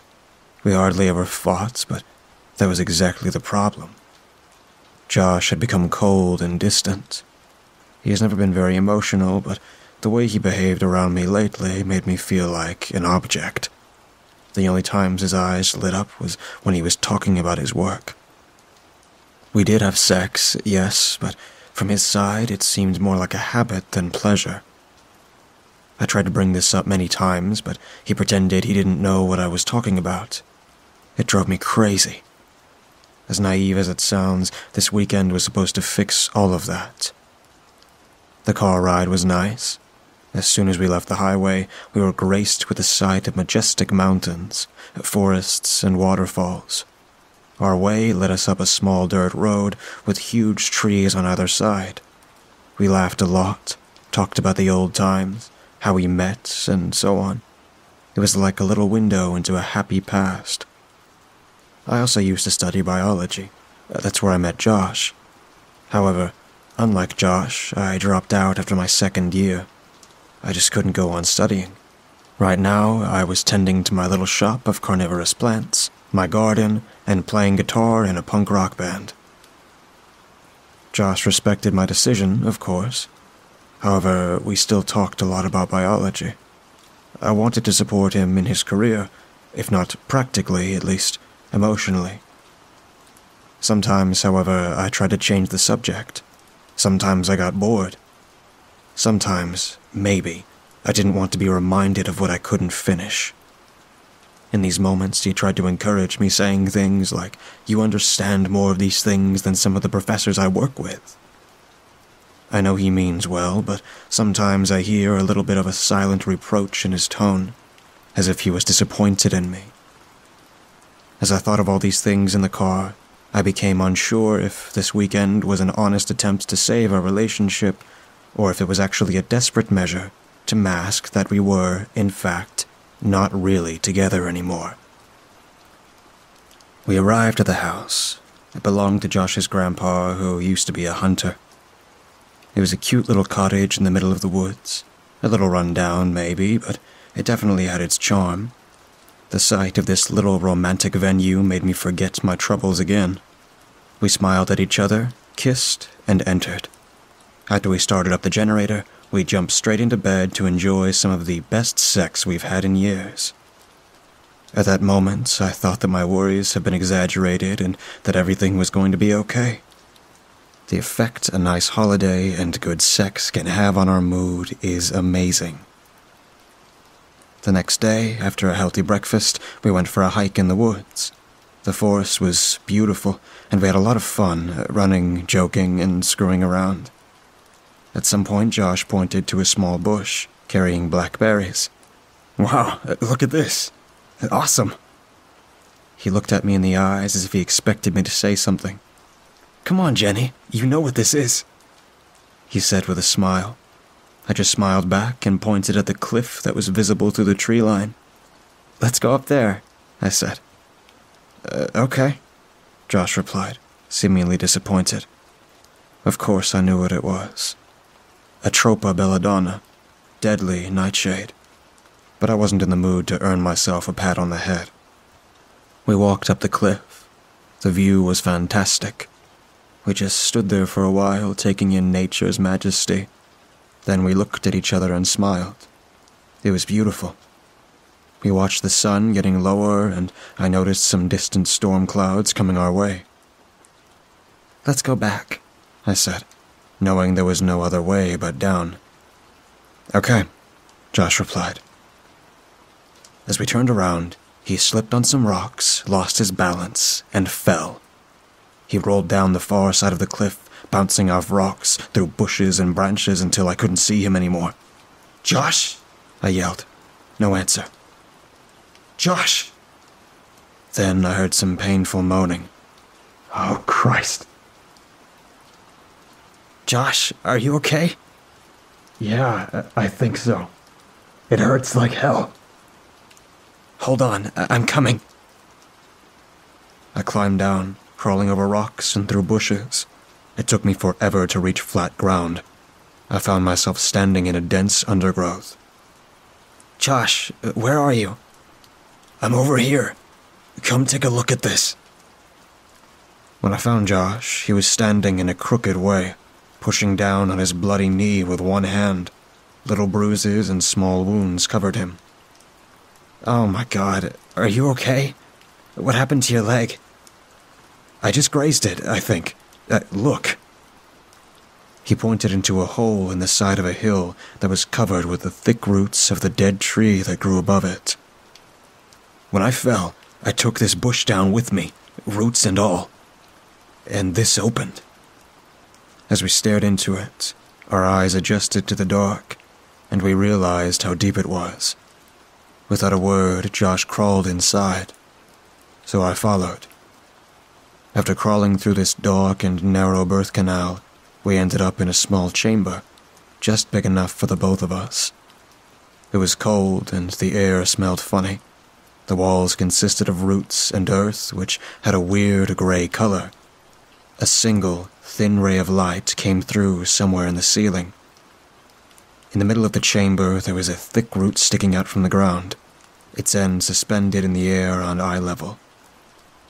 Sitting on the end of this root, illuminated by the ray of light, there was a little yellow mushroom, no bigger than a pin. It was sitting on a small green patch of moss, growing on the end of the root. The only thing of color in this dark gray chamber. Grains of dust were calmly floating in the light. It looked almost mystical. Wow, Josh whispered. We carefully moved in closer, as if you would when trying to get close to a butterfly without scaring it away. With our faces only inches away, we noticed that the tiny mushroom was actually growing out of a dead ant. It looked so frail and old that you'd think it would just vanish into dust if you spoke too loudly. Huh, it must be a cordyceps. You know, the uh, ant zombie fungus, said Josh. Yeah, I'm not sure. Lamella are red. And look at the little dark spots. Josh squinted at me skeptically. He took out a small plastic bag, which he carried in case he found something interesting. Maybe you should leave it. Oh, come on. There's more where this one came from, Josh said as he picked the tiny thing. As we crawled out of the hole, I couldn't hear any birds or insects. The woods were dead silent. On our way back, the sky darkened. We walked faster. Shortly before we entered our cabin, I could feel a few raindrops. About half an hour later, it started pouring down, and roars of thunder echoed throughout the mountains.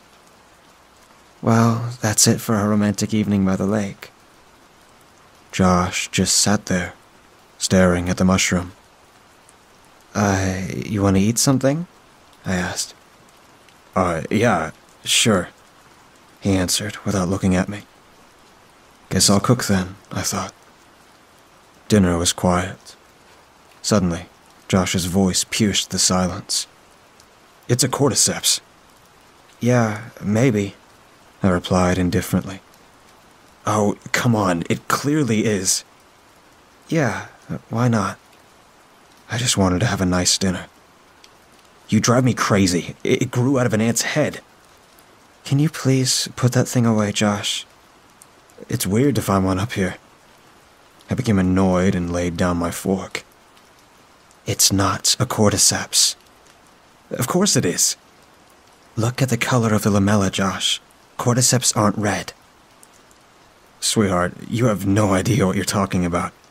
I have a PhD in biology, and you. What? I was getting angry. You just don't know what you're talking about, okay? So just shut up. I snapped. Screw you, Josh. I threw my plate across the room. It shattered against the wall behind Josh.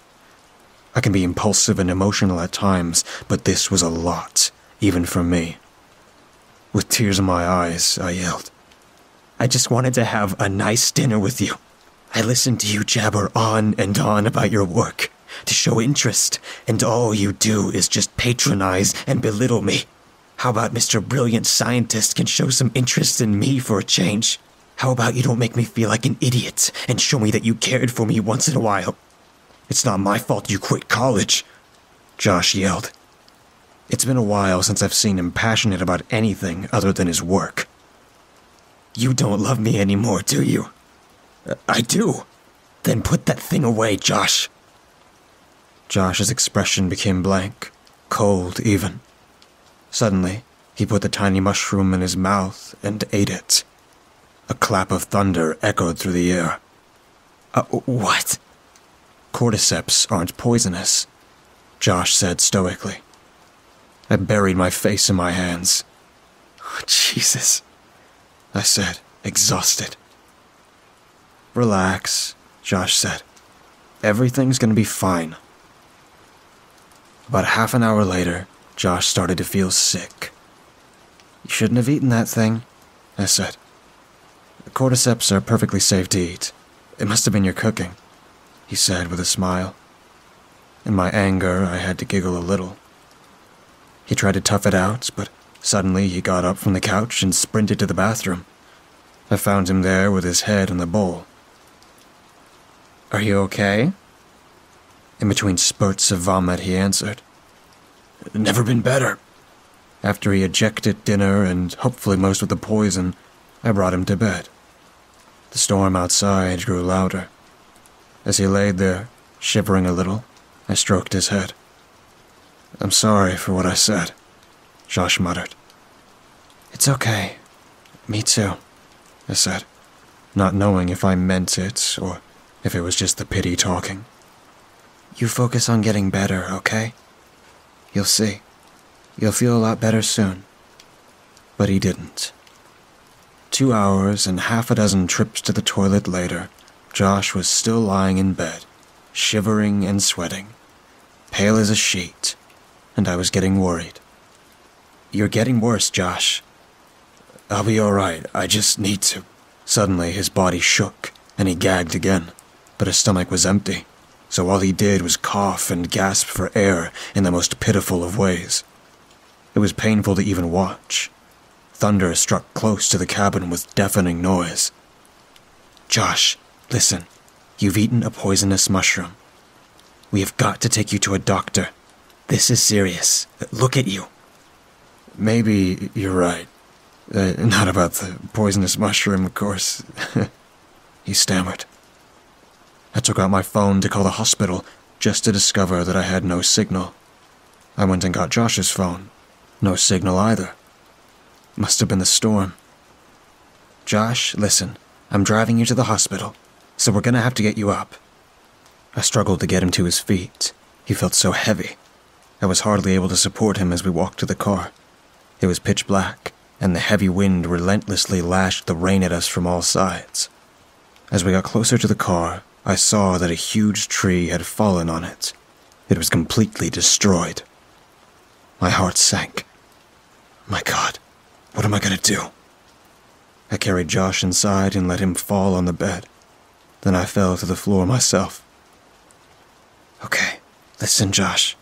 I'm going to take care of you, all right? We'll hold out until the morning. Then we'll have a signal for sure, okay? It's okay, honey. I don't feel sick anymore. I placed my hand on his sweaty forehead. It was so warm. He was burning up, and his heart rate was through the roof. Josh, you have a fever.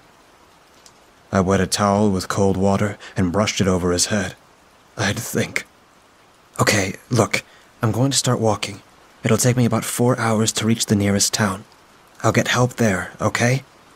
You wait and try and call the hospital, okay? Don't be silly, Jenny. It's not that bad. Besides, it's storming like crazy. You'll get lost, or worse. I think it's the best option. I'll be alright. Just try and. Suddenly, out of nowhere, Josh started screaming like a madman. It made me jump. Josh, what the hell? My head. It hurts so bad. It's so hot. It feels like I'm burning. Josh. He screamed again, his entire body tensed up. He tore his shirt right off his body. Josh started shaking. His eyes rolled back, and foam was coming from his mouth. He was having a seizure.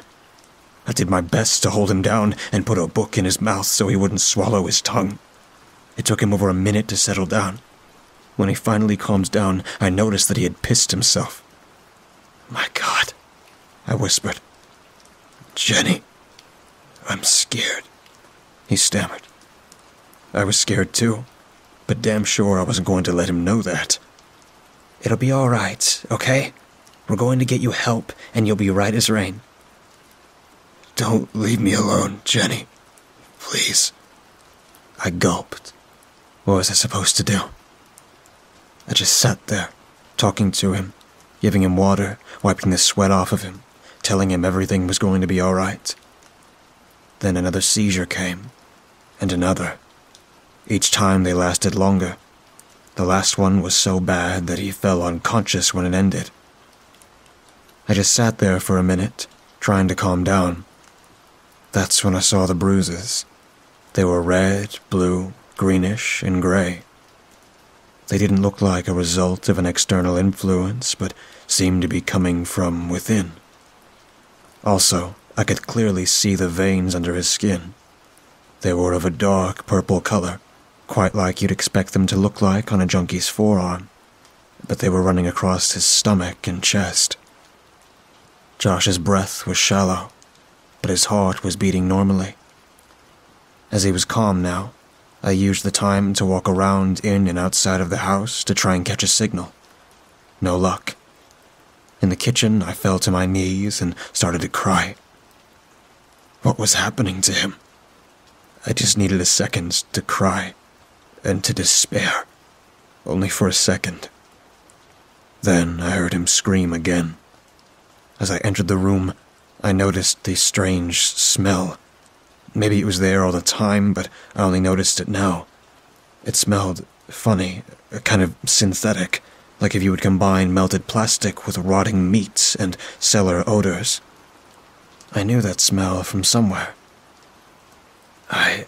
I had a nightmare, Josh said, with a weak, shaky voice. He continued, I dreamt that I walked around the house. Everything was dark and quiet, and I felt kinda weightless. Then I saw you sleeping on the couch in the living room. I wanted to wake you up, but then I went into the bathroom to look at myself in the mirror. That there in the mirror wasn't me. It was a dark figure. His movements didn't match up with mine. I started to get really scared.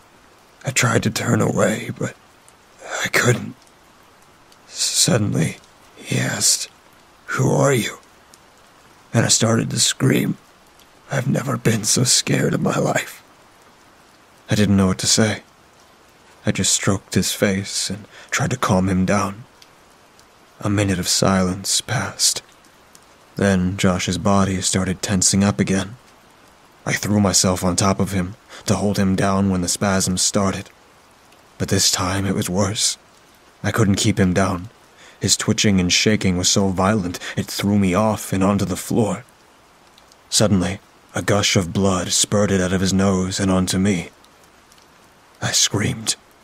Josh tensed up really badly, his body contorted in the most unnatural of ways.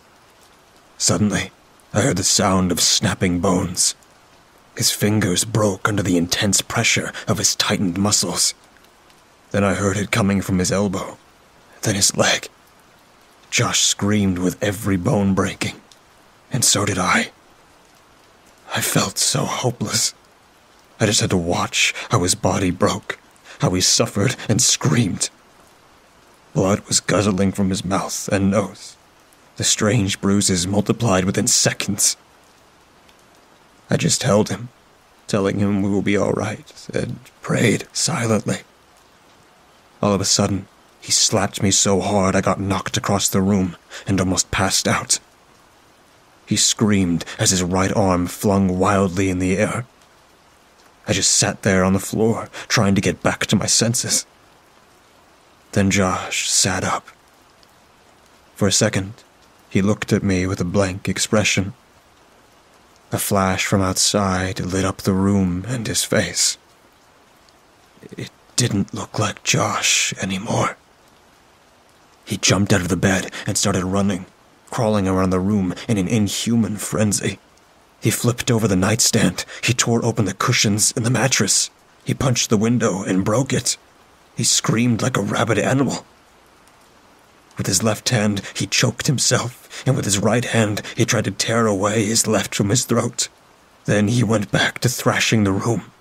He hit the lamp, and it got pitch black. I could only hear him, rampaging and screaming, the noise getting closer to me. Flashes of thunder lit up the room. I could see him getting closer. His eyes were. I felt something hit my body hard, then my head. His hands tore at me.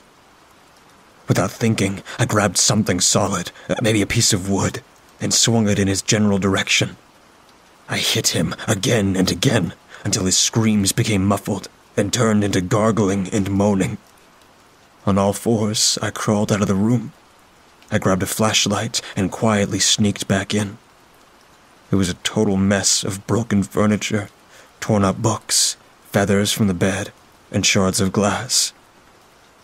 Then I saw him. He sat on the floor, leaning against the wall. His face was covered in blood, and he was barely breathing. Tears started swelling in my eyes. I lit some candles, hoisted him on the bed, and laid him down.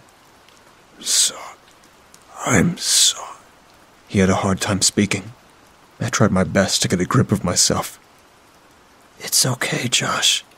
It's okay. But I'm gonna have to tie you down.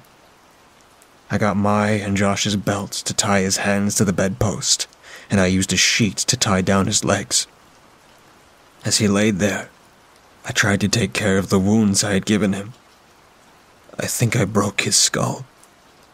It was strange. There wasn't just blood, but thick black and yellow liquid oozing from his head as well. It looked like pus. I tried wiping it off, but it wouldn't stop. It looked so terrible. What the hell was happening to him? Jenny, I'm so scared. Hang in there, Josh. I. It's weird. I have strange thoughts. Like they're not mine. Like I'm being pushed out of my mind. I didn't know what to make of it at the time. As I managed to wipe his wound more or less dry, I discovered that his skull was indeed split open. I had to bind it, but there was something. The candlelight made it hard to see. His tissue was permeated by little orange, yellow, and blue vein like threads. They looked like little roots of some kind curling, spreading through his flesh. They continued under his skin, down his neck, and farther down. They almost looked like. like rhizoids. I started patching up his head. Jenny, stop. Josh, just stop, Jenny. I ignored him and continued. Jenny, he moaned. Hold still, Josh. Jenny, I. His body started shaking again. He was screaming and gargling. I tried to hold him down, but he wouldn't stop. Blood started flowing from his nose, his mouth, his ears, and even his eyes. His screams got so loud I couldn't bear it. I tried my best, but I realized that no matter what I did, this was happening. I let go of him his body was ravaged by spasms so violent it looked like he was possessed. His head looked like it was going to explode. The veins all over his body ruptured, drenching the sheets and me in his blood. I screamed. The little vein like roots grew through his skin. They came out from under his eyelids and covered his eyeballs, putting more and more pressure on them. His screams became unnaturally deep. All of a sudden, his left eyeball burst, then his right, sending thick red liquid spurting across the room. I couldn't look anymore, but I couldn't turn away either. I couldn't do anything except for watch my beloved Josh go through unspeakable agony. His gargling became less vocal. It was muffled by the black pus coming from his mouth. His body let loose, and he sank back into the sheets. Some spasms here and there, and soon he just laid there in his own juices, a bloody, broken mess, motionless, silence, and without breathing. I sank down onto my knees. Everything was so weird, so unreal. I couldn't feel anything anymore. Without thinking, I got up and walked over to Josh and untied him. Then I took the white cloth that was draped over the nightstand and put it over the bloody, pulpy mess that was once Josh's face. I covered him as I tucked him in. Then I left the room. I went over to the sofa in the living room and just collapsed. Everything went dark. After what seemed like an eternity, I slowly opened my eyes again. As I regained consciousness, I remembered some horrible, uh, horrible things. No, it couldn't be.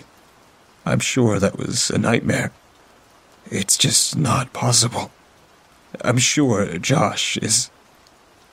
My eyes fell upon the dark figure sitting in the chair in front of me. With a loud scream, I sat up. Suddenly, I was wide awake. That man or thing, his body slimy and dark, a blood and pus stained white cloth covering his face, just sat there without moving. I remember. He said in an unnaturally deep voice, speaking slowly. I remember Mom baking cookies. I remember playing with my dog. How my dad died. Holding your hand and I remember being Josh. But I'm not Josh. What am I? I closed my eyes, took a deep breath, and opened them again. You're a fungus. I couldn't believe what I was saying myself, but it just came out of me. You took over Josh's body, attached yourself to his nervous system. You infected his brain. That's why you can access his memories, why you can talk. That's why you know what he knows. Such an organism is unheard of. How is this possible? I'm not sure. You might be a punctual mutation of the ant zombie fungus, Possible, but unlikely. they repeated. Yeah, there's another option. My guess is that you've been around for quite a while. You've attached yourself to large insects and such. But most of you went extinct. For some reason, you, you alone survived in this cave. How? I don't know. I almost completely destroyed his body. I was able to walk over here, but now I can't move anymore. I'm paralyzed. Yeah. Yes. I- I guess it's the first time you tried taking over a higher mammal. You were even able to reach consciousness. But Josh tried to fight you, and too much got damaged. So, I failed. Yes, Fascinating. yes, it is. I started to cry silently. The horror of what was sitting in front of me was just unbearable. But all I could think of was Josh. He did love you, though. I looked up at him. What did you say? He loved you very much. He was just afraid of the commitment. But he really wanted to be with you. He was actually planning on asking you to marry him on this trip. What? Have a look in his backpack. There at the bottom, you will find something for you. I did as the fungus told me. There, at the bottom of Josh's backpack, I found a little black box, and in it was an engagement ring. As I saw it, I started to cry. Thank you, I said to the fungus. I put the ring on my finger, and for a brief moment, I imagined myself living with Josh happily ever after. Then I took a deep breath and got up. I took the shotgun from the wall and a box of shells out of the cupboard. As I loaded the gun, it asked, What are you doing?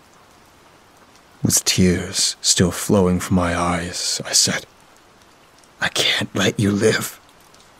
No, please.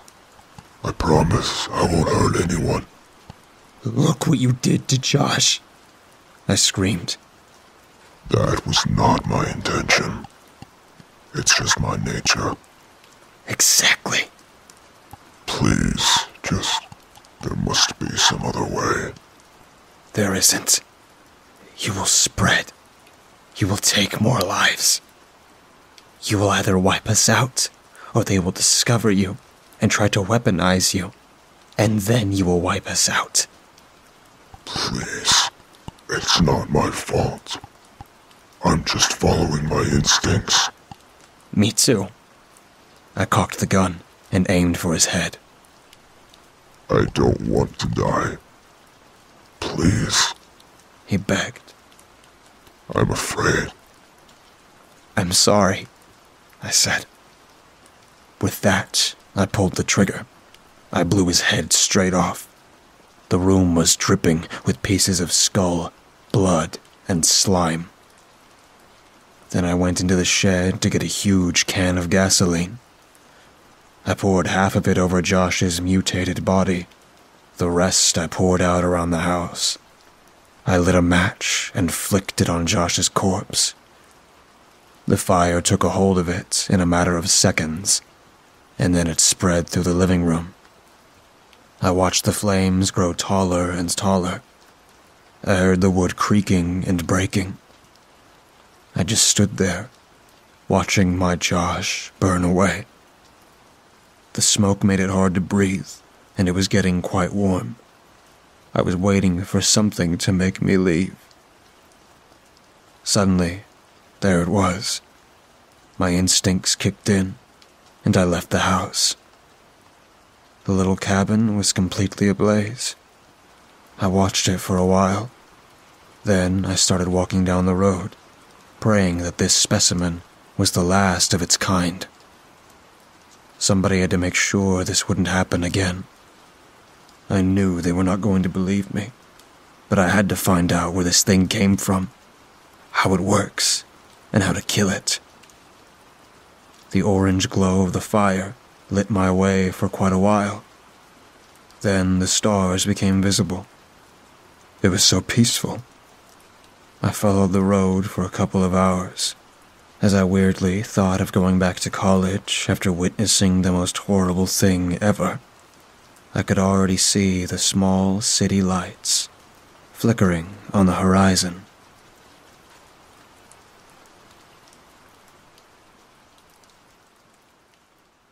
We'd all known Dennis had less than a week, and we'd all braced ourselves for all the good that would do. This was going to tear us apart and leave a ragged, gaping hole in all of our lives. But that would be it. It would fit within our understanding of things, and we could all assume he went wherever we thought people go. That would have been so much easier, so much less troubling than what actually happened.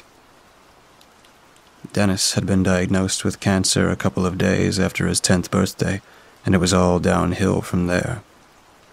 There was never an upswing, never an opportunity for surgery. All the scans showed the same thing. The oily black webs have grown larger and denser. The fact that we were twins and had looked identical right up to when he started chemo just made it worse. There I was, right beside him, a perfect image of what he used to be before his hair fell out and his color drained and his cheeks sunk down into his skull.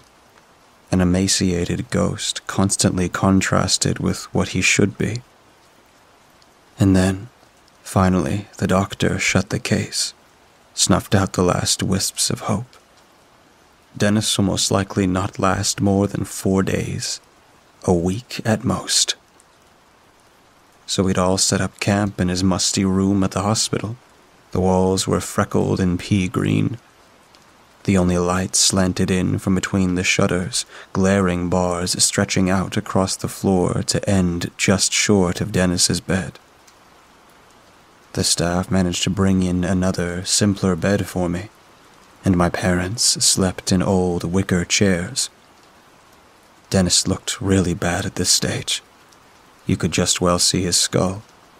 We all wanted to talk to him, to make the most of whatever time was left, but he slept for most of the day, and when he woke up, there'd just be silence. Nobody knew what to say. There were no right words, and there was this underlying fear that the moment anybody interacted with the situation, They'd somehow make it real, and it would hit everyone. The first sound would knock us all off the tightrope, and we'd fall into tears and chaos, and we wouldn't be able to pick ourselves back up.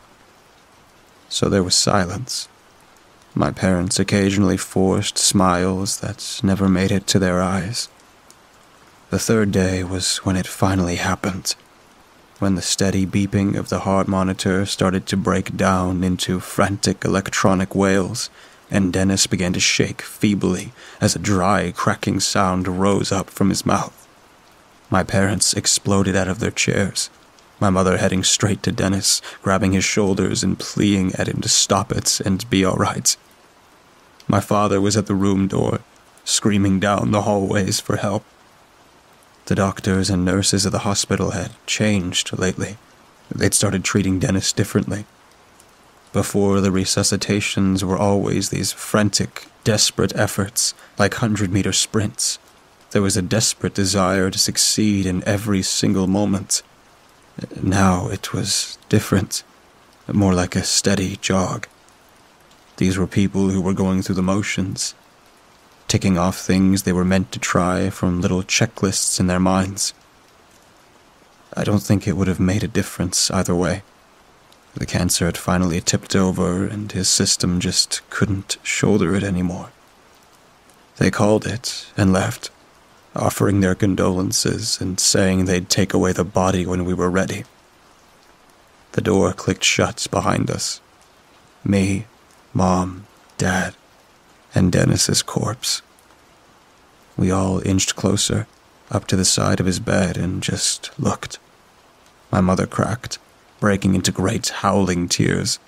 My father pulled her close, trying to keep it together, but losing it in his own way. No sobs from him, just the occasional tear running down his face and sharp breaths bursting through his clenched teeth. I was just quietly staring at Dennis's face. We all stood there for a long time. I finally realized that this wasn't just one thing. That this wasn't just a single event. For the first time, my mind started running away with itself and unfolding all the endless implications of this. Every one of them causing my gut to sink and for me to miss him so much, even though he'd just been here. I was never going to talk to him again. He was never going to laugh at me again. We were never eating dinner again. We were never going to school together again. We were never going to be in the same class in the school again or talk during classes at school again. It just kept going and going as I realized that this wasn't just one person I'd lost. I'd lost a million things. Something that was meant to be this constant presence was gone, and nothing would ever be as good as it should be again. Everything I was going to do would be soured by the certainty that I wouldn't be doing it with him, or that I wouldn't be able to tell him about it later. It had only ever been a childish assumption that any of that would happen. I was the first to see his lips quiver. Mom, Dad, his lips are moving. My parents froze, still clasping against each other, my mother curled over and supported by my father. We looked down as his lips continued to quiver. My parents went quiet again. They must have been trying to hold back hope, assuming it was some kind of nervous tic. But it kept going. And finally, in a dusty, hoarse voice, so faint it was like you were hearing it in the wind, he said my name. Harry. My father sprinted across the room, yelling for the nurses to come back. My mother was clutching her mouth and stumbling back from the bed. The workers tumbled back in and went through the checklist and shocked him with the defibrillators a few times and reached their verdict. We're sorry. He's still dead. But, but I heard him talk, said my father in a small, pleading voice. Look, it could have been gas escaping. But, said my father, before a tiny, scraping sound cut through the room. Everyone turned towards its source. It was coming from Dennis, halfway between a sigh and a croak. Harry, it's all so dark, so cold, so dark, and it's pulling me down, pulling at my insides, and taking me down. A moment later, nurses started on their rounds again but this wasn't some perfunctory run through the checklist. You could see it in their faces and how hurried their movements were. They didn't know what was happening. They weren't even sure they were doing the right thing. They moved on to the defibrillator again, sending crashing waves of power down through Dennis's chest before listening with a stethoscope. Doesn't make sense. It doesn't make sense. One was mumbling. After ten minutes, they all just stepped back. They'd run the checklists out. Nothing had happened. What's happening? My mother screamed. One of the men, a doctor, I think, answered. Nothing is happening. We tried and pumped in oxygen, and it does nothing. There's no pulse, and we can't induce one for more than a second or two. The body temperature's down three degrees. He's deceased. But we heard him, I said. I know. But he's dead. The dry grating came again, and everyone shut up. Please, Harry, where are you? I walked over to his side. I wasn't relieved he was talking. I, I was only afraid. This was wrong. I wanted to run. I wanted him to just be gone so I could cry with my parents and be done with it. But I kept walking and put my hand on his his bony, cold, and clearly dead hand. I'm here, I said. I can see gray. A little bit of gray, but it's so far away. I don't just see it, I feel it. And I never knew something could be so far away. I'm already so far down, but I need to go so much farther to get to the gray. I didn't know how to respond. So I just stood there. I stood there and listened to him talk about the darkness and about the distant gray smudge.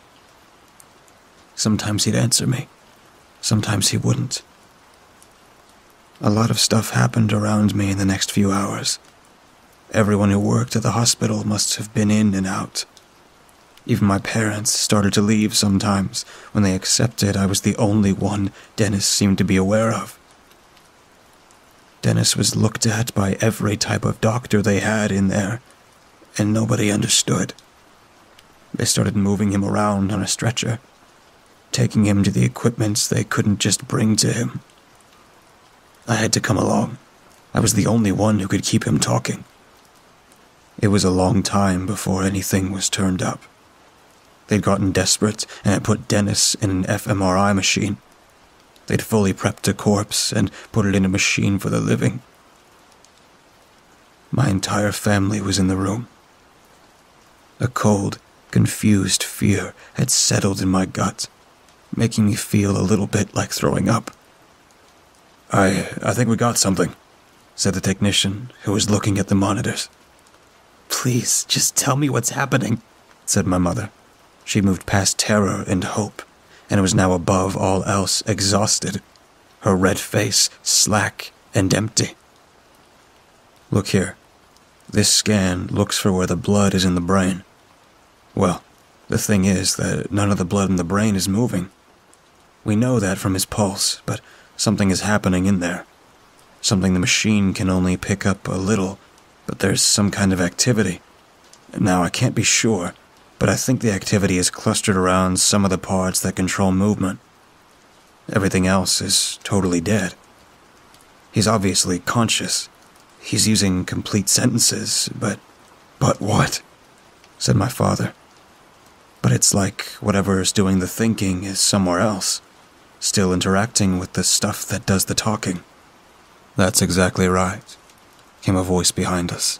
I looked over my shoulder and saw an old man in a gray business suit. He had a well trimmed silver beard and was all around a strange contrast to the clumsy chaos that had engulfed the hospital. Who are you? said the technician. I'm Daniel Cohens, he said, handing the technician a crisp business card. I'm with the Orpheus Institute. We're a semi private medical research body, and we've dealt with a few cases similar to this one. The hospital president has already agreed to let us look into this. Almost invisibly, a number of men had moved in behind Cohen and were now making their way over to the technician. These men will help explain the confidentiality situation surrounding issues like this. We'll handle the boy from here. More men, these ones in pure white scrubs that had a strange logo on the left breast, got Daniel back on the stretcher and led us all into the hallway. We followed wordlessly, never thinking to say anything because at least these new people represented new possibilities. A completely new road that might lead to an explanation.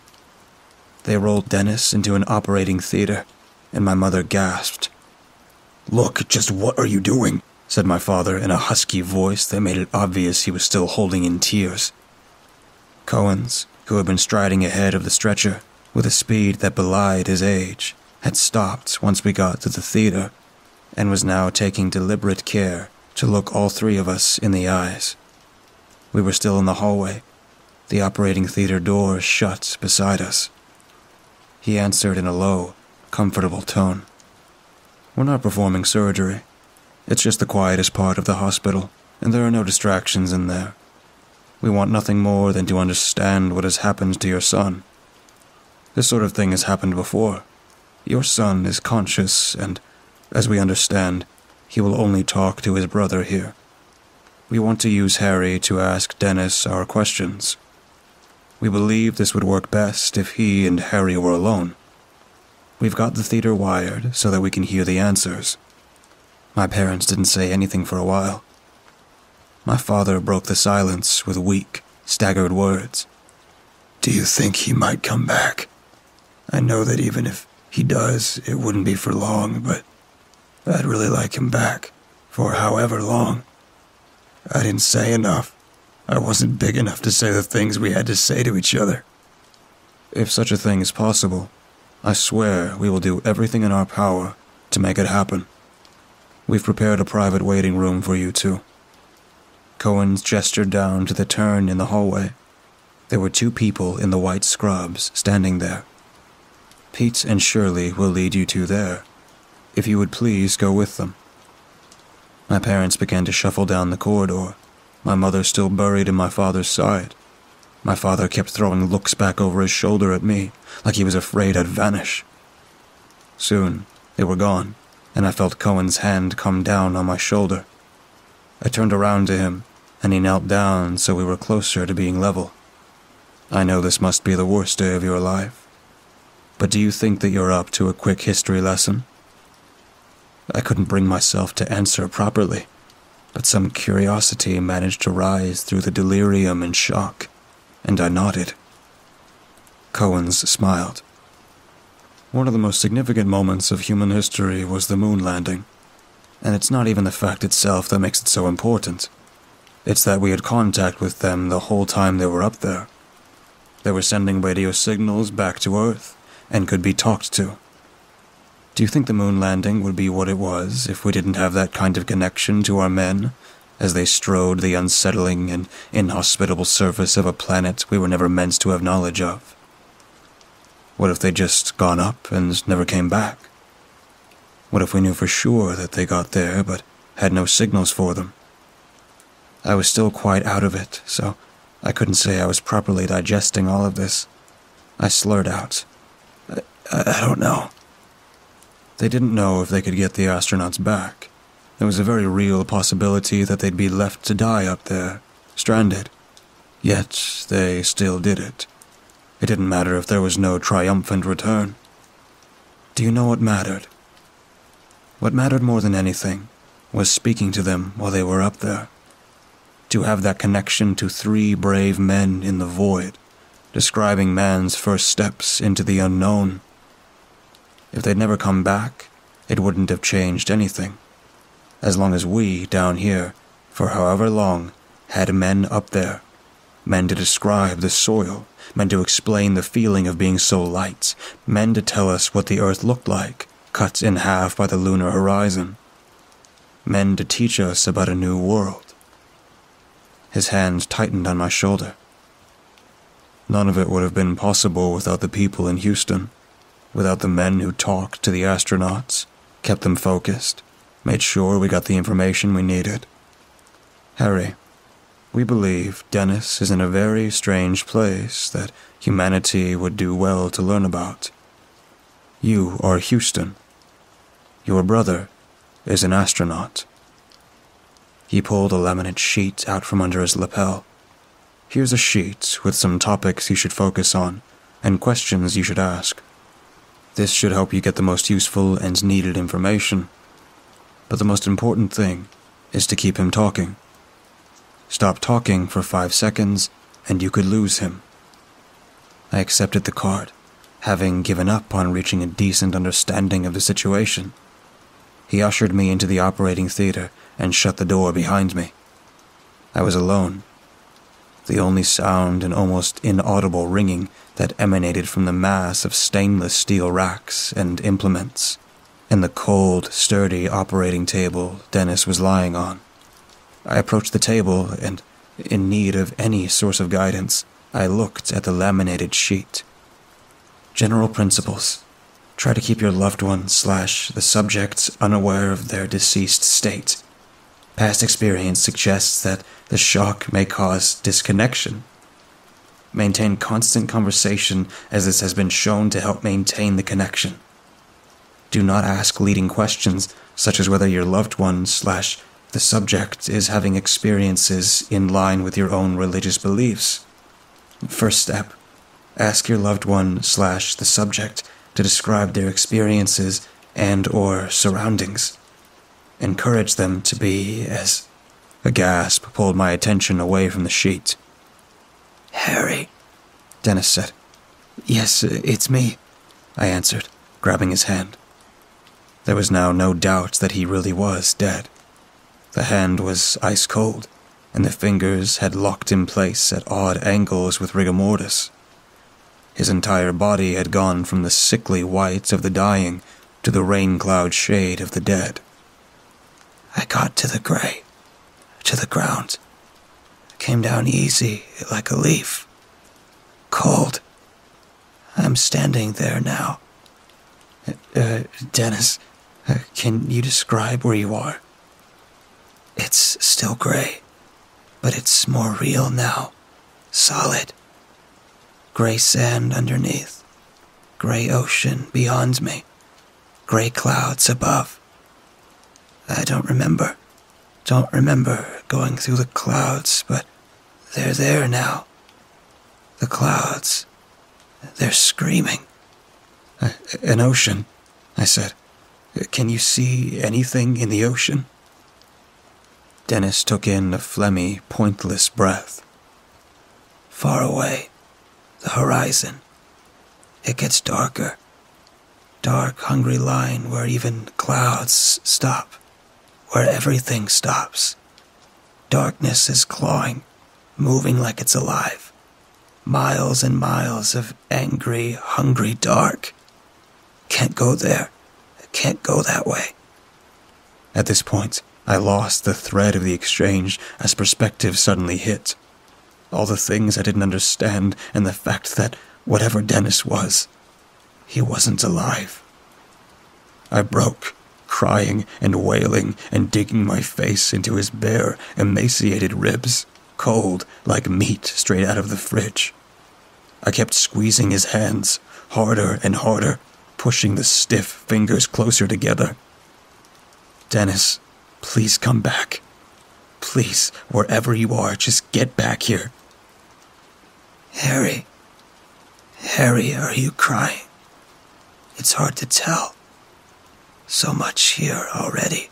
Sounds like crying. His words struck me deep enough to make my sobs catch in my throat. And I just started looking at him again, settling back to my previous catatonic distance from whatever was happening. I can't come back. No getting back. Like spilling something on the ground. No getting it all back inside and right again. It took a few seconds to force myself to accept this, but I carried on, hoping that maybe I could steer him towards some sign that he was wrong. What's in the other direction? Away from the ocean? That's the way I have to go. If I try and swim, the darkness will tear me up, shred away everything until only my pain is left, and it'll toss that into the clouds into the clouds, and I'll scream. Dennis, tell me what's in the other direction. Just sand. Just the sand. The gray sand. On and on. Not many bad things to see yet. There'll be more when I get where I'm going. I'm going to start walking now, Harry. Where are you meant to be going? I said. I started digging my nails anxiously into my forearm. There was something nauseating, dreadfully true about everything he was saying. It was like the first time he learned the world is round. It was like the first time you learn the world is round, and it feels weird for a second. But soon you get used to the idea, and you see it's the truth. That's the big secrets, and it doesn't matter how flat the ground feels. It doesn't matter how little sense it makes. It's true and he just kept talking. I can see another person. Uh, can you talk to them? I said, trying to keep my voice steady, feeling like I shouldn't be the one who couldn't keep it together. I suppose I could, but I can't. What do you mean? It's just not a talking kind of place. We're supposed to have done all our talking before we came here. Now we should just keep quiet. But you're talking to me, Dennis. But my voice isn't here. My voice is all the way up there, with you. Dennis, I said, now squeezing my eyes to force the tears back in. Dennis, please tell me what's happening. I think I'm finally dead. And what's happening now is what happens next the thing that was always going to be happening next. It feels right in a scary way.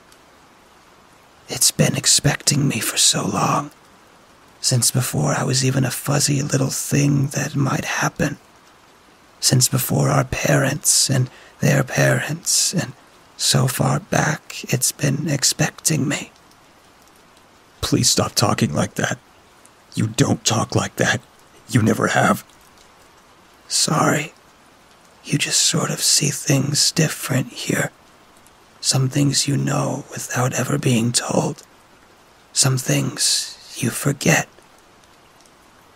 I couldn't think of anything to say and started to worry, remembering that if I left the pauses too long, he could stop answering. Hey, said Dennis, and the edges of his mouth strained out awkwardly imitating a smile. I see a few more, more people, and they're all naked, but really naked. Their clothes are off, and they're all gray and wrinkly, but that's not it. You can kind of see inside them, like all the walls have fallen down, and you can see who they are. All their thoughts and feelings just kind of hanging around them like ghosts. It's like someone's pulling the clothes off their whole past. They're so naked, hairy.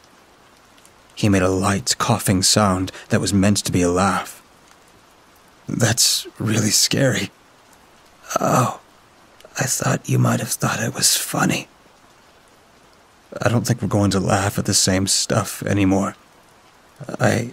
I think you're different now. I guess that makes sense. So, what are all the people doing? Most of them are moving. Same direction as me. Towards the center. The center of what? It's just called the center. The center of this place. And maybe the center of everything. But why? I said, starting to lose control. Why do you have to go? I don't have to. Nobody has to. Just like you don't have to shake someone's hand when they put it out, or answer them when they talk to you. But it feels wrong not to. It's what you're meant to do, and there's not any other good options. You don't want to stand still. What happens when you stand still? Depends. A few days ago, I passed this woman. A few days? I said, gripping the cold steel of the operating table as I was filled with an eerie sense of vertigo. You haven't been dead for even a day. I passed here a few days ago, he said, carrying on like he hadn't heard me. She didn't reach the center. She just sat down, started going her own way. She's pulled one side of her rib cage out, and it's all stretched, spreading up to her left so high, stretching out the arm, grabbing its corner. Most of her skin started to get hard and flaky, like old wood or crumbling stone. I can see herself, a musician, uh, liked music, kind of thought of her life like a song. Sometimes it'd repeat itself, some bad notes here and there, but it was pulling itself together. She was reaching the chorus, and it ended. And it was over so fast, and she can't accept it. She's picked this sharp rock off the ground, and she's scraping it past her ribs like a huge harp or something angry, trying to make music to keep the song going, but it's an awful sound, sawing bone, and it's never going to replace what should have come next. She's already grown into the ground. She's going to be here forever, trying to make music, trying to make music she missed out on. There was nothing to say to that, so I just went quiet for a while, assuming he'd keep talking. He didn't. Dennis. Dennis. No answer. A terrified jolt ran through me, and I started slamming my fist on his chest. Dennis, come back! Dennis! A growl tore out of his mouth, and his frame thrashed upwards, causing me to jump back and tumble down onto the floor, smashing into surgical shelves and causing gleaming surgical instruments to rain down around me. I didn't have time to think before I'd forced myself up again and bent over the operating table to stare desperately into my brother's eyes. I took his hand again, squeezing it as hard as I could. Harry, he said, and relief flooded through me. It's been so long. So long. It's been years. What? I've been walking for years. Years and years, and it keeps getting worse. It hasn't been a day. It's been so many years, and everything keeps getting worse. What? What's worse?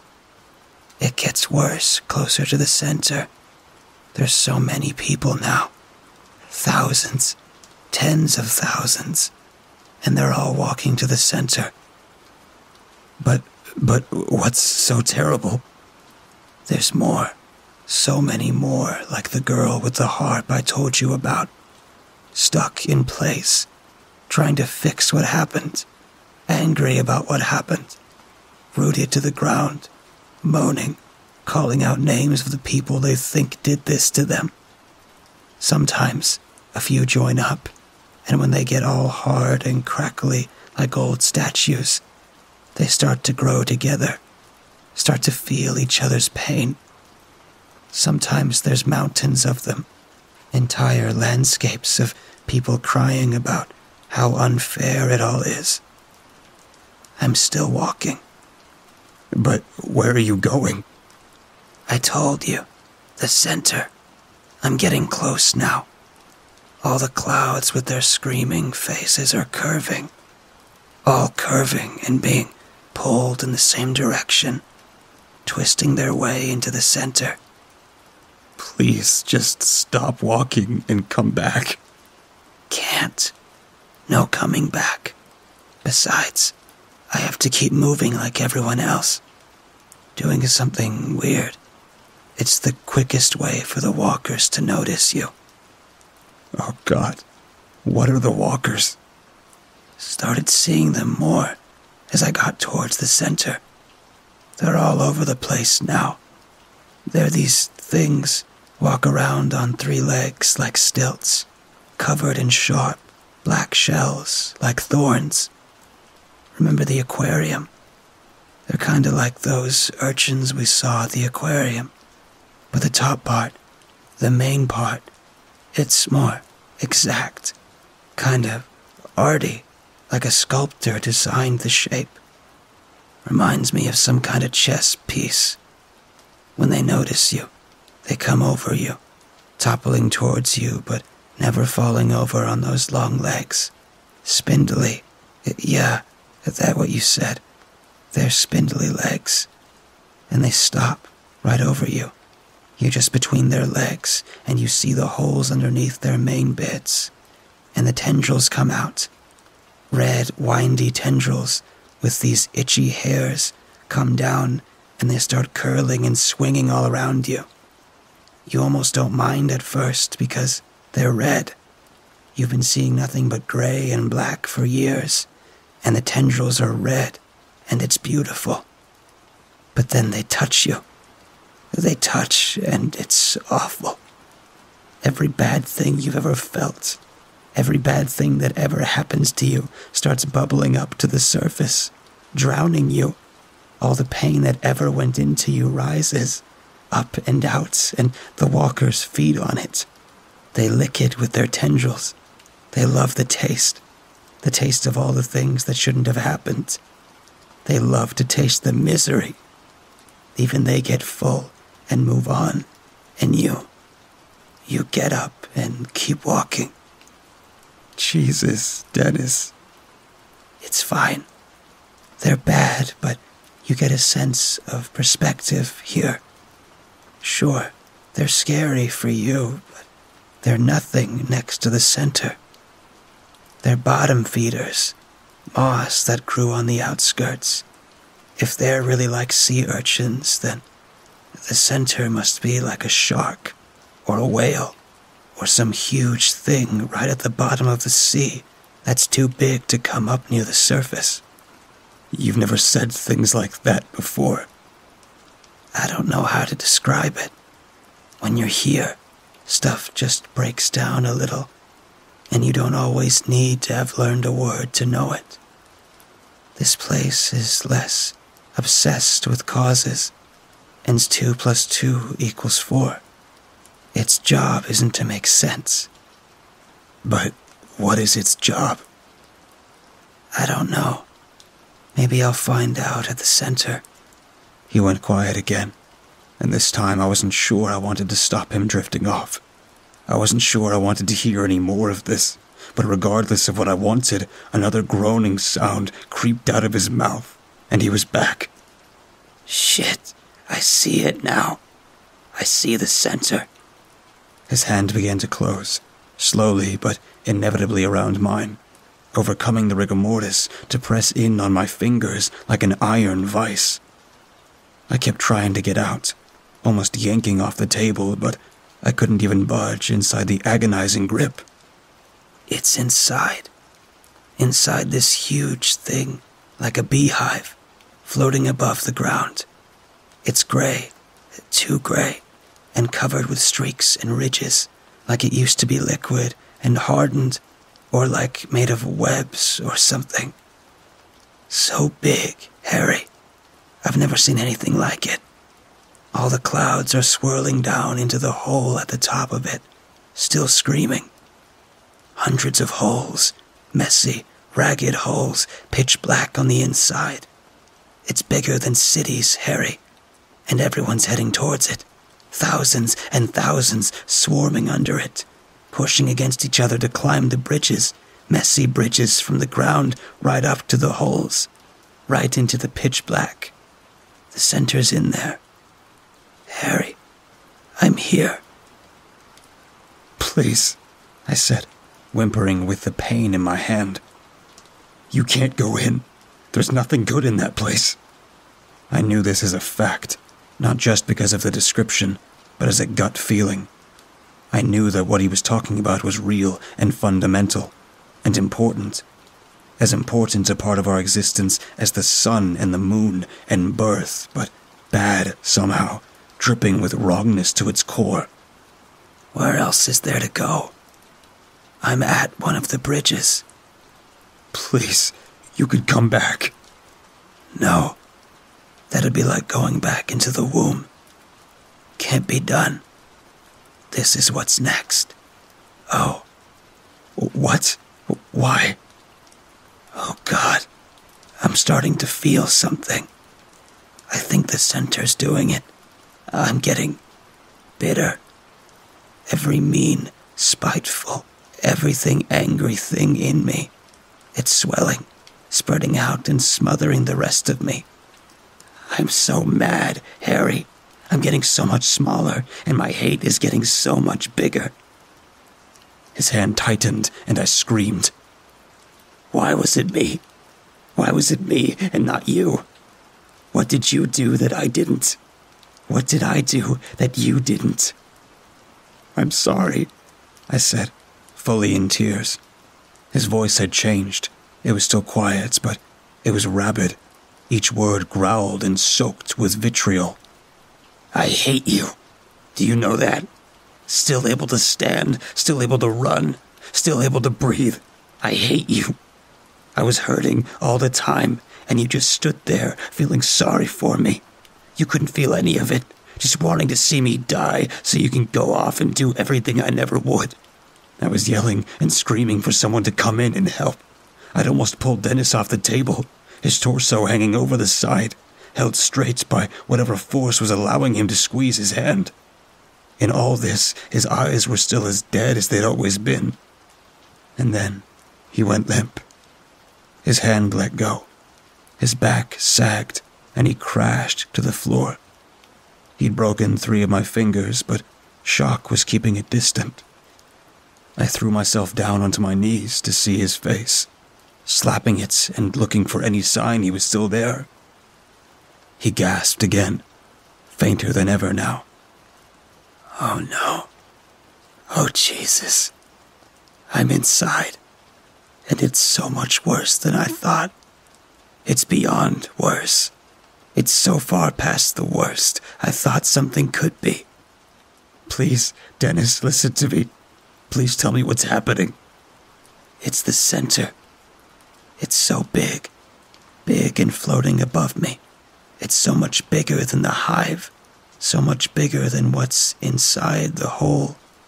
Inside is so much bigger. It's it's so big. It's gray, too. Always gray.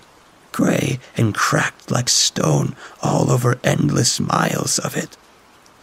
His voice had changed. It was whiny and small and afraid. It's hurting me, Harry. It's hurting me much more than I've ever been hurt, and it hasn't even noticed me. Please. The man told me you need to describe it. He said if you keep talking, you might stay. So big, he said, his voice wobbling and breaking like he was crying. Its fingers are bigger than skyscrapers. And it has so many fingers. Millions. And ribs. The body is all ribs. Or are they just figures all folded up? I don't know, but there are so many and so big, Harry. And the masks. Jesus, the masks.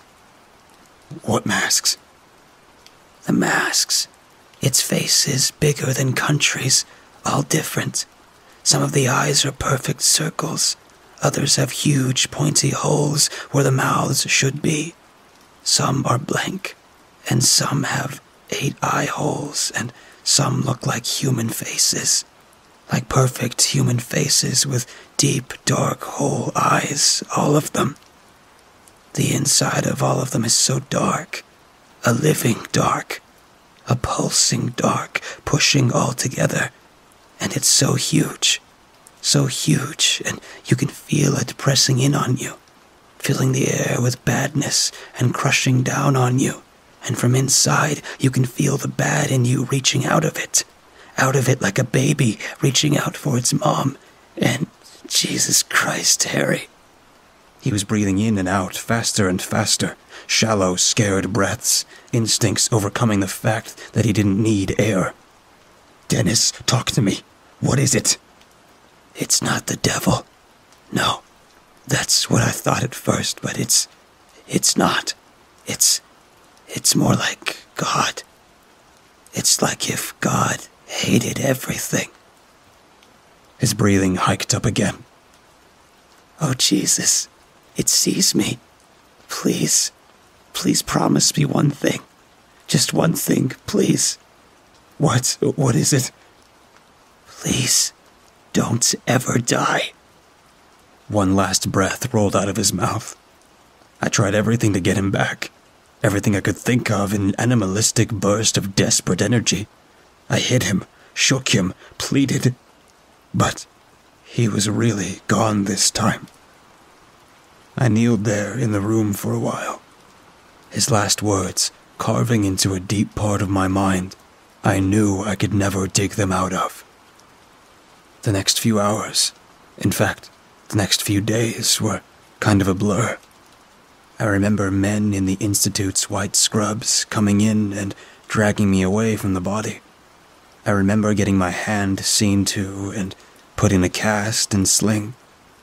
I remember Daniel Cohen's sitting me down in a bright white room and interrogating me. He called it a conversation, but it was an interrogation. A warm interrogation by a man who could be kind if it meant getting what he wanted. He asked me if I'd had any visions or any strong sensations, if I thought Dennis was telling the truth, and if I could explain the ways in which Dennis was acting differently than he already was. I was detached and drowsy from exhaustion and trauma and pain from my hand, and just answered honestly. At the end, Cohen's made me memorize a phone number and sign a load of confidentiality forms, making it very clear that not a word of this could leave the hospital. I was to call if I started experiencing any phenomena I thought was related to my Dennis, and finally, they left. My parents and I took a taxi home. We didn't talk about what had happened after Dennis died and I suppose that even that was this secondary add on to the simple fact that Dennis was now properly dead and not coming back. We went home, got to bed, and the next morning we had a wordless breakfast with an extra chair pulled out. The years flew by, and the whole experience became something I just had to live with some dreaded thing my thoughts would sometimes steer me back to, but mostly I managed to keep living, to accept it all as something. I couldn't understand. The fact that Dennis was gone was always worse than the way he went, however terrifying and unnatural it was. But lately, I've been having a dream it started off vague and incomplete, but every few nights it repeated. getting longer and more vivid. It always started the same, with me and Dennis, both of us kids again, on a green hill on a bright, clear day, crisp air sighing past us. I can't remember most of the words, but the gist is that he's bragging, showing off, saying that Dad loves him more, that he's better than me, that he's going to keep being better for as long as he's alive. He's going to keep making Dad love him more for as long as he's able. And I get so mad, way madder than I'd ever gotten if he'd said those things in real life. I see a rock, and without thinking, I pick it up and attack him with it knocking him over and beating him again and again until his skull was swollen and torn and you would see parts of his skull underneath. He managed to push off and run, and I would follow, never thinking twice about it. I chase him so far until finally he runs into a pass between two mountains in a long, dark range that I somehow never see until that point. The range extends to either side, seemingly forever, and the sky above it is saturated with heavy, dark clouds. It's like Mordor or something. I always stop running at this point, knowing that I've chased him far enough. The job is done. I start to leave my body, surging forward down the pass. No longer myself, just a nameless, thoughtless observer gliding like a ghost for lack of legs. He runs down the dark pass, on and on and into a sunless, barren country on the other side, a place where the soil is gray and dry. He runs for ages, but soon he stops. Stops and fails and curses, stops and falls and curses me, screaming about how much he hates me and how much I cost him by driving him into this place. He rages for a long time. Then a second person comes sometimes a man, sometimes a woman, sometimes old, sometimes young. They say they too were driven past the mountains, or that they wandered past them by mistake and can't get back. Dennis always says the same thing. Then let's all suffer together. Let's hurt together. And this person always latched on to Dennis, and Dennis latches back and they scream or cry and say they want to see people who's wronged them skinned alive. And more always come. A trickle at first, then a flood, latching on to Dennis and the first person, all of them clasping together and piling up into a giant, deafening mass of squirming bodies, and eventually it's huge, almost up to the clouds. And then there's a rumbling, a massive, shifting sound the countless bodies start to rearrange, forming deep canyons of flesh that make up a horrendous, rage filled outline of a face. There's a shift greater than any earthquake, and the pile moves, rolling forward, pulling itself with enormous appendages made of the miserable and the bitter and the despairing. It inches and tumbles on and on, crashing down and dragging itself onwards with overwhelming, apocalyptic sounds and then I see that it's heading for the mountain range. It's heading back to the bright place with all its anger and hate and vengeance. And as much as it's made of millions and millions of people, I always know it's still one thing. One thing with one will, but all the hatred of everyone buried in it. All the way back to the first one. The first one to curse. His rage still in there rage directed at the first one to sin. It gets right up to the mountains. Then I wake up. I think something's coming. Something that got started a long time ago. Something that strips away good and builds itself on the bad. And I think it's almost strong enough to set out, to start moving. And I think when it gets here, the living will be no better off than the dead.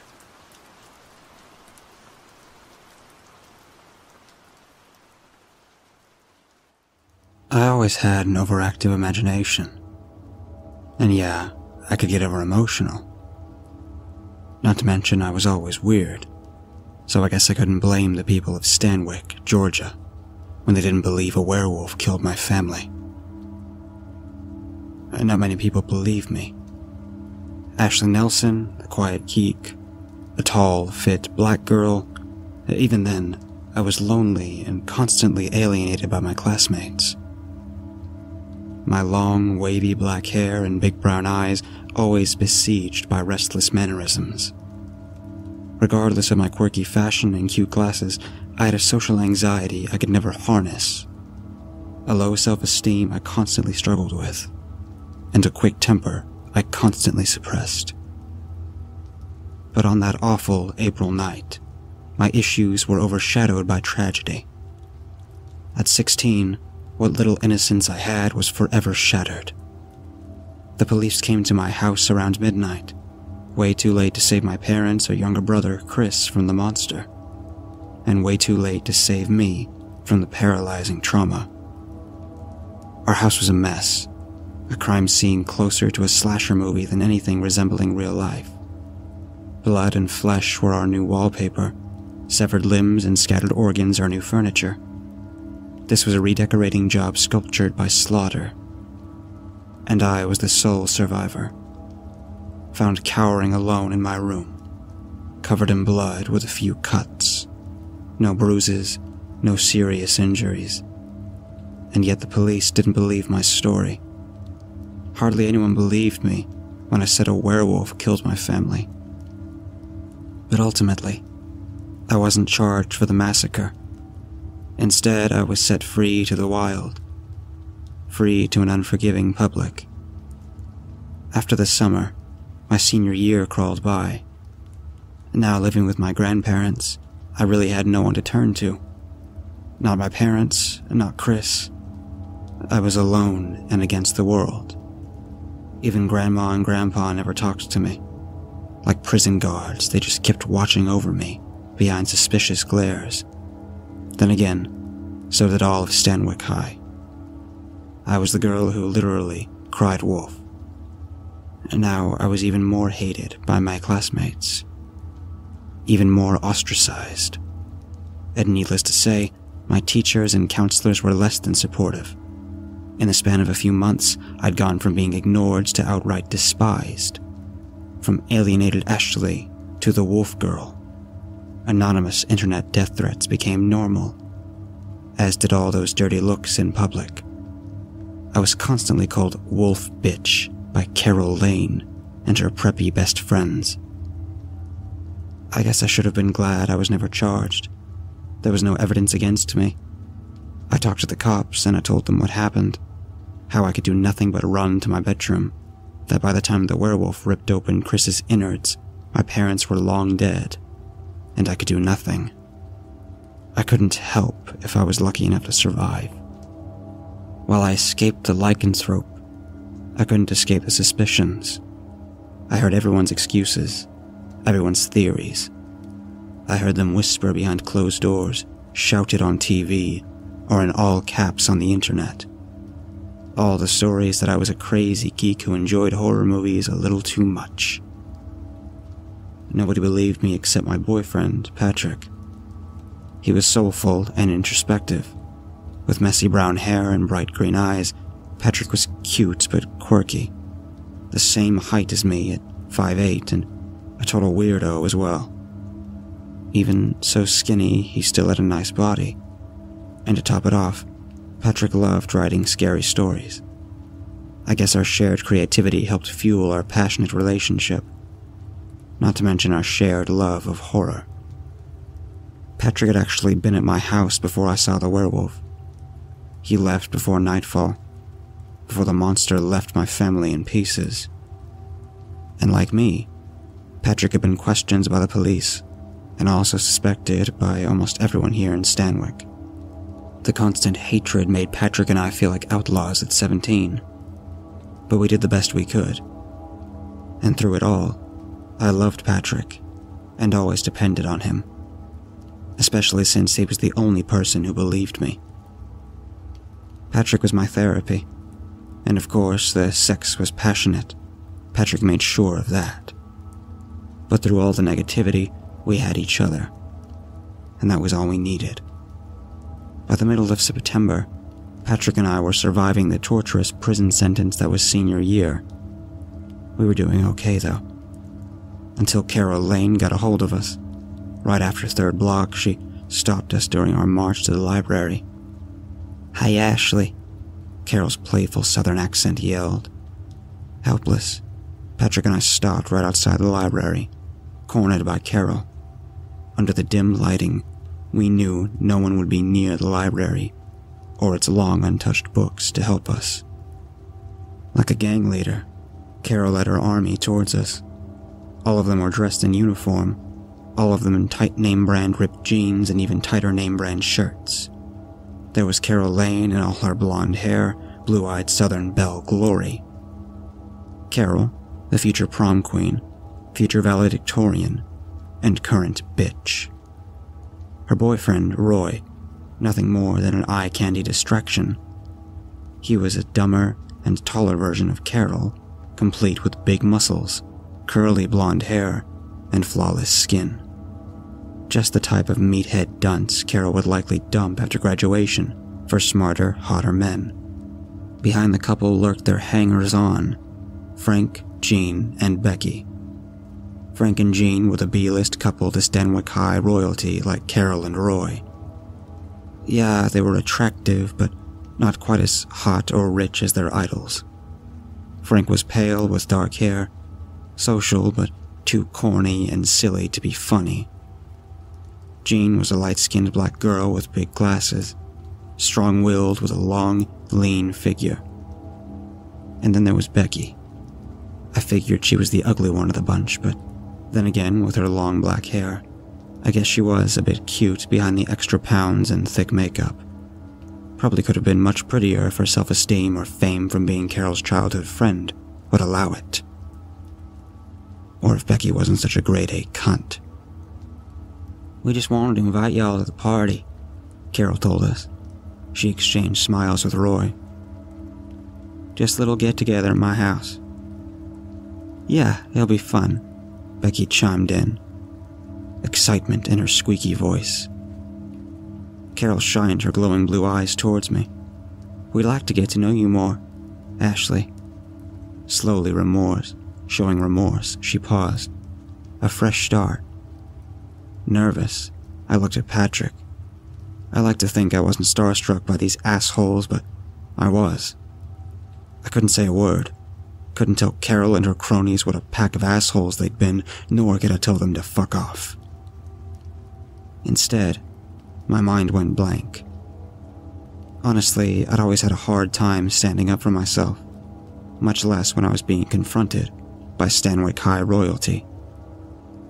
Patrick just flashed me a confident grin, totally unfazed by the cool kids. Maybe we should go, he said. He helped me shake off the silence. I, I, I don't know, I said. I faced Carol. It's at your house? Yeah, Carol answered with equal parts friendliness and exuberance. It'll be chill, I promise. I hesitated. I, don't know. I could feel the clique's collective pretty eyes beaming on me like spotlights. Just let me think about it. With a delicate but persuasive touch, Patrick squeezed my hand. Nah, we'll go. Struggling to suppress my anxiety, I glared at Patrick, but his confident smile, his sheer handsomeness crushed my anger.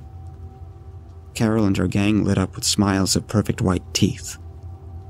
Good, Carol said. Be at my house around five. Still conflicted, I confronted Carol. That's kind of early, isn't it? I asked. Not really, she replied. Carol glanced at her comrades for the support she could always count on. That's what time we usually start started. Yeah, that gives us more time to party, Jean added. To my dismay, Patrick didn't fight back. Well, we'll be there, he said. My self conscious insecurities kept me from groaning right there on the spot. Not only was I a prisoner at Stanwick High, now I'd been trapped at Carol's house on a Friday night. Before I could persuade Patrick, Carol rode her gang off into the sunset, back to the wilderness of our high school cafeteria. We'll see you there, Carol yelled towards us. For emphasis, Roy let out a playful howl, a call of the idiots. Patrick, what the hell was that? I muttered, annoyed.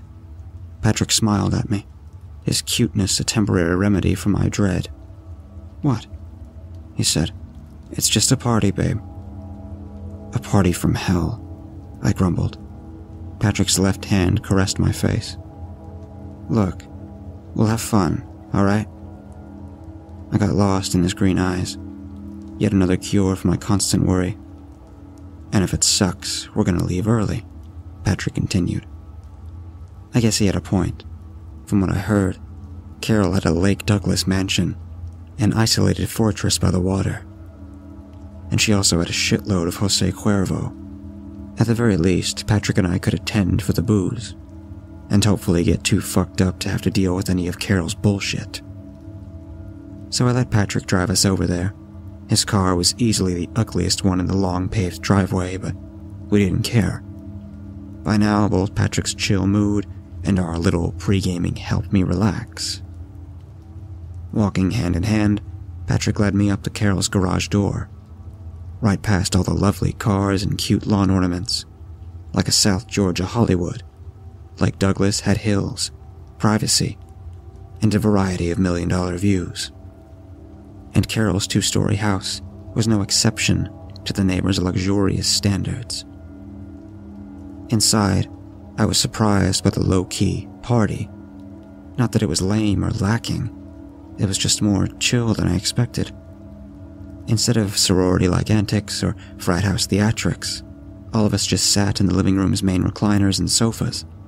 Just me, Patrick, Carol, and the rest of her tight knit clique. The five of them still wore their expressive uniforms, while Patrick and I rocked our colorful thrift shop finds.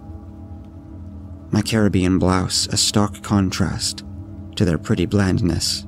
On the huge flat screen TV, top 40 music videos played at a low volume. In the corner, a small bar featuring Carol's notorious treasure chest of alcohol. A hallway connected the living room to all the bedrooms. Small town ornaments gave the house a wholesome charm, while large picture frames showed off photos of Carol and her eternally on vacation parents. The frames repressed a sprawling chronology of Carol Lane from innocent baby to conceited teenager. The booze was potent, strong, and absolutely fucking amazing. This wasn't PBR or Natty Light. You got what you paid for here at Lake Douglas. Throughout the party, everyone stayed in their zones. Outside of pedestrian conversations, no one amongst our outcasts and preps dared cross over to the other side. Not that I minded. As the hours went by, Patrick and I were having fun just chilling and listening to music. Around 7, I stole a glance out a window. The sun was beginning to fade, and once darkness hit, I suspected Carol's calm garden party would throw into a rowdy nightclub, would turn into a rowdy nightclub, one I was eager to escape. Carol stood up and muted the flat screen. All eyes went on her as she placed her humongous purse on top of the TV. Like she was ready to deliver a toast, Carol held up her red plastic cup. I'm glad everyone can make it tonight. She displayed a wicked smile. We have quite the special event in store. Confused, I faced Patrick. A special event? I asked, my voice louder due to the booze. Cackling, Roy pointed at us. It's just for you, Ashley. Just for Ashley, Jean shouted with drunken enthusiasm. The anxiety roared through me, even through the liquor. Patrick, what are they talking about? Patrick's hand caressed my arm, but not even that could soothe my swirling unease. It's okay, babe, he said. Carol motioned towards the windows. Becky, close the blinds. At Carol's command, Becky lowered all the heavy blinds, squashing the stray sunlight. A few ceiling lights were now our only solace in this upper class cavern. Awkwardly, I looked all around us. Carol's gang now gathered by the TV. I, I don't understand, I said, looking at Patrick's calm face. What's going on? His grip tightened around my arm. Babe, just relax. No. I pulled away from him and confronted the preps. What the hell is this? We're trying to help you, Ashley, Carol said in a moderate but authoritative tone. Roy pulled Carol in towards him. Yeah, we're gonna catch a werewolf. Like a laugh track, all their friends forced a chuckle. I placed my cup on the floor and stood up, my mind somewhere between outraged and intrigued. Is this a fucking joke? I asked. My voice came off weak. I was nothing more than an intimidated mess. Sensing my unease, Patrick grabbed my hand. Babe, they're serious. What? Patrick stood next to me. I already talked to them, Ash. They want to help. That's all they want to do. He leans in closer. I know you weren't lying, babe. I always knew, and now we're gonna prove it. Carol strutted up to us. At first, I didn't believe you. She stopped right in front of me, her poise the polar opposite of my defensive demeanor. But then I figured it out. We all did, Jean added. So you've seen him? I asked, excited. I stole a look at the lineup of cool kids. For once, even Roy was serious. You guys really believe me? Yep, Becky retorted. We know the truth, Ashley, Carol said. A werewolf did kill your family. Feeling relieved, I struggled to suppress my tears. My emotions went wild. It wasn't your fault, Carol added. Reassuring me, Patrick kissed my temple. I told you, babe. Carol walked towards her purse. There's only one thing. What? I asked. Veering from polite host to wicked competitor, Carol confronted me. One of us is the werewolf. A deathly quiet overtook the room. The entire house. No one said a word. Not a sliver of a smirk on any of their attractive faces. I don't know whether to laugh or cringe or, hell, even shiver. I looked over at Patrick. I. I don't understand. What the fuck? Nah, it's cool, Patrick replied. She's serious. Through the confusion, I couldn't respond. Couldn't do anything except just stand there. I did a little investigating, Carol said. She reached into her purse. None of us had an alibi for that night. I stepped towards her. But how do you know someone's the werewolf? The sight of Carol pulling out a pistol made me stop dead in my tracks. The weapon was old, but in mint condition. A real Colt 45 revolver. One fully capable of taking out all seven of us. Oh shit, I yelled. No one else looked surprised. They didn't even flinch. And deep in my unsettled gut, I realized they expected the gun. You're fine, Ashley, Carol said in a cool voice. She placed the gun right next to her purse. There's already silver bullets in it. So what? I struggled to say through the shivers. You're just gonna shoot whoever changes? Carol's voice took on a new layer of intensity. A southern belle gone mad. Exactly, she said. I scanned the scene for help, but like a morbid Greek chorus.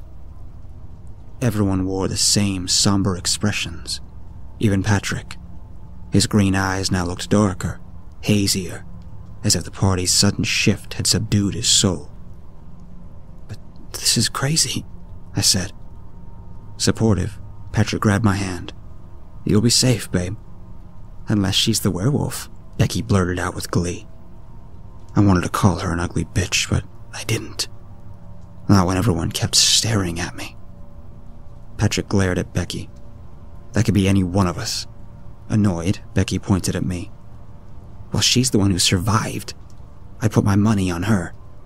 And what if it's you, huh? Patrick yelled. What if you killed her family?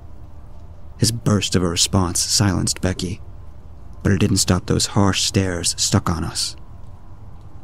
Look, let's just calm down, Carol said. She strolled up next to Roy. We'll just wait and see. She looked towards the windows. Even with the blinds blanketing the darkness, I could tell nighttime was upon us. I could feel it. Once the full moon's at its peak, we'll open the blinds, Carol continued. She confronted me. Then we'll see the werewolf, Ashley. Just like you did. Trembling, I backed away. No, we we need to go. Patrick held me there. Patrick, I said. He looked into my eyes. You need to see, Ashley. I struggled to pull away, but had no chance at escaping his staunch grip. Let me go. Ashley, please. His emerald eyes begging me to stay. They made me a prisoner to the party. You need the closure, Patrick told me in a gentle tone. You can't keep running away. I looked at everyone else.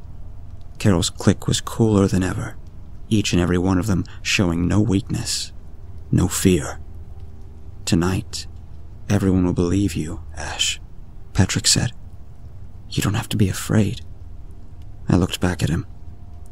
They'll believe you, he said, just like I do. Carol clapped, grabbing everyone's attention. All right, I think it's time. Will you do the honors, Becky? Staying close to Patrick, I watched Becky step towards the first window. A dread rather than anticipation built up inside me. Roy grabbed a hold of Carol's gun. Wait, do we have to do it right now? He said, unease piercing through his confidence. Annoyed, Carol pulled away from him. Uh, yeah. With subtle panic, Roy snatched Becky's arm. Hey, just wait a fucking second. Frank gave him a weird look. Dude, what's wrong? Like a defensive animal, Roy staggered back towards the hallway. A defiant glare overtook his handsome face. Shit, nothing, alright? I just think we should wait until later. Carol watched him with nothing but sheer suspicion. Why? The full moon's already out, dumbass. God damn it, Carol, Roy shouted. Just fucking listen to me. Scoffing, Carol pushed Becky over towards the window. Nah, fuck that. I watched Becky stop in front of the window. Clear unease made her hesitate, and I couldn't blame her. Look, I just want us to be safe, Roy said to Carol, his voice featuring more rage than concern. I felt Patrick wrap his arm around me. What are you so afraid of, Roy? Patrick hurled at him. Startled, everyone looked at my boyfriend, shocked to hear him challenge one of the Stanwicks' prized jocks. Roy growled. Hey, you and your creepy ass girlfriend can shut the fuck up. Jean pushed Frank over towards Roy. I don't need y'all creeps accusing me of shit, Roy continued. My tower of anxiety grew even higher. Hey, leave her alone, asshole, Patrick yelled at Roy. Trying to play peacemaker, Frank grabbed Roy's arm. Dude, chill. Roy broke away from him. Nah, man, fuck that. He went for the gun. I ain't doing this shit. Concerned, Carol rushed towards him. Roy. Roy's glare latched on me. Especially with that crazy bitch. Motherfucker, Patrick yelled. He lunged at Roy, but I held him back. All the while, the anger boiled up inside of me. But no matter what, I couldn't unleash it. I couldn't let my inner beast out. Rather than exposing the fury within, I could only stay silent in Patrick's arms. Right before Roy grabbed the gun, Carol snatched his wrist. What the hell is wrong with you? She shouted. Amidst their struggle, I saw Jean shove Frank towards them once more. Stop, Carol, Roy yelled. Like a guard restraining an asylum inmate, Frank ambushed Roy, grabbing both his arms. Stop, man, Frank pleaded. Carol glared at Becky. Becky hadn't moved this whole time, too scared to raise the blinds. Open the blinds, Carol demanded. Carol's voice forced Becky out of her fearful state. Okay, she cried. With a trembling hand, Becky reached towards the lift cord. Nervously, I looked at Patrick, but his stoic calmness failed to soothe me. No, Roy screamed at Becky. Frank struggled to hold him in place. God damn it, Roy. Be careful, the concerned Jean shouted at Frank. Becky grabbed the cord. With a scratchy snarl, Roy shoved Frank across the room. Frank! Jean cried. Startled, Becky collapsed back against the wall, a scared mess who damn sure wasn't going to open those blinds now. In a terrifying display of strength, Roy turned and bolted for the hallway, his movements so manic, his howls murky and unsettling. My stomach sank to the floor. The noises harkened me back to the past trauma, back to the werewolf's wail, back to my family's tortured screams. What the fuck? Carol yelled. Jean helped Frank off the ground. Oh god, are you okay? She said, concerned. Then Roy's animalistic cries rang through the house. Nothing but his howls and snarls hit us on a horrifying loop. Acting on simultaneous courage and stupidity, Frank snatched the gun. Jean reached towards him. Frank! Just stay here, Frank said. He ran towards the hallway, straight towards another harrowing howl. What the hell are you doing? Carol cried after him. Within seconds, Frank had disappeared into the upper class jungle, the snarling and Frank's frantic footsteps all we could hear. Frank! Jean yelled. She stepped towards the hallway. Carol restrained her. No, don't. Frank, come back, Jean shouted. Like a timid soldier, I did my best to stagger off towards the window, further away from those sounds. Out of the corner of my eye, I saw Becky slouch to the ground. She covered her ears in a pathetic attempt to quash those nocturnal howls. Patrick looked at me, worried. Ashley, a sudden scream surrounded us. A human scream. No, Frank, Jeannie yelled. Acting off adrenaline, she pushed Carol away and forward. She pushed Carol away and followed her boyfriend's cries. Carol pushed Becky off the ground. Carol's intense blue eyes zeroed in on me. Come on! Patrick grabbed a hold of my hand. Together we followed after two preps. Patrick and I lagged behind in this long, dark hallway. By now, Frank's screams had faded off into an unnerving silence. All I could hear was footsteps and the occasional guttural growl. Then a loud thud echoed towards us. I jumped upon hearing it, and I could feel Patrick do the same. Up ahead, I saw Carol drag Becky through an open door on the left. Come on, Ashley, I heard Carol shout. At the open doorway, I felt Patrick let go of me. Patrick, I cried. Turning, I caught a brief glimpse of his uneasy face. Babe, I started. Carol's groomed hand yanked me inside. I stumbled inside the study. A large desk sat in the center of the room, several antique bookshelves lined up against the wall, all of them crammed with hardbacks and more cherished photos of Carol Lane. A huge window overlooked Lake Douglas. The blinds were lifted, revealing a glorious full moon shining upon us. Its beams so bright, the remnants strayed inside the hallway. I stopped at the desk, right by Becky and Carol. Near the window, I saw Jean crying over a bloodied body. Frank was sprawled out like a red snow angel. Crimson ran all along his face and torn t shirt. Frank, the victim of a most brutal attack. The revolver lay a few feet away, silver bullets and all. Oh God, Becky shouted. He's dead. Horrified, I turned towards the door, in desperate search of Patrick. Carol snatched my arm in a dead grip. Ashley, look out! Like a cheesy horror sound effect, a howl roared to life behind me. One more befitting monster mash than an American werewolf in London. Whirling around, I saw a creature rise up behind the desk. Roy transformed, his face replaced by pointy ears, a long snout, spurts of thick black fur, and two hungry red eyes. Snarling, he lunged at me.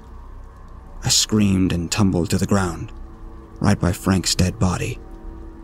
Another corny howl pierced my ears. Scared shitless, I reached for the gun till I got a closer look at this teenage lycanthrope. Roy still had his flawless name brand t shirt and jeans, his muscular arms and legs completely unscathed by excessive hair. Roy's howls shifted from campy spookiness to howling laughter. Then more laughter surrounded me, and I saw now everyone was chuckling and pointing at me. Carol, Jean, Becky, even Frank sat up, the fake blood unable to drown out his mean spirited cackle. Oh shit, we got her, Jean cried out. Like invisible force, the heavy laughter combed with the mask's narrow eyes. The heavy laughter, combined with the mask's narrow eye sockets, made Roy stagger against the desk. Hell yeah, he said. That bitch got scared quick. I sat there on the verge of tears, my self conscious soul on the verge of suicide. The hurt sank into my flesh like sharp hooks. I couldn't say anything. Carol pulled Jean off the ground. Frank, too dominated by drunken amusement to even stand on his own. Well, Carol began, trying to control her sadistic laughter. She pointed over to Roy. There's your werewolf, Ashley. Leaving his mask on, Roy raised his arms and lumbered towards me, his act about as creepy as an intoxicated straggler leaving a Halloween party. His howl was now more obnoxious than ever. I cringed at the silly sight. The girl who cried wolf, Jean quipped. Indeed, Carol replied. Chuckling, Becky walked over towards the window, a closer glance at the full moon. You got her good, she said to an audience of none. Still reeled from the scare, I crawled back towards the door. I realized teardrops were sliding down my face, and like always, I couldn't fight back. I really was gonna weep like a scared child in front of the cool kids. The gang's giggling only grew louder, a laugh track well off the rails, a live studio audience for my pitiful state. With obnoxious glory, Carol pointed right at me. Hey y'all, she just saw another wolf. Looks like it. Frank quipped. A booming snarl ended their laughter real quick. Now fear latched into all of them. Outright terror. Everyone watched the beast lunge into the study. A muscular werewolf, walking on its furry hind legs. The creature's brown fur was brisk and spiky, its ears long and slender, just like the monster's intimidating snout. In the room, the werewolf flashed as a smile of razor sharp teeth, its eyes redder than the fake blood scattered across Frank's body.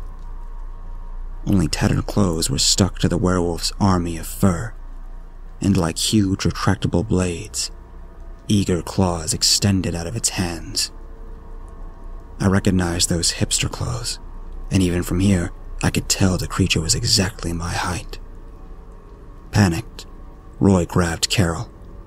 Oh, fuck. His muffled voice yelled through the mask. Before Carol could scream, one quick swipe from the creature declared a double decapitation.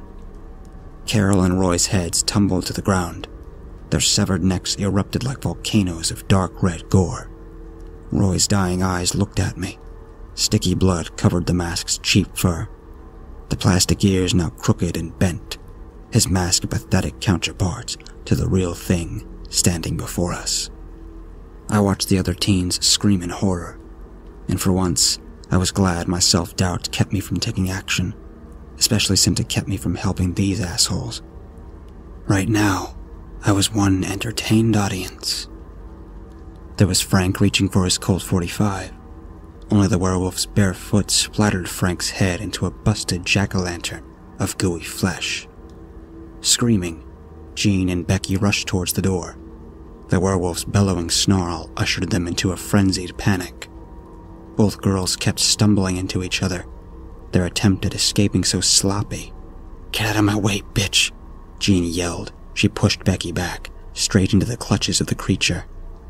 Becky cried out, her squeaky screams silenced once the werewolf jammed its paw straight down her throat. Blood sprayed across the monster's hungry flesh. It retrieved its paw in a quick flourish, yanking out all sorts of intestines. A goodie bag of Becky's organs. Becky's corpse hit the floor, her mouth agape in a huge oval, a wide enough opening for a red river to come rushing out. Right when Jean reached the open door, the werewolf snagged her back in, its tight grip sunk straight into her fragile flesh. No, she cried. The monster turned her around. A brief taut of deep breaths and sloppy saliva hit Jen's face. She cringed in helpless fear. She knew she was fucked, and all she could do was scream and scream again. The werewolf went to turn on her vulnerable face. A machine of chomping ensued. The monster's mouth quicker and messier than a blender. Jean's screams died, even as remnants of her mouth kept twitching. Her flesh and all you can eat buffet devoured in mere seconds. As the werewolf finished, literally defacing my classmates, I reached out and grabbed the gun. I staggered to my feet. Through the tears, my gaze strayed towards the window. The lift cord for the blinds was well in reach. Victorious, the monster threw down Jean's body. She landed with a splat near all the others. Now all their blood intertwined. The five bodies laid side by side in a prep cemetery. I stared at the wolf. Deep down, I knew I'd never seen it before. I knew I'd never seen it before. This wasn't the monster that killed my family, or at least I didn't think it was. My trembling hands did its damnedest to hold a gun in a tight grip. Patrick! I yelled out, my tone strong and steady for once. Drawn to my voice, the creature confronted me. Even behind the terrifying exterior, I knew Patrick recognized me. His eyes always gave away his emotions, even when they were red instead of green. Breathing heavy, Patrick stepped towards me, his ominous footsteps splashing through multiple red puddles.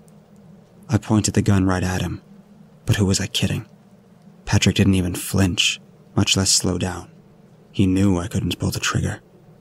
I took a deep breath and wiped away my tears. Reaching out, I pulled the cord. Like a dropped curtain, the blinds whisked straight down. The full moon was blanketed. Through the darkness, I heard Patrick howl in pain, heard his anguished cries.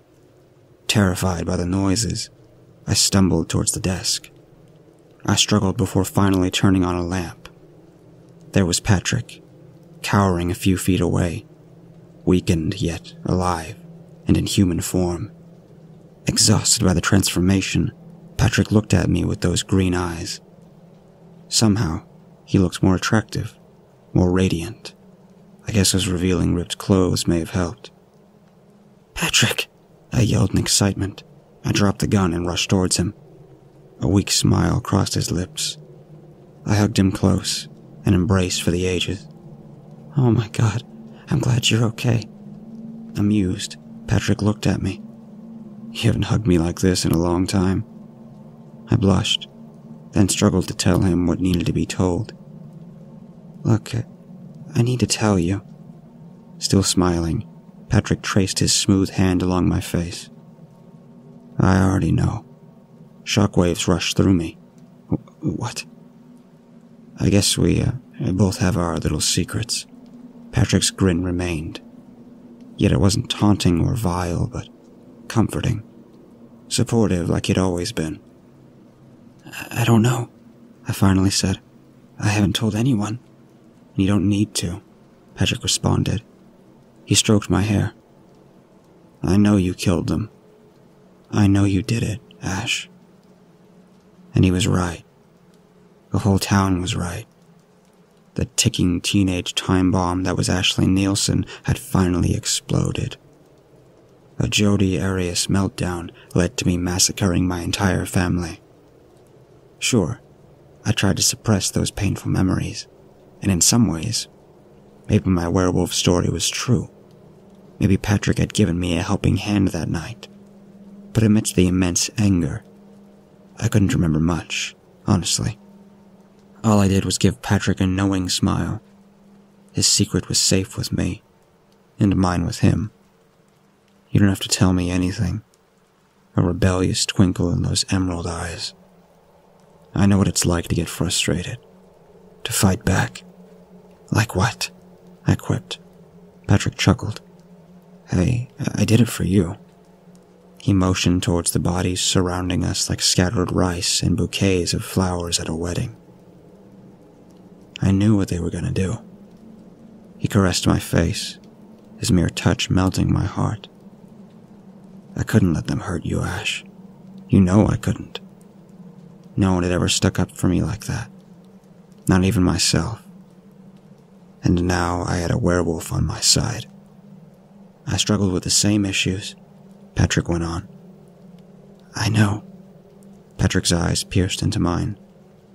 And I know what can help. Reflective, I looked back towards the big window where the full moon awaited us. If you just let me have one bite, you'll be like me, he said. You'll be confident. Shushing him, I put a finger to Patrick's lips, flashed him my own sly smile. You don't have to say anything else.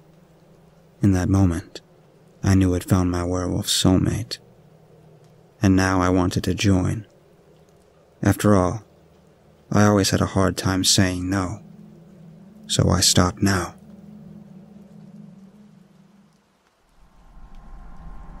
My name is Boston Murphy, and I kill werewolves for the US government.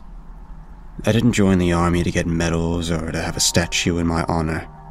I joined it to simply get away from my family. My father's okay, but his new wife is the most evil person you could have the misfortune of meeting. She used to constantly berate me, calling me less than dirt and a waste of space. I tried telling Dad, but he didn't believe it, or chose not to believe it. I joined the army when I was 17. It was the only way to get away from the verbal abuse.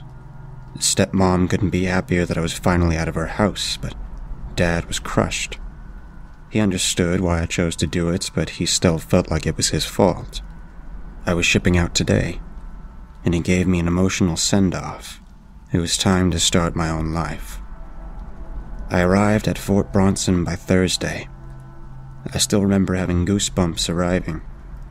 This was it. I was really doing this. No turning back now.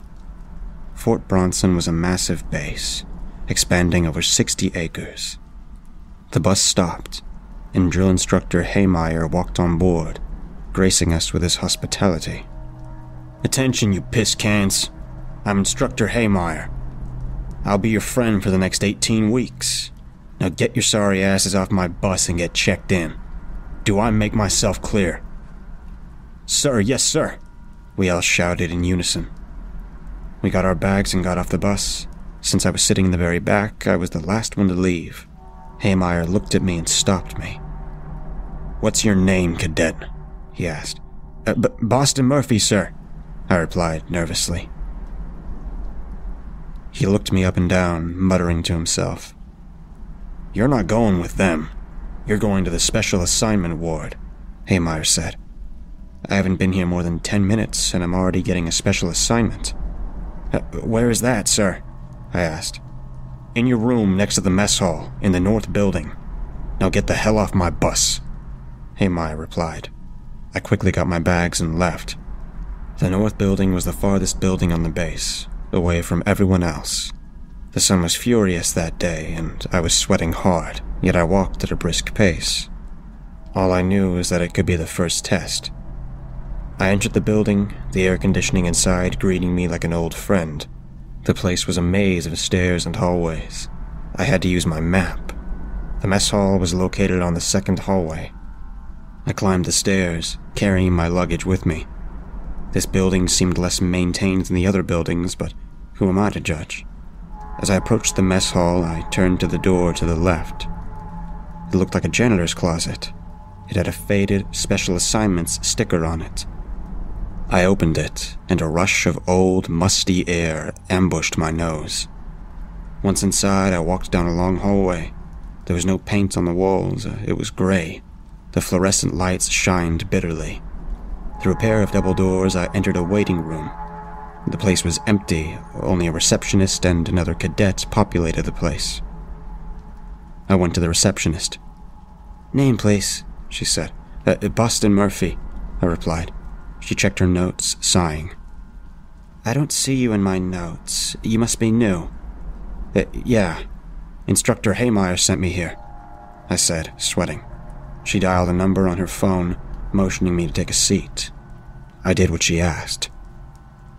The other cadet in the room was a skinhead called James. You're new here too, huh? He asked. Yeah, man, I replied. Me too. I was so ready to kick some jihadi ass, but I'm here instead. You feel me? He asked. Yeah, I lied. The truth was that I didn't join to kill. I was hoping to be a medic or something. My name's James. What's yours? He asked. Boston, I replied. You seem cool, Boston. Personally, I hope that was a mistake. I want to hit the range and make those bastards pay for 9 11, James said. Cadet James Fillmore, the receptionist said. I guess that's my cue. See you, brother, James said, patting my back. I waited to be called in, watching videos on my phone, the receptionist on the phone looking at me every so often, whispering. After what seemed like centuries, I was finally called up. The receptionist told me to go through the double doors and into the first door on the right. I walked through, luggage in hand. The hallway I walked in was small and dirty. The door on the right said Lycanthropy Extermination with Greg Romero. Lycanthropy? Like as in werewolves? This had to be a joke. Surely Haymeyer played a prank on me, attesting how gullible new recruits are. I looked further down the hall. It only got weirder from there. Wendigo extermination from Susan Fletcher. Thunderbird extermination with Otto Haymeyer. Zombie extermination with Tony Stevenson. I had half a mind to walk out and confront Haymeyer, but something told me that he didn't appreciate being called a liar.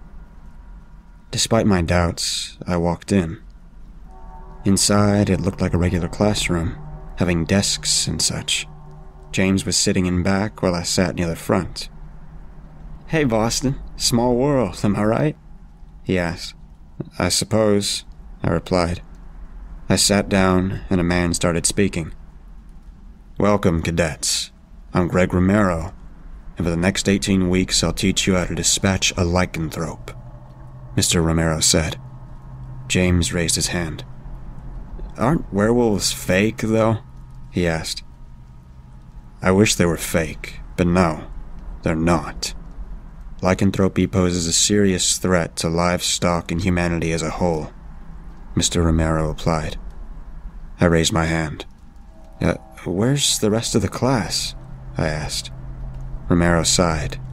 We're not as popular as Wendigo Extermination, but hopefully we'll receive more recruits next year. Romero showed a photo of a mutilated woman being eaten alive by a werewolf. I gagged. We have thankless jobs, gentlemen. Only two people know we exist, and that's the two of you. Who wants to kill a wolf? Romero asked. We both shouted in unison. For the next 18 weeks, I was taught how to kill a wolf. Silver does kill one, but instead of a crossbow, I got a Mini 14 with silver bullets. I was trained how to track wolves and how to survive in the wild. It was hard at first, but I got the hang of it. On graduation day, I was so happy. James and I got drunk at his place. At first, I didn't like James, but during training, we became friends. I was deployed to Arizona, of all places. The assignment was simple. An elderly lycanthrope was spotted in the area, and I had to dispatch him. I had to cut off its right hand as proof and return it to my bosses. I was getting paid $100,000 for this. Since I was new, this assignment was sort of a test to see if I had what it takes. I arrived at Ground Zero, a campsite. The brass in Washington were nice enough to close its surrounding area so nobody could get hurt. I looked for clues, only to find a patch of hair. It smelled like piss, meaning that a wolf was nearby. The hair led deep into the brush, into the desert. The sun was angry that day. It cooked my skin under all my armor. It led to an abandoned farmhouse, but any sign of a farm was dried up a long time ago. I crept to a window, rifle in hand. I peeked, and not only did I see the wolf, but there were also two little wolves, seemingly surrounding him. Come on, Grandpa. Let's go play, one of the little ones said, nibbling on the big one's ear. In a while, I have to rest. He replied. My hands were shaking, sweat dripped from my brow. I had to do this. I was getting paid to. I took a deep breath, and then I kicked the door open. I opened fire, shooting the big one in the chest four times, sending him backwards. The kids looked on in horror, screaming and crying. I brought out my axe and hacked off his right hand. I placed it in my bag, and the puppies started crying. Shut your fucking mouths, I yelled, pointing my rifle at them. They only screamed louder. I panicked. I didn't want to fail my first mission. I did what I had to do. I shot the puppies, hitting them both in the head. I hacked off their right hands, putting them in my bag. Once the adrenaline died, I threw up. What's done is done. I can't fix it. I had $300,000 in my bag, softening the blow. I returned to my boss and gave them the hands. They were surprised, to say the least. Damn. Not only did you take out that old fuck, but you popped his grandkids, too. You're the best exterminator we've ever had, with no mercy. I'm gonna call you Eisennerve from now on, okay? My boss said, signing me a check. It was from the United States Treasury $300,000. I placed the money in my bank account when I got home. Before I left, my boss said, Your new assignment is to dispatch wolf pups spotted in Alaska. But I don't think that'll be a problem for you, Eisennerve. He winked. Made me sick. I reloaded my silver ammo, bought some beef jerky, and flew to Alaska. A logger found a wolf pup hanging out around the woods near his house and locked it in his shed. I told him to stay back in case it got aggressive. I went in, closing the door behind me. Huddled in the corner, I saw four wolf pups. They looked scared. I wasn't proud of what happened next. I fired, and I took their hands. I returned to my boss and turned in the hands. He gave me 400,000 this time. Eisennerve, you're making your country safer every time you go out. You're a hero, son, he said. I don't feel like a hero, sir, I replied. Just know this they're monsters. They don't know right from wrong. All they know is killing. Take two months off, then come back, okay? He said, sending me off. That's all the time I have today. I'll get back to you as soon as I can. It all started four days ago. My job had just let me go because I was too slow at putting peppers on a freaking conveyor belt so it was back to the hell that was job searching. Three applications a day, keeping an eye out for responses, and in general, just hanging with my parents that I could tolerate some days better than others. I honestly don't know what made me think of applying for that specific gas station. Don't get me wrong, I really do like the place, and I don't blame it for what happened. So I won't use the real name in this story. Let's call it Swift Pit instead. The gas station was family owned. Let's call them the Leica family. That has a nice ring to it. Miss Leica was a kind, short lady with gray hair and blue eyes, and a very gentle voice. $13 an hour sure felt like one hell of a deal for just running the register, filling the hot food section and keeping the shelves stocked. And the other workers were nice, which was more than I could have said for my last job. I don't think I need to describe what it looked like to you, because it's pretty much the same as any other gas station. There were four pumps, and the store itself was pretty small, but not so small it felt claustrophobic. During the day, they kept the hot food area well stocked, but during the night, we kept only the bare minimum there, replacing it only when the initial ones were taken. The evenings were so slow, they'd only put one person in the station, though the boss lived perhaps ten minutes away and would be able to show up pretty quickly if I gave her a call. Not sure how the days went, though since they were still in business, I've got to assume quite a bit busier. I heard that they were toying with closing during the night to help save on expenses. It was my first night by myself. Nothing too eventful happened for the first few hours.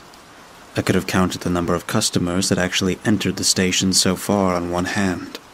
One was a short old woman with a loud set of pipes. One was a short old woman with a loud set of pipes. Another was a man who really shouldn't have been driving from how badly he reeked of alcohol. There might have been a few more customers. It's a little fuzzy now. I spent a lot of time just standing at the register and staring out the window. I always grew up near cities, where you could only see the brightest stars. It really wasn't until I got this job, a few minutes away from the nearest city, that I really got to see the night sky in all of its glory. That night was no exception. The full moon was just breathtaking. I could have stood there and watched the stars for hours. It was around one o'clock when I heard the gunshot, and it was close, really close. The entire night went into a panic. I heard startled birds flying for safety, watching a single deer sprint past the building. Then it was quiet. The night itself patiently waiting for an explanation. But I didn't have one. There was a huge forest nearby, sure. Perhaps a hunter? I don't know the first thing about hunting. Uh, maybe someone was allowed to hunt on this property. I was straining my ears when there was a loud clunk by the door. Nothing could have prepared me for what I saw. It was an adult wolf who had one paw lightly stuck in the handle to pull it open. All it took was the wolf making a little jump backwards, and the door swung open. And for just a moment, I realized the wolf had gained entry, and I was very possibly in danger. The wolf threw something into the store and took off into the night, all within the span of a few seconds. It was all so fast but it was what the wolf had just flung into the building that really had me shocked. It was a small bundle of gray fur, looking at me with big brown eyes. I couldn't understand what I had just witnessed. Had an adult wolf just thrown its baby into the gas station and bail? That didn't make any sense. The little wolf looked outside, then hobbled its way towards me without a second thought. I was still thinking about it when someone stormed into view. They were wearing a huge trench coat, a very heavy set of jeans, some steel toed boots, and a thick pair of gloves, along with a heavy looking hat. But what really had me scared was the huge gun the man was holding. It was some sort of rifle, and even without knowing anything about guns, I recognized it as a high caliber gun. The man was walking towards the entrance to the gas station and while I couldn't see his eyes, I got the feeling he was looking right at me. By the time he got to the entrance, the young pup was out of sight, and the man's attention was grabbed when the adult wolf howled somewhere off in the distance. The man immediately turned and ran toward the sound, his gun at the ready. I didn't know what to think about the whole situation. I've heard of plenty of people hunting deer, but I didn't even know if it was legal for people to hunt wolves. I also didn't know how smart wolves were. But here was a parent wolf not only playing decoy to protect its cub, it even knew how to work the gas station's pull door with no trouble whatsoever. I've had some dogs that figured out that kind of stuff, sure, but that was only after several hundred attempts.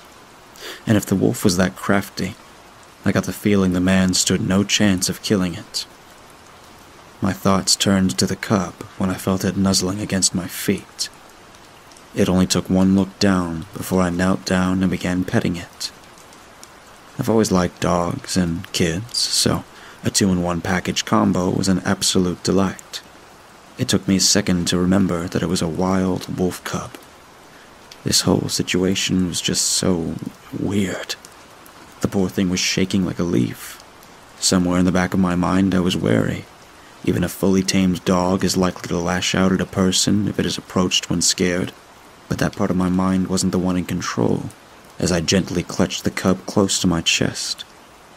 There, there, it's okay. I won't let the mean hunter hurt you. The wolf looked up at my face, then, to my delight, snuggled close to my chest. Good. There was nothing to worry about. But it was strange. As far as I know, most wild animals are scared to be around people. This pup was scared, sure, but had no problem whatsoever with me. Did it realize I wanted to help it? I, I don't know. Would that be a bit too smart for a wolf cub? It didn't take long before I realized I had to call someone. Even if the poor cub was someone's pet, that meant that someone was missing their pet and probably looking for it. The only person who lived close enough that it even seemed plausible would be the manager. I hated the idea of waking her up at 1 a.m., but I really wasn't sure what to do about the situation. The phone rang three times before someone picked up. Unlike the gentle voice I was expecting to come out from the phone, I heard a gruff and decadently male voice grumble its way through the receiver.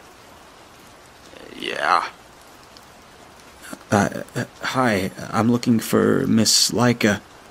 There's something odd going on at the gas station, and. My wife's sleeping right now, asshole. I'm gonna have to do. Well, this was off to a great start. I've never been the best at conversing with people, and I honestly hadn't realized she was married. Okay, okay. I, I heard a gunshot nearby. It took the man the longest time to reply, and when he did, I was startled at how nervous he sounded. All of that annoyance was gone, replaced with genuine fear in his voice. Uh, is, is that so? Are you in danger? Uh, not that I know of yet. I did see some weirdo in a trench coat carrying a rifle walking around outside, but they left after hearing a wolf howl. Shit, you, uh, didn't happen to see if there was a wolf with a cub nearby, did you? Well, that was suspiciously specific. I'm not stupid, and that was setting off red flags in my head. It took nearly 10 seconds before I decided the only rational answer was that the Leica family owned a few tame wolves. Uh, yes, actually. The wolf kind of uh, threw the cub into the gas station. I'm currently holding the cub right now. Okay. I'm going to. Actually, first I'm going to question why the hell you'd pick up a wild wolf cub. You do know mother wolves aren't very forgiving if they see you playing with their kids, right? That made me blush. He wasn't wrong, of course. If I was a normal person, maybe I would have thought through it a little bit harder. I, uh, I like dogs. A lot. Fair enough. Anyways, I've heard about this nutcase on the news recently. Apparently it comes out every full moon starts shooting at any wolves he sees. I'm gonna grab my gun and meet you at the gas station. Just in case he decides to do something. As for the cub, well, you seem to have that under control right now. Also, this may be a strange thing to ask, but could you please not call the police? I mean, if the situation gets really bad, then go right ahead. But so long as it's just weird like this. I agreed with him, my throat becoming very dry. More red flags were going off. He knew more than what he was letting on. I could sense it. This whole situation screamed trouble. As I hung up the phone, I looked at the clock. 1:15. Now, before I continue, I want it on the record that I'm not always the best when it comes to putting things together. But it doesn't take a fucking genius to figure out the connection between wolves and the full moon. Of course, I thought werewolf at some point during this conversation. It would definitely explain some nut marching around the woods, killing every wolf he came across. At the time, I thought this gunman was probably just some deluded psycho who believed in fairy tales a little too much. As I waited for Mr. Leica to appear, I couldn't stop the thoughts gnawing away at my brain. Why on earth had the man asked about a wolf and her cub? My more uh, creative side, that likes to ignore reality, played with the thought that perhaps this mother wolf and child were in fact not only werewolves, but family members to Mr. Leica. I've always had an overactive imagination, and it's gotten me in trouble more than once. And tonight, faced with a mystery that the rational side of my brain had no answer to, the creative side was all too willing to spin a fantastical story of lies, murder, and love. Though, of course, the rational side was keeping it in check. The fantasies I was cooking up were nothing more than fantasies. Werewolves were not real. The entire time my brain was uh, thinking this up, I was playing with the cub. For the first few minutes, I just stood there and petted the cub. But then we got bored of that, and I decided to see if it could play fetch with a nearby pencil. The answer, to my delight, was yes. Somewhere in the middle of this, I started calling the cub Togo. which he seemed to love. Belly rubs were one of his favorite things, so I started rewarding him with a belly rub each time he brought back the pencil. It felt like forever before my mind noticed that there was something heading our way. I could hear it, some soft, thumping sound. It made me feel uneasy, and I quickly had the cub sit at my feet while I stood up at the register, the cub well hidden from the doorway. It only took a few seconds before I saw the man wearing a trench coat walk into view. The man grunted as he took a step into the store, his large boots producing an audible thump with every step.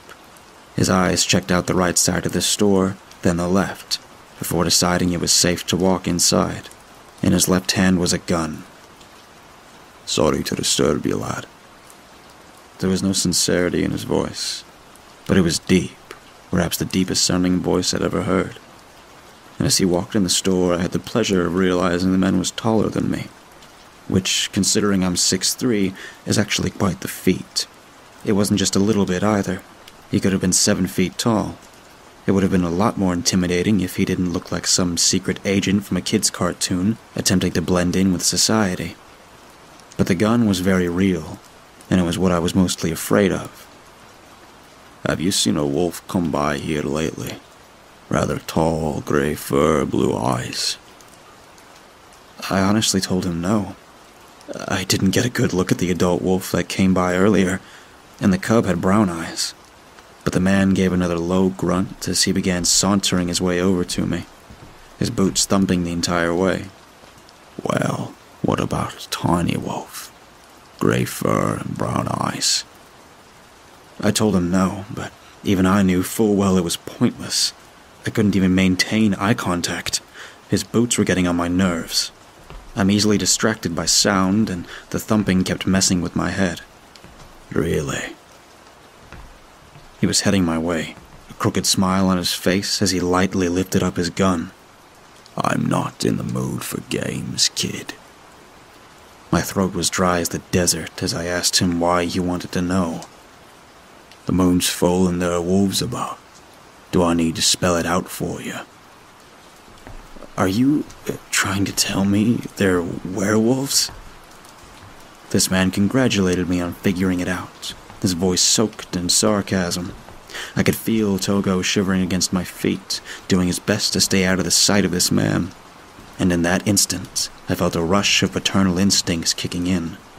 He was not getting Togo, no matter what he thought. Uh, werewolves don't exist, sir. The thumping stopped, because he was now on the other side of the counter, and his eyes, a deep shade of blue, were trying to bore a hole right through my skull. I don't have time to explain the situation to you, so let's just settle with yes, they are. Give me one reason to believe you. He lifted his gun slightly with a stone cold frown on his face. He didn't aim it at me or anything, but the threat was clear. It was quite the experience. I've never felt a chill down my spine quite like that before. He really was crazy, and he was dead serious. Werewolves do exist. I've seen what they can do, what they are. They cause nothing but pain and misery. Now tell me where the cub is. I didn't want to hand any living thing to this psychopath. The little cub was huddled around my feet, shivering so badly that it almost felt like it was having a seizure. But at the same time, well, he was pretty much telling me he'd shoot me if I didn't tell him. And if he did, Togo would be easy pickings. There was a moment, a truly horrible moment, where I honestly believed there was no other choice. I was going to have to reach down, pick up the innocent pup, and place it within this monster's hands. Then reality struck me. Mr. and Miss Leica lived only ten minutes away, and I quickly glanced at the clock, which told me I'd made that call about 12 minutes ago. Help was only a few minutes away, maybe even just a few seconds away. If I could just stall for time, he wouldn't try anything if there was something with equal firepower on the scene, right? What will you do? Kill it? Not immediately now. You see, his mother has proven to be quite the difficult catch, not letting me get a clear shot. Good, good, he's talking. I just need to keep him talking. Uh, okay. He gives a very irritated grunt as he shakes his head. God, are you really that retarded? I'm going to use it as bait. Retarded? Oh, he just struck a nerve. But it also told me just how agitated he was. Did he know I was stalling for time? Why the hell did I think this was a good idea a few seconds ago? Uh, let's say that werewolves exist. How do you know these two are werewolves? Let's put it this way wolves are smart, but they're not that smart. The mother wolf realized I was tracking her down after I failed to ambush her. What did she do? She ran up to the gas station, and a few minutes later I realized she must have brought her pup inside. She then tried to lead me away from the gas station. That's quite a bit of thought for a normal wolf. Okay. I had to give him that point. But the more I thought about it, the more this man's plan made me scared of him. He wanted to use a child to lure their mother into a trap and then kill the child. It was disgusting. Uh, did you see the mother doing something wrong? I beg your pardon. Uh, well, I'm assuming you have a reason you want to kill her. She's a werewolf. That was it. He made no other attempt to justify murdering what he fully believed was a sentient being. And he said it with such conviction, as if I was out of my mind to even think he needed more of a reason than that. It made my skin crawl.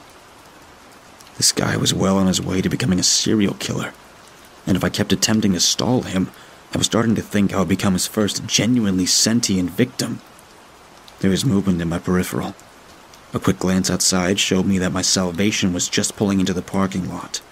I'd never been so happy to see a beat up little Subaru. When I looked back at the man, I realized I had made a horrible mistake. He was following my gaze, and the instant he saw the car outside, his mouth curled up into a nasty sneer. You little shit.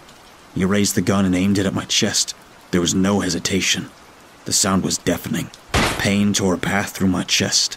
I staggered backwards while placing a shaking hand to my chest and held my hand up to find it covered in blood. He had actually shot me. I mean, it's one thing to threaten to shoot someone, it's quite another to actually do it. I should have fucking known. It felt like a dream as I looked up at him, to find him aiming the rifle at the doorway. Standing there was a burly man wielding a gun of his own, aiming it directly at the man in the trench coat. My breaths were slow and ragged and I couldn't stop coughing. A few times I started coughing up blood. Mr. Leica and the man just stood there for the longest time, guns aimed at each other. At some point, I fell to the ground. I don't think it had anything to do with the hole in my chest. I think it was just the shock of the entire situation. They started shouting at each other. I only needed to hear the first few sentences to realize they knew each other personally, and they despised each other. I tuned them out while reaching into my pocket and grabbing out my phone. It took only a few seconds to punch in the number and bring it to my ears. To my surprise, it hardly began the first ring before they picked it up. The welcome sound of a friendly voice came through. 911, what's your murder? The sound was deafening. I heard the man's boots thundering towards the nearest aisle as all hell broke loose. Somewhere in my mind, I finally realized this was really happening. A gunfight was going on right in front of me. I was shaking violently now, one hand clutching at the wound as I brought my knees to my chest and began whispering into the phone. I'm at the Swift pit at the gas station. I was just shot. I couldn't hear her response over the gunfire, just the urgency in her voice.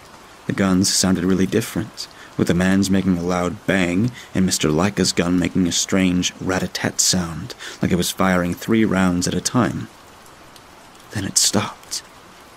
What followed was five minutes of silence, no one willing to make a single move. I was whispering to the operator, telling her everything I knew about the situation in a desperate hope that she'd have an answer as to what I should do. At some point, I took off my shirt and tightly wrapped it around my chest in an attempt to slow the bleeding. And poor Togo was curled up next to me, crying silently as the world itself stood still.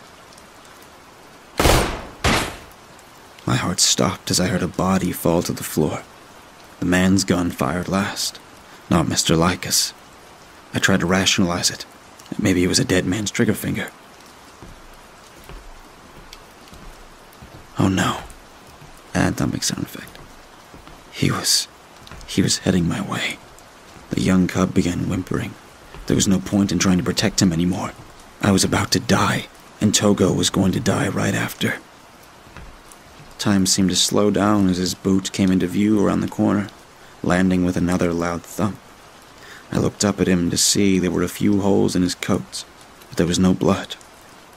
It took me a second to realize he was wearing a bulletproof vest underneath the trench coat. He had a nasty smile on his face as he rested the barrel of the gun right against my forehead. There was no hesitation, no guilt in his eyes. I could only watch, shaking my head pitifully and crying as I watched him pull the trigger. The smirk vanished off his face as he looked down at his gun with a raised eyebrow. The sound couldn't have been more unexpected. The man's eyes opened wide in shock as he buckled at the knees, blood flowing freely from the three bullet holes in his forehead. His head slammed into the floor with a nasty thunk. I heard pounding footsteps as Mr. Leica ran into view, pointing his gun at the man's head. It was only ten seconds later, when it was clear the man was never going to get back up, that Mr. Leica turned around and looked at me. There was blood pouring out of a wound on his shoulder. But what really had me scared was the haunted look in his eyes as he got down to eye level with me, putting a hand on my shoulder. He looked me over and gave a huge, relieved sigh. I. I called 911. They're on the way. Good. Can you stand? It took a few attempts. My legs were shaking really badly, but I did ultimately stand. It took me a moment to realize Togo was standing in front of me, now nuzzling Mr. Leica's legs. He just reached down and picked Togo up and gently touched his head to Togo's forehead. The front door opened. At first I thought it was the police, but to my surprise, I turned around to find the mother wolf now entering the gas station. She trotted up to us and waited for Mr. Leica to set down Togo before gently picking up her cub and looking at me. The instant that her eyes met mine, there was a connection. I don't think I can fully explain how I knew her thoughts, but I knew exactly what she was saying to me, and I couldn't help the smile that came to my face as I scratched the back of her ear, even as the moment sent another wave of agony through my chest. You're welcome. She smiled before turning around. Red and blue lights were shining through the windows, sirens blaring through the quiet night. Before I could say anything more, the wolf sprinted for the back door, knocking it open and vanishing into the night with her baby. The next few hours were a blur. The police asked a lot of questions, of course, but I didn't say much. The ambulance wasn't far behind them, and they put some uh, endotracheal tube in my lung to help with my current breathing problems. The ambulance called the Leica family to inform them that Mr. Leica was injured, but they didn't pick up. My family was a different matter. You'd have thought that I really had died from how badly my mom was crying, screaming that I was never to work at a gas station ever again. The doctors performed surgery on me within half an hour of me getting to the hospital. The bullet had gone through my lung and had nearly managed to exit through my back. It took a few stitches to close it all, but all in all, I was assured my life wasn't in any danger due to the wound. I'm currently writing this from the hospital bed. This is the first day where I haven't had some damn reporter shoving a microphone down my throat, trying to get my opinion on the whole thing. Apparently, the cameras in the station couldn't catch what was actually said. There was just footage of me playing with the wolf pup, then the man came in, and it all went to shit. I told them everything the man had said to me, how he was hunting werewolves, how he wanted to know where the cub was. Right now, the TV in my room is showering the headlines on the werewolf hunter, as they've named my attacker. As of right now, he's a John Doe. He didn't have a phone or any form of identification on him. Not a single person is missing from town, and not a single abandoned vehicle nearby. Police are awaiting news from a DNA test. But here's what really caught my attention. There are no stories of him from before that night.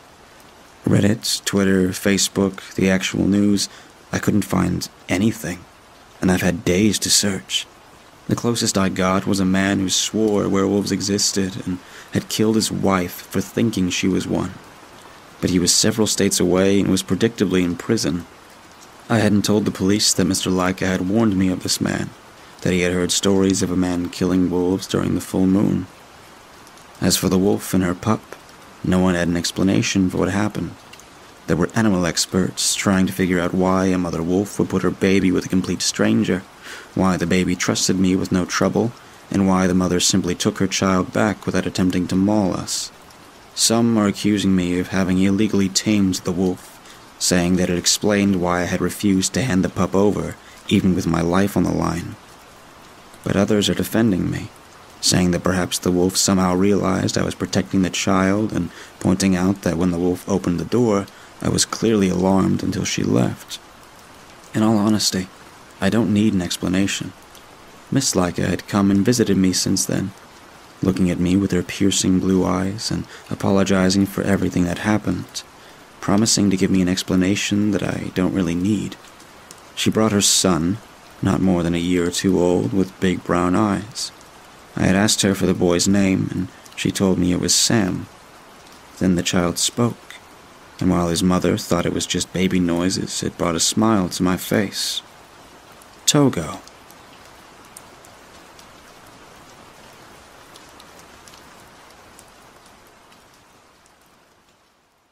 I dream about Robin almost every night. Together, we walk through the woods, tracking deer or elk. In the darkness, I can see her looking back at me and smiling. I remember that smile so clearly. I see her reaching out to take my hand, and I can't help myself but reach out. I can feel my fingers brushing against hers. I can see her gentle smile as her eyes meet mine, and then I hear it the crack of a distant gunshot. I see her eyes, wide and lifeless. Her face is dirty, and she lies naked in the mud, the same way she looked the very last time I saw her, and then I wake up. It's been two years since I lost her. Two years that I've been trying to find my way without her. It hasn't been easy. Loss is a hell of a thing. If you've never experienced it, I envy you. The pain never really goes away, and I still couldn't tell you how to handle it. Me, I drown it with everything I possibly can. Some nights I need a drink, some nights I need to get laid. Most of the time I hunt. It's nice to have a task of some sort to occupy my mind. I'm a hunter by nature. I've always loved the thrill of the chase, and I've always been good at it, even without the wolf inside of me. Hunting is in my blood. The wolf just makes it easier, more enjoyable, and when the moment of the kill comes, it makes the taste of fresh blood all the sweeter. I used to go out alone, right after Robin died. I'd head out after the sun went down and let the wolf out, although it was never the same without her. Once upon a time, the hunt was something we shared. In the darkness of the night, she and I would venture off into the woods, smiling and whispering to each other. When we were away from the town, we'd turn and then we'd run, chasing animal scents. We were our own little pack, our own little family. It was perfect. Then I lost her. Fate can be cruel like that. The hunt is the only thing I have left the only thing I can hold on to that I used to share with her. It's not something I'm keen to ever let go of, but doing it without her just felt empty, hollow. Hunting as a wolf is such an intense experience. Nothing else really compares. I have friends I often go out with, uh, people who don't know what I am. It's a shame I need to hide that from them, but werewolves don't exactly have a great reputation. We wait with our rifles and use our callers to lure prey. It's still enjoyable, but there's no chase. The rush isn't quite the same. Shooting a buck from a distance couldn't possibly compare to the primal thrill of ambushing it and ripping into it with claw and tooth. Regardless, I work with what I've got, and I'm happy to at least have that. hiding what I really am is a fair enough trade off for holding on to what I love and having decent company to do it with. I don't get to let the wolf out as often as I'd like. These days, I'm lucky if I get to turn a couple of times a month, if that. Life gets in the way more often than not, and as much as I love the chase, I've learned to be careful. Werewolves aren't quite as resilient as some legends would claim. You don't need a silver bullet to kill one. I started my Sunday morning the same way I had too many times before slightly hungover, and in a stranger's bed at the university dorm. I vaguely remember the kid asleep beside me. Cute, blonde, probably five years younger than I am. I made a point not to wake him up as I got out of his bed and gathered up my clothes. It was early enough that nobody would notice me slipping out of the residence hall. I'm a little ashamed to admit that it wasn't my first time doing so. I was hungry and since my life was already a disaster, I figured I couldn't do any more harm by stopping by the diner just across the street for breakfast. I ordered my usual three over easy eggs with a side of sausage, peameal, and rye toast, and with a black coffee. The sky was just starting to light up as dawn broke, and I figured I had time to head back home and sleep in my own bed for a few hours before having to deal with the day. Then, of course, my phone buzzed with an incoming call. The name of the display read MJ, and I almost didn't want to answer. MJ Montgomery used to be the girl at the record store to me. I can't remember how we'd gotten to the subject of dead spouses, but it was something we had in common. I'd lost Robin, and she'd lost her fiance. People bond over the strangest things.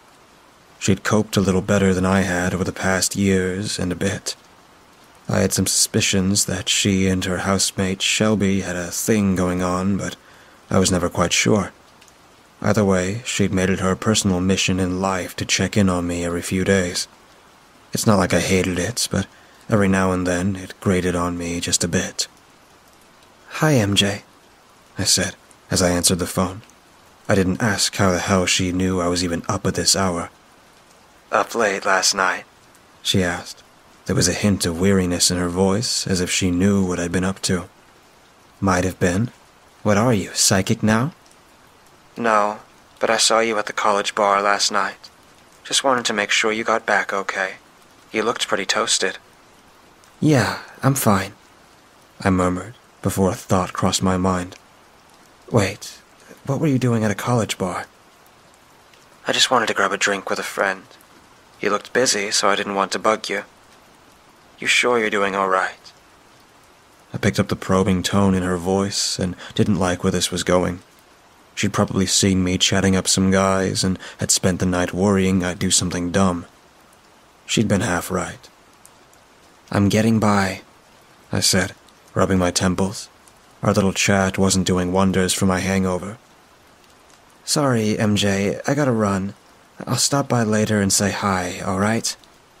I hung up. She was sweet, but I could have done without her doting. I finished up my breakfast before heading home. It was a bit of a hike from downtown, but I didn't mind it. I figured the fresh air might do me some good. I'd hardly made it halfway down the block before the scent hit me. A scent I knew, but not one that I'd smelled very often. Another wolf. Not one that I recognized either. I stopped dead in my tracks, taking in the morning air. Whoever it came from, it wasn't close. But Tavam Sound is surrounded by dense forest. Not a bad hiding spot for a wolf. The scent lingered in the air for a moment, and some primal instinct of mine demanded I follow it. If I could smell another wolf, there was no doubt that they could also smell me. Any lingering thoughts of sleep I had vanished pretty quickly. I am the only werewolf in Tavam Sound. A new scent was a big deal. Exactly what it meant, I couldn't quite say, but it had my undivided attention. I had met with other werewolves before, aside from Robin. Back in the day, she and I had even hunted with some of them, but it had been a while since one of them had passed through town. I won't lie, it did excite me a little bit. My social circle was fine, but I would have given anything to run into another wolf. Some old legends say that the first werewolves were brutal and evil people cursed by the Fae with a bestial form, although you'd never guess it by talking to most modern wolves. Contrary to what some might expect, most werewolves aren't all that hostile towards each other. In my experience, my kind has always been pretty sociable. Hell, in some cities, there were even bars where wolves tended to hang out. At a glance, they looked like any ordinary establishment, and you'd never expect the patronage was bound by their shared inclination to turn into giant bipedal wolves. I was lost in thought as I made my way home. The smell was faint, but still present, and I was sure it was getting stronger as I got closer to home. Robin and I had owned an old farmhouse on the edge of town. It was a bit pricey to keep, but it had run in her family for years. Getting rid of it felt wrong, like a betrayal of some sort. Walking up the dirt road home, the smell was strong. The other wolf had been there. Looking for me, perhaps. It didn't seem as if he was still around. The smell was too weak, but there was something else there. Something dead. I paused and looked over towards the tree line.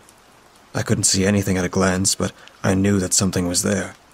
It was close. I trudged through the grass and into the forest.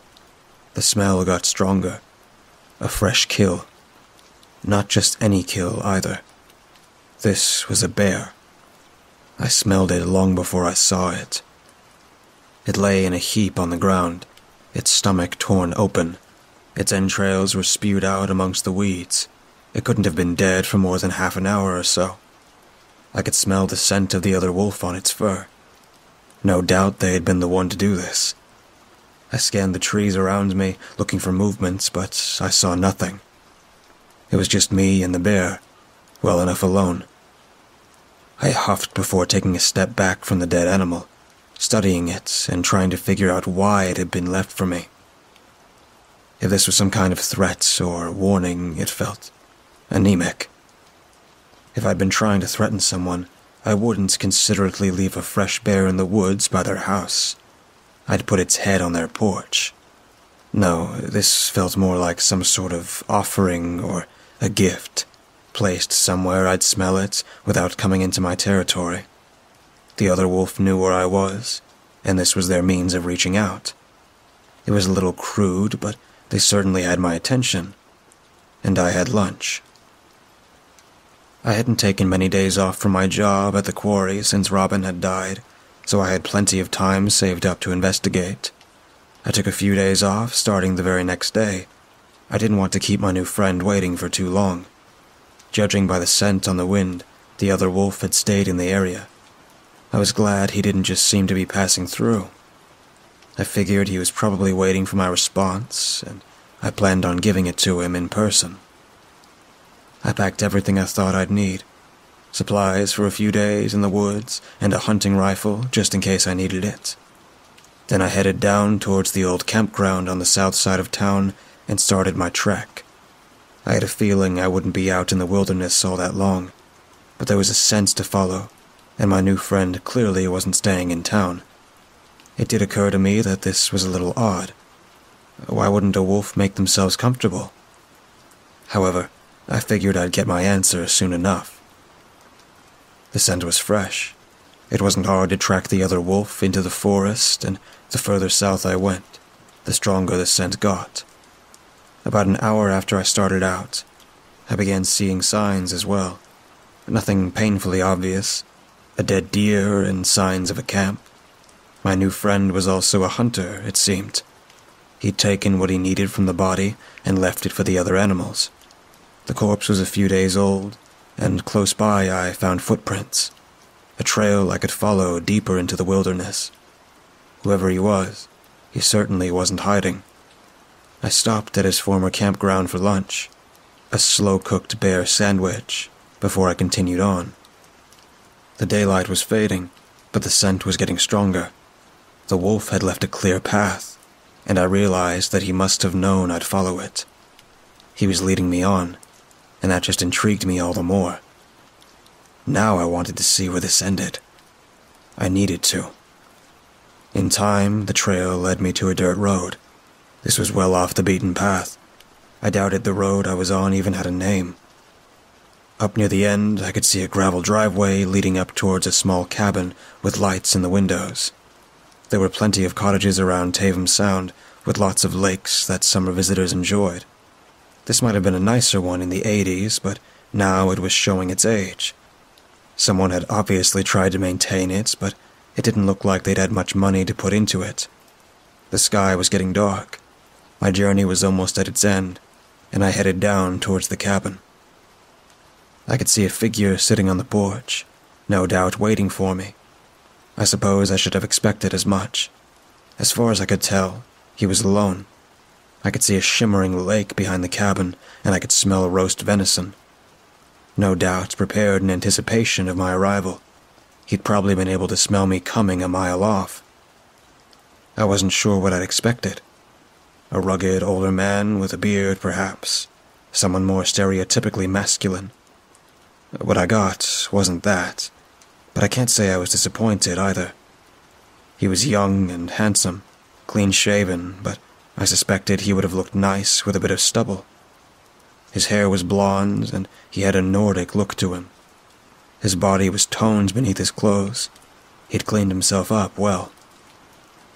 You must be from Tavam Sound, he said softly as I drew nearer. And you must be the one who left the bear, I replied. I stopped just in front of his cabin. The boy nodded slowly. I hope I don't make you uncomfortable or frighten you, but I wanted to get your attention. When I came here, I could smell you. I hadn't met anyone like me before. I wasn't sure how to proceed, and I didn't want to come off as a threat. His tone implied something else, although I tried not to read into it. An offer? I said. Something like that. I made dinner if you're hungry. I've also got beer. His intentions seemed honorable enough. I didn't sense anything off, and so I went in to join him. Do you have a name? I asked him as I joined him inside the cabin. It was modestly furnished, but still fairly nice. Graham, uh, Luke Graham, he replied from the kitchen. Yours? Miller. Amanda Miller, I replied, teasing his nerves. You know, that was an awfully ballsy move, at what you did with that bear yesterday. Hopefully, it didn't come off as too bold, he replied, coming out of the kitchen. He held a beer for me to drink. He pulled out a chair for me at his kitchen table, and I sat down across from him. The jury's still out on that, I replied, as I took a long swig. So, You've never met another wolf, huh? Nope. Haven't seen anything else like me since I got turned. You were turned? I asked, frowning. You weren't? No. Not a lot of people get turned unless they mess around with things they shouldn't. Old things in the forest and the like. A flush of embarrassment crossed his face. It told me everything I needed to know. Best not to get involved with those things. But I suppose now you've learned your lesson, I noted. Consider yourself lucky. It's not bad being a wolf. There are whole communities of us in Toronto and Hamilton, probably elsewhere too. But you're the only one in Tavam Sound, he said. Yeah. I always thought it was a little ironic, but most people indulge the human side of them more than they indulge the wolf. It's easier to build a nice life with a cushy job down in the GTA. They stay down there to work, then on the weekends they head up north, vanish into the woods, and have the best of both worlds. Not you, though, he said. I shrugged. I've got reasons to stick around, I said. You, on the other hand, I'm guessing you came up here to hide. I took another swig of my beer. I had a bit of trouble back in Sudbury where I used to live, he said. I just got that feeling, you know, that need to hunt, and it felt good. Then I guess people started getting scared. It took some time getting used to what I am now. I wasn't too sure what else to do, he admitted. I haven't been like this for very long. I like it. I really, really do. The power you feel when you turn, it's amazing. I just. I don't know how to act. Around another wolf. I finished. He nodded. Yeah. Well, lesson one relax. The wolf doesn't make you any less human. It's not some beast you have to fight back. It's part of you. Embrace it. Love it. Don't be ashamed of it. You are what you are now. And don't ever apologize for it. Right, he said, and managed a sheepish smile. I mean, I'm trying. I really am. I. Sorry. I'm rambling. I imagined this going so much differently. I raised an eyebrow at him, and it dawned on me that his adorable sheepish demeanor was coming from somewhere else besides general social awkwardness. The way he blushed, the way he displayed the bear by my house. I'd seen this before. It all clicked into place. That little thing had been trying to flirt. He was absolutely terrible at it, but bless his heart, he tried. Did you now? I asked, half teasing now. Well, you got my attention. Now I'm here. What exactly did you expect was going to happen? I. I'm not looking for a fight, if that's what you're asking. He insisted. I've made my peace with this. I can live with what I am. I indulge it every now and then, you know. I enjoy it, but, well, why enjoy it alone? And there it was. He had a cute, shy smile to him that I liked, and I mulled over the prospect of giving him what he wanted in my head. So long as he had more beer, I was certainly open to it. He'd make a good enough distraction for a night, and he was my type after all, blond and cute. I polished off my beer in silence, and he watched me intently, unable to hide the slight blush that had dusted his cheeks. I almost enjoyed keeping him waiting, even though I'd already made up my mind. If you think you can keep up, maybe I'll indulge with you, I said. I tipped him a smile and watched him melt. He tried to smile, the confident smile of some dumb, horny twenty something who thought he could take on the world. I think I can, he said, and it was the first thing he said to me that he sounded entirely sure of. The sex was incredible.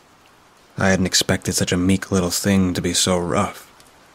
Graham had that insatiable stamina I've come to enjoy from men like him, and I suspect the wolf in him only served to amplify that. I hadn't been with another wolf since Robin, but Graham had an energy to him that I outright adored. He almost kept up with me. To say that I enjoyed that odd little booty call would be an understatement, but at the moment I still don't see it as anything more than it was. Two strangers intermingling in a fit of animal lust for that familiar rush of dopamine that we're all after in one way or another. When all was said and done, I rolled off of him and rested my head on the pillow to sleep. I could feel him trying to spoon me, and I allowed it. If he wanted to pretend this was something meaningful for a night, who was I to stop him? Either way, I'd found what I was looking for, and I'd be gone in the morning. End of story. I'm not quite sure how long I slept for. Longer than I wanted to, to be sure. I know that I tossed in turns, but that's to be expected. I haven't slept easy in two years, and another hedonistic night of sex and alcohol wasn't going to change that. I still dreamt about Robin. I still saw her face, her gentle blue eyes and flowing blonde hair. I felt her touch on my cheek in the moonlight and saw her smile before. I awoke clutching the pillow close to my chest. I had curled into a ball and I could hear Graham's voice in the distance. His hand was on my shoulder, shaking me gently. Amanda? he asked. Amanda, are you okay? I felt my muscles tense as I grounded myself in reality again. I could feel my fingers curling into claws that ripped the fabric of the pillow before I calmed myself and sat up. I'm fine, I murmured as I rubbed my temples. In the dawn light, he didn't look convinced, and I didn't really care. What time is it? I asked, before remembering that I'd booked the day off. Uh, five, I think. Uh, six, maybe. You're moving a lot. Are you sure you're okay? I'm fine. A frustrated tone had crept into my voice. I got out of the bed and stretched. The bones in my spine popped in the most satisfying way, but it didn't ease any of the tension in my shoulders. I started looking for my clothes as Graham sat in the back, watching me. What are you doing? he asked.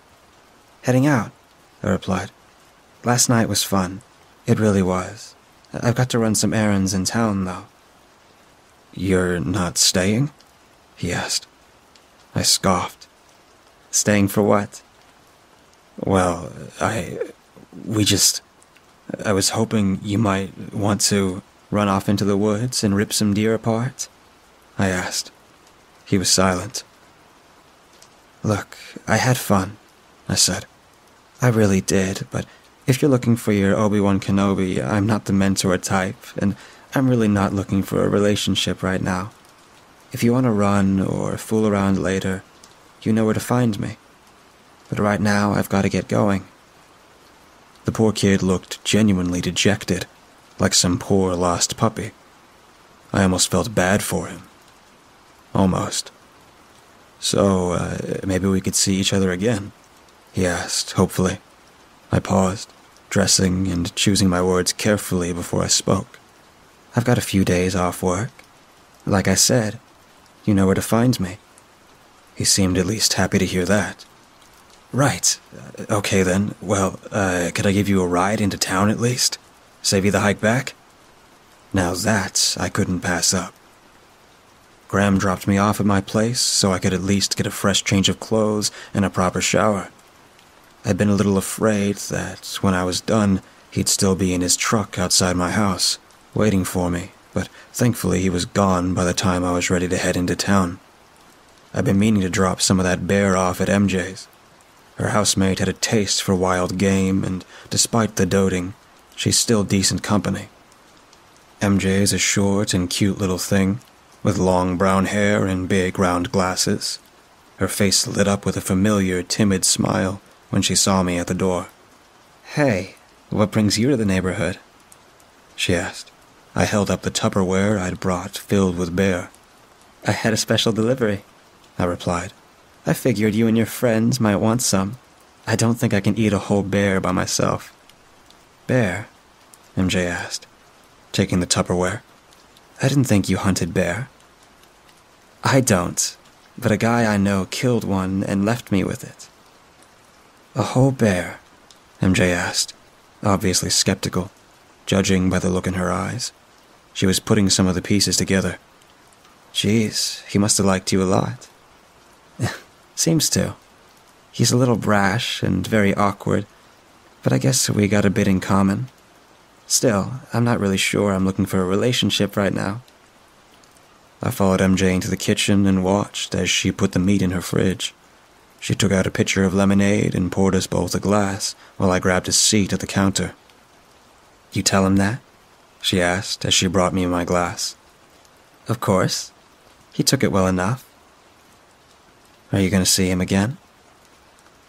That was the million dollar question, wasn't it? Maybe. We'll see.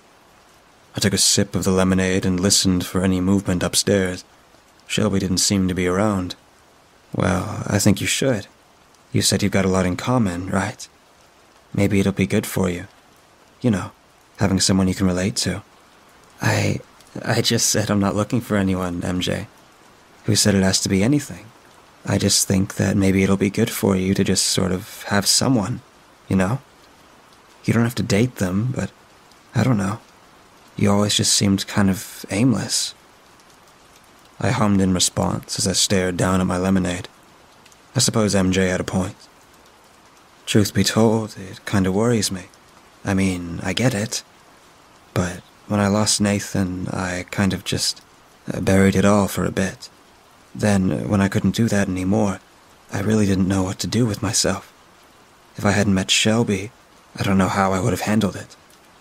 It was nice to have someone around, though, and I think it might help you, too. You're dating again, I warned her, half teasing. Sorry, she said, offering a small, apologetic smile. I gave her an affectionate nudge before emptying my cup and mulling over what she said. It wasn't the first time I'd wondered if she had a point, but something about her tone. It got me thinking. I'd met Robin on a hiking trail in Hamilton when I was around 18. I'd grown up in a rough part of town, and I'd been hanging out with the crowd there ever since I was a kid. Every weekend, we'd get drunk, ride down to the forest, and let the wolf out.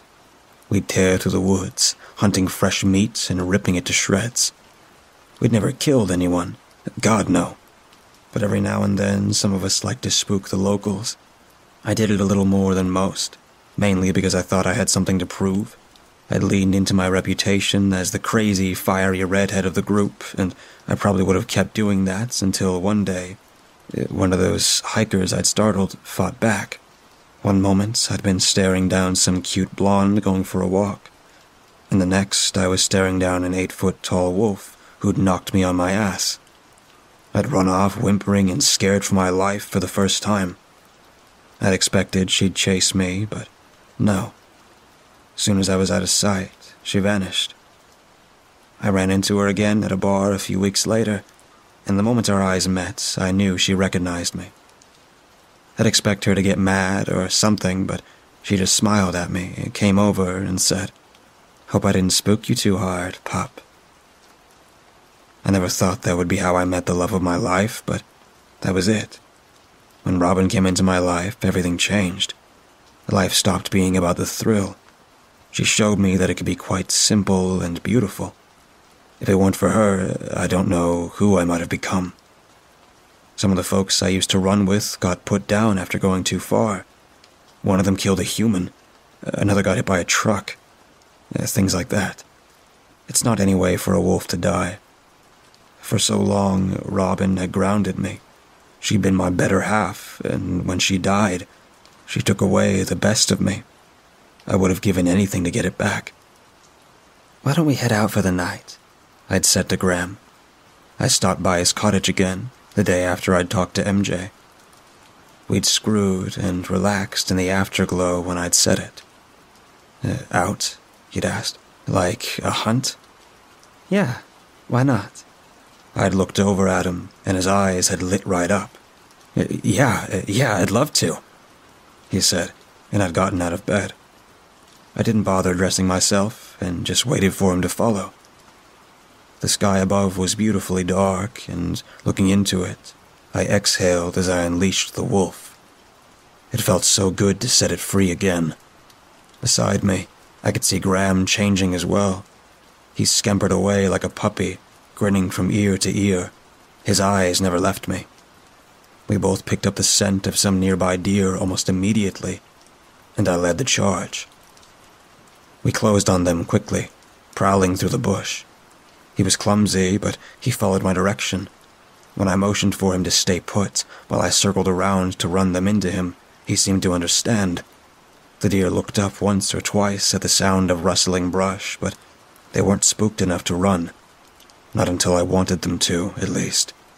When I leapt out of the brush to startle them, they were already dead. Robin and I had done this a hundred times. The moment the deer saw me, they bolted and they ran right into Graham. He sprang from the surrounding brush and caught one of the fleeing deer, a doe, by the throat. With overwhelming strength, he slammed it against the dirt and sank his teeth into its throat, damn near decapitating it with the sheer force of his bite. His claws dug into its body, crushing its ribs, and it took me a moment to realize that the poor thing was still alive. For the time being, at least. It wouldn't last much longer, bleeding out onto the dirt. I'll admit, I hadn't expected that much enthusiasm from him. Most wolves usually weren't so aggressive, but I chalked it up to adrenaline. The deer's companions ran off, but I let them go. We had our prey. Graham and I ate well that night. We hauled that deer back to his little cabin, and I showed him how to take it apart properly. I couldn't remember the last time I'd had so much fun, and if it had never stopped, uh, maybe I would have been happy.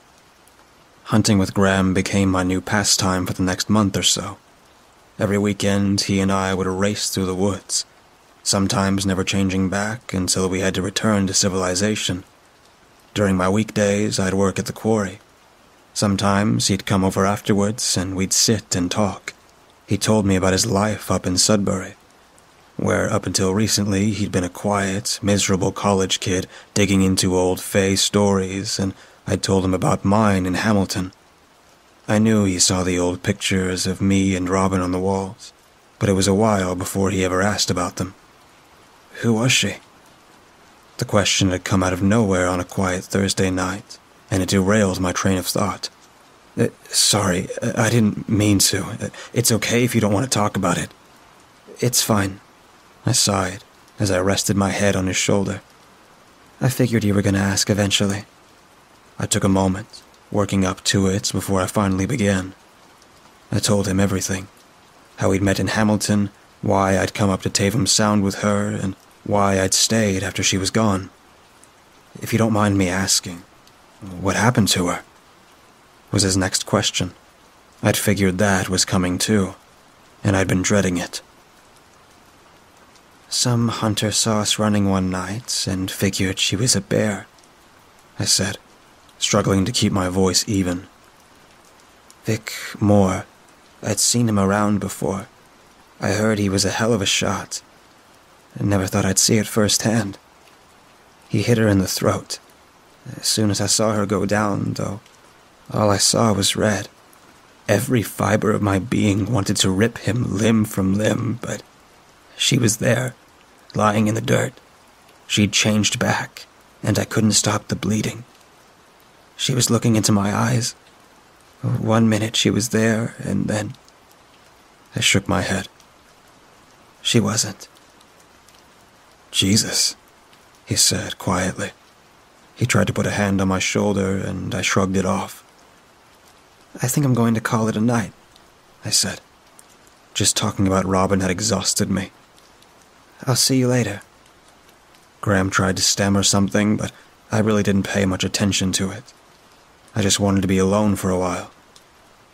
It was Saturday when Graham called me next, a few days after I'd told him about Robin. As tough as that night had been, my mind was in other places as I drove down to his cabin. If anything, I'd say I was in a good mood and looked forward to enjoying this weekend just as I had the last few I'd spent with him.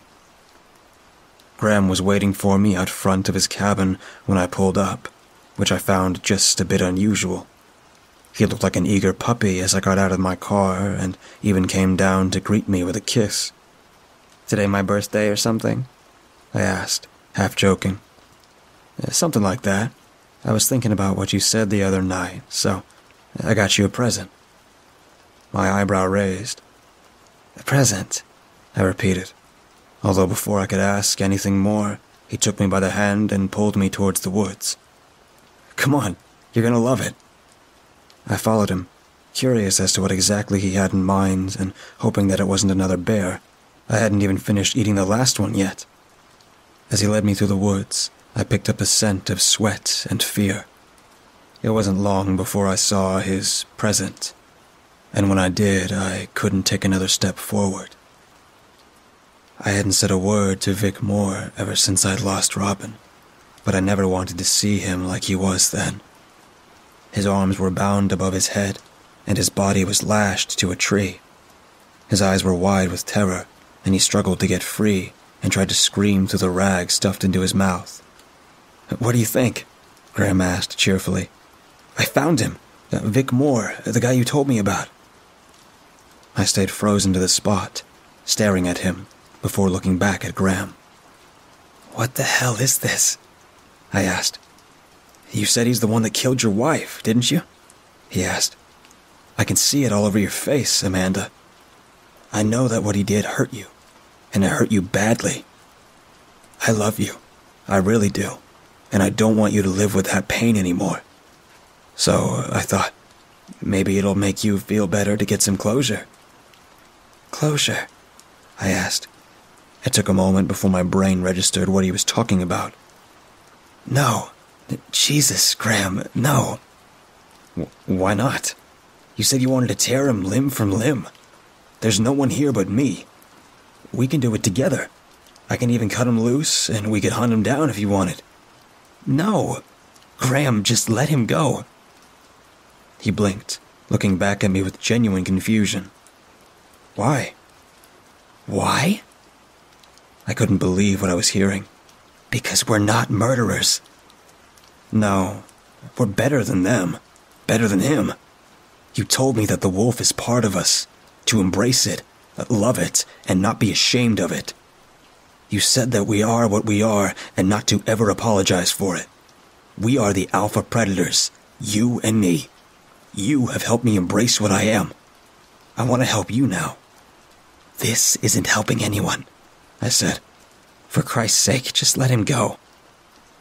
Graham's eyes remained locked onto mine, still confused. Then a new look came over his face. He'll tell people if I do. But don't worry. It's okay. If you don't want to do it, I can do it for you. His body began to change, and as it did, Vic's eyes grew slowly wider and wider. Graham loomed over him, hulking and covered in coarse white fur. His blue eyes settled on Vic, and he drew back his claw for one fatal swipe. I couldn't let that happen. I raced to Graham, my body changing as I did. When I hit him, I hit him at top speed. We hit the ground hard, and he looked at me, still confused. He truly didn't understand why I was doing this. I glared back at him, warning him to back off. For moments, I was sure he'd stop. But I guess I thought too much of him. Graham came at me, lunging at me and sinking his fangs into my shoulder. I writhed beneath his weight, struggling to get him off of me, tearing at his hide and staining it red with blood. I slammed him against a tree, hard enough to splinter it before he relented. When he came for me again, I was ready for him. I caught him as he charged and forced him to the side, sending him off balance. Graham fell and rolled through the dirt before getting up and baring his fangs at me. I stared back at him, silently pleading with him to stop, but he had made up his mind already. If I wasn't going to hunt with him, I was just more prey. He rushed at me one last time, and this time I fought back. My claws raked across his face as our bodies collided, spraying blood across the dirt. I shoved him hard, knowing he would keep trying to attack. He was vicious, but I was smart. As he leapt for me, I caught him by the throat and forced him onto the ground. He kicked and squirmed beneath my grip before I clamped my jaws down on his throat until I tasted blood. I could hear Graham whimpering with pain before I shoved him aside and watched him roll in the dirt, his rear legs kicking weakly as blood spilled from the gash in his throat. I could see his body shrinking, slowly starting to change back.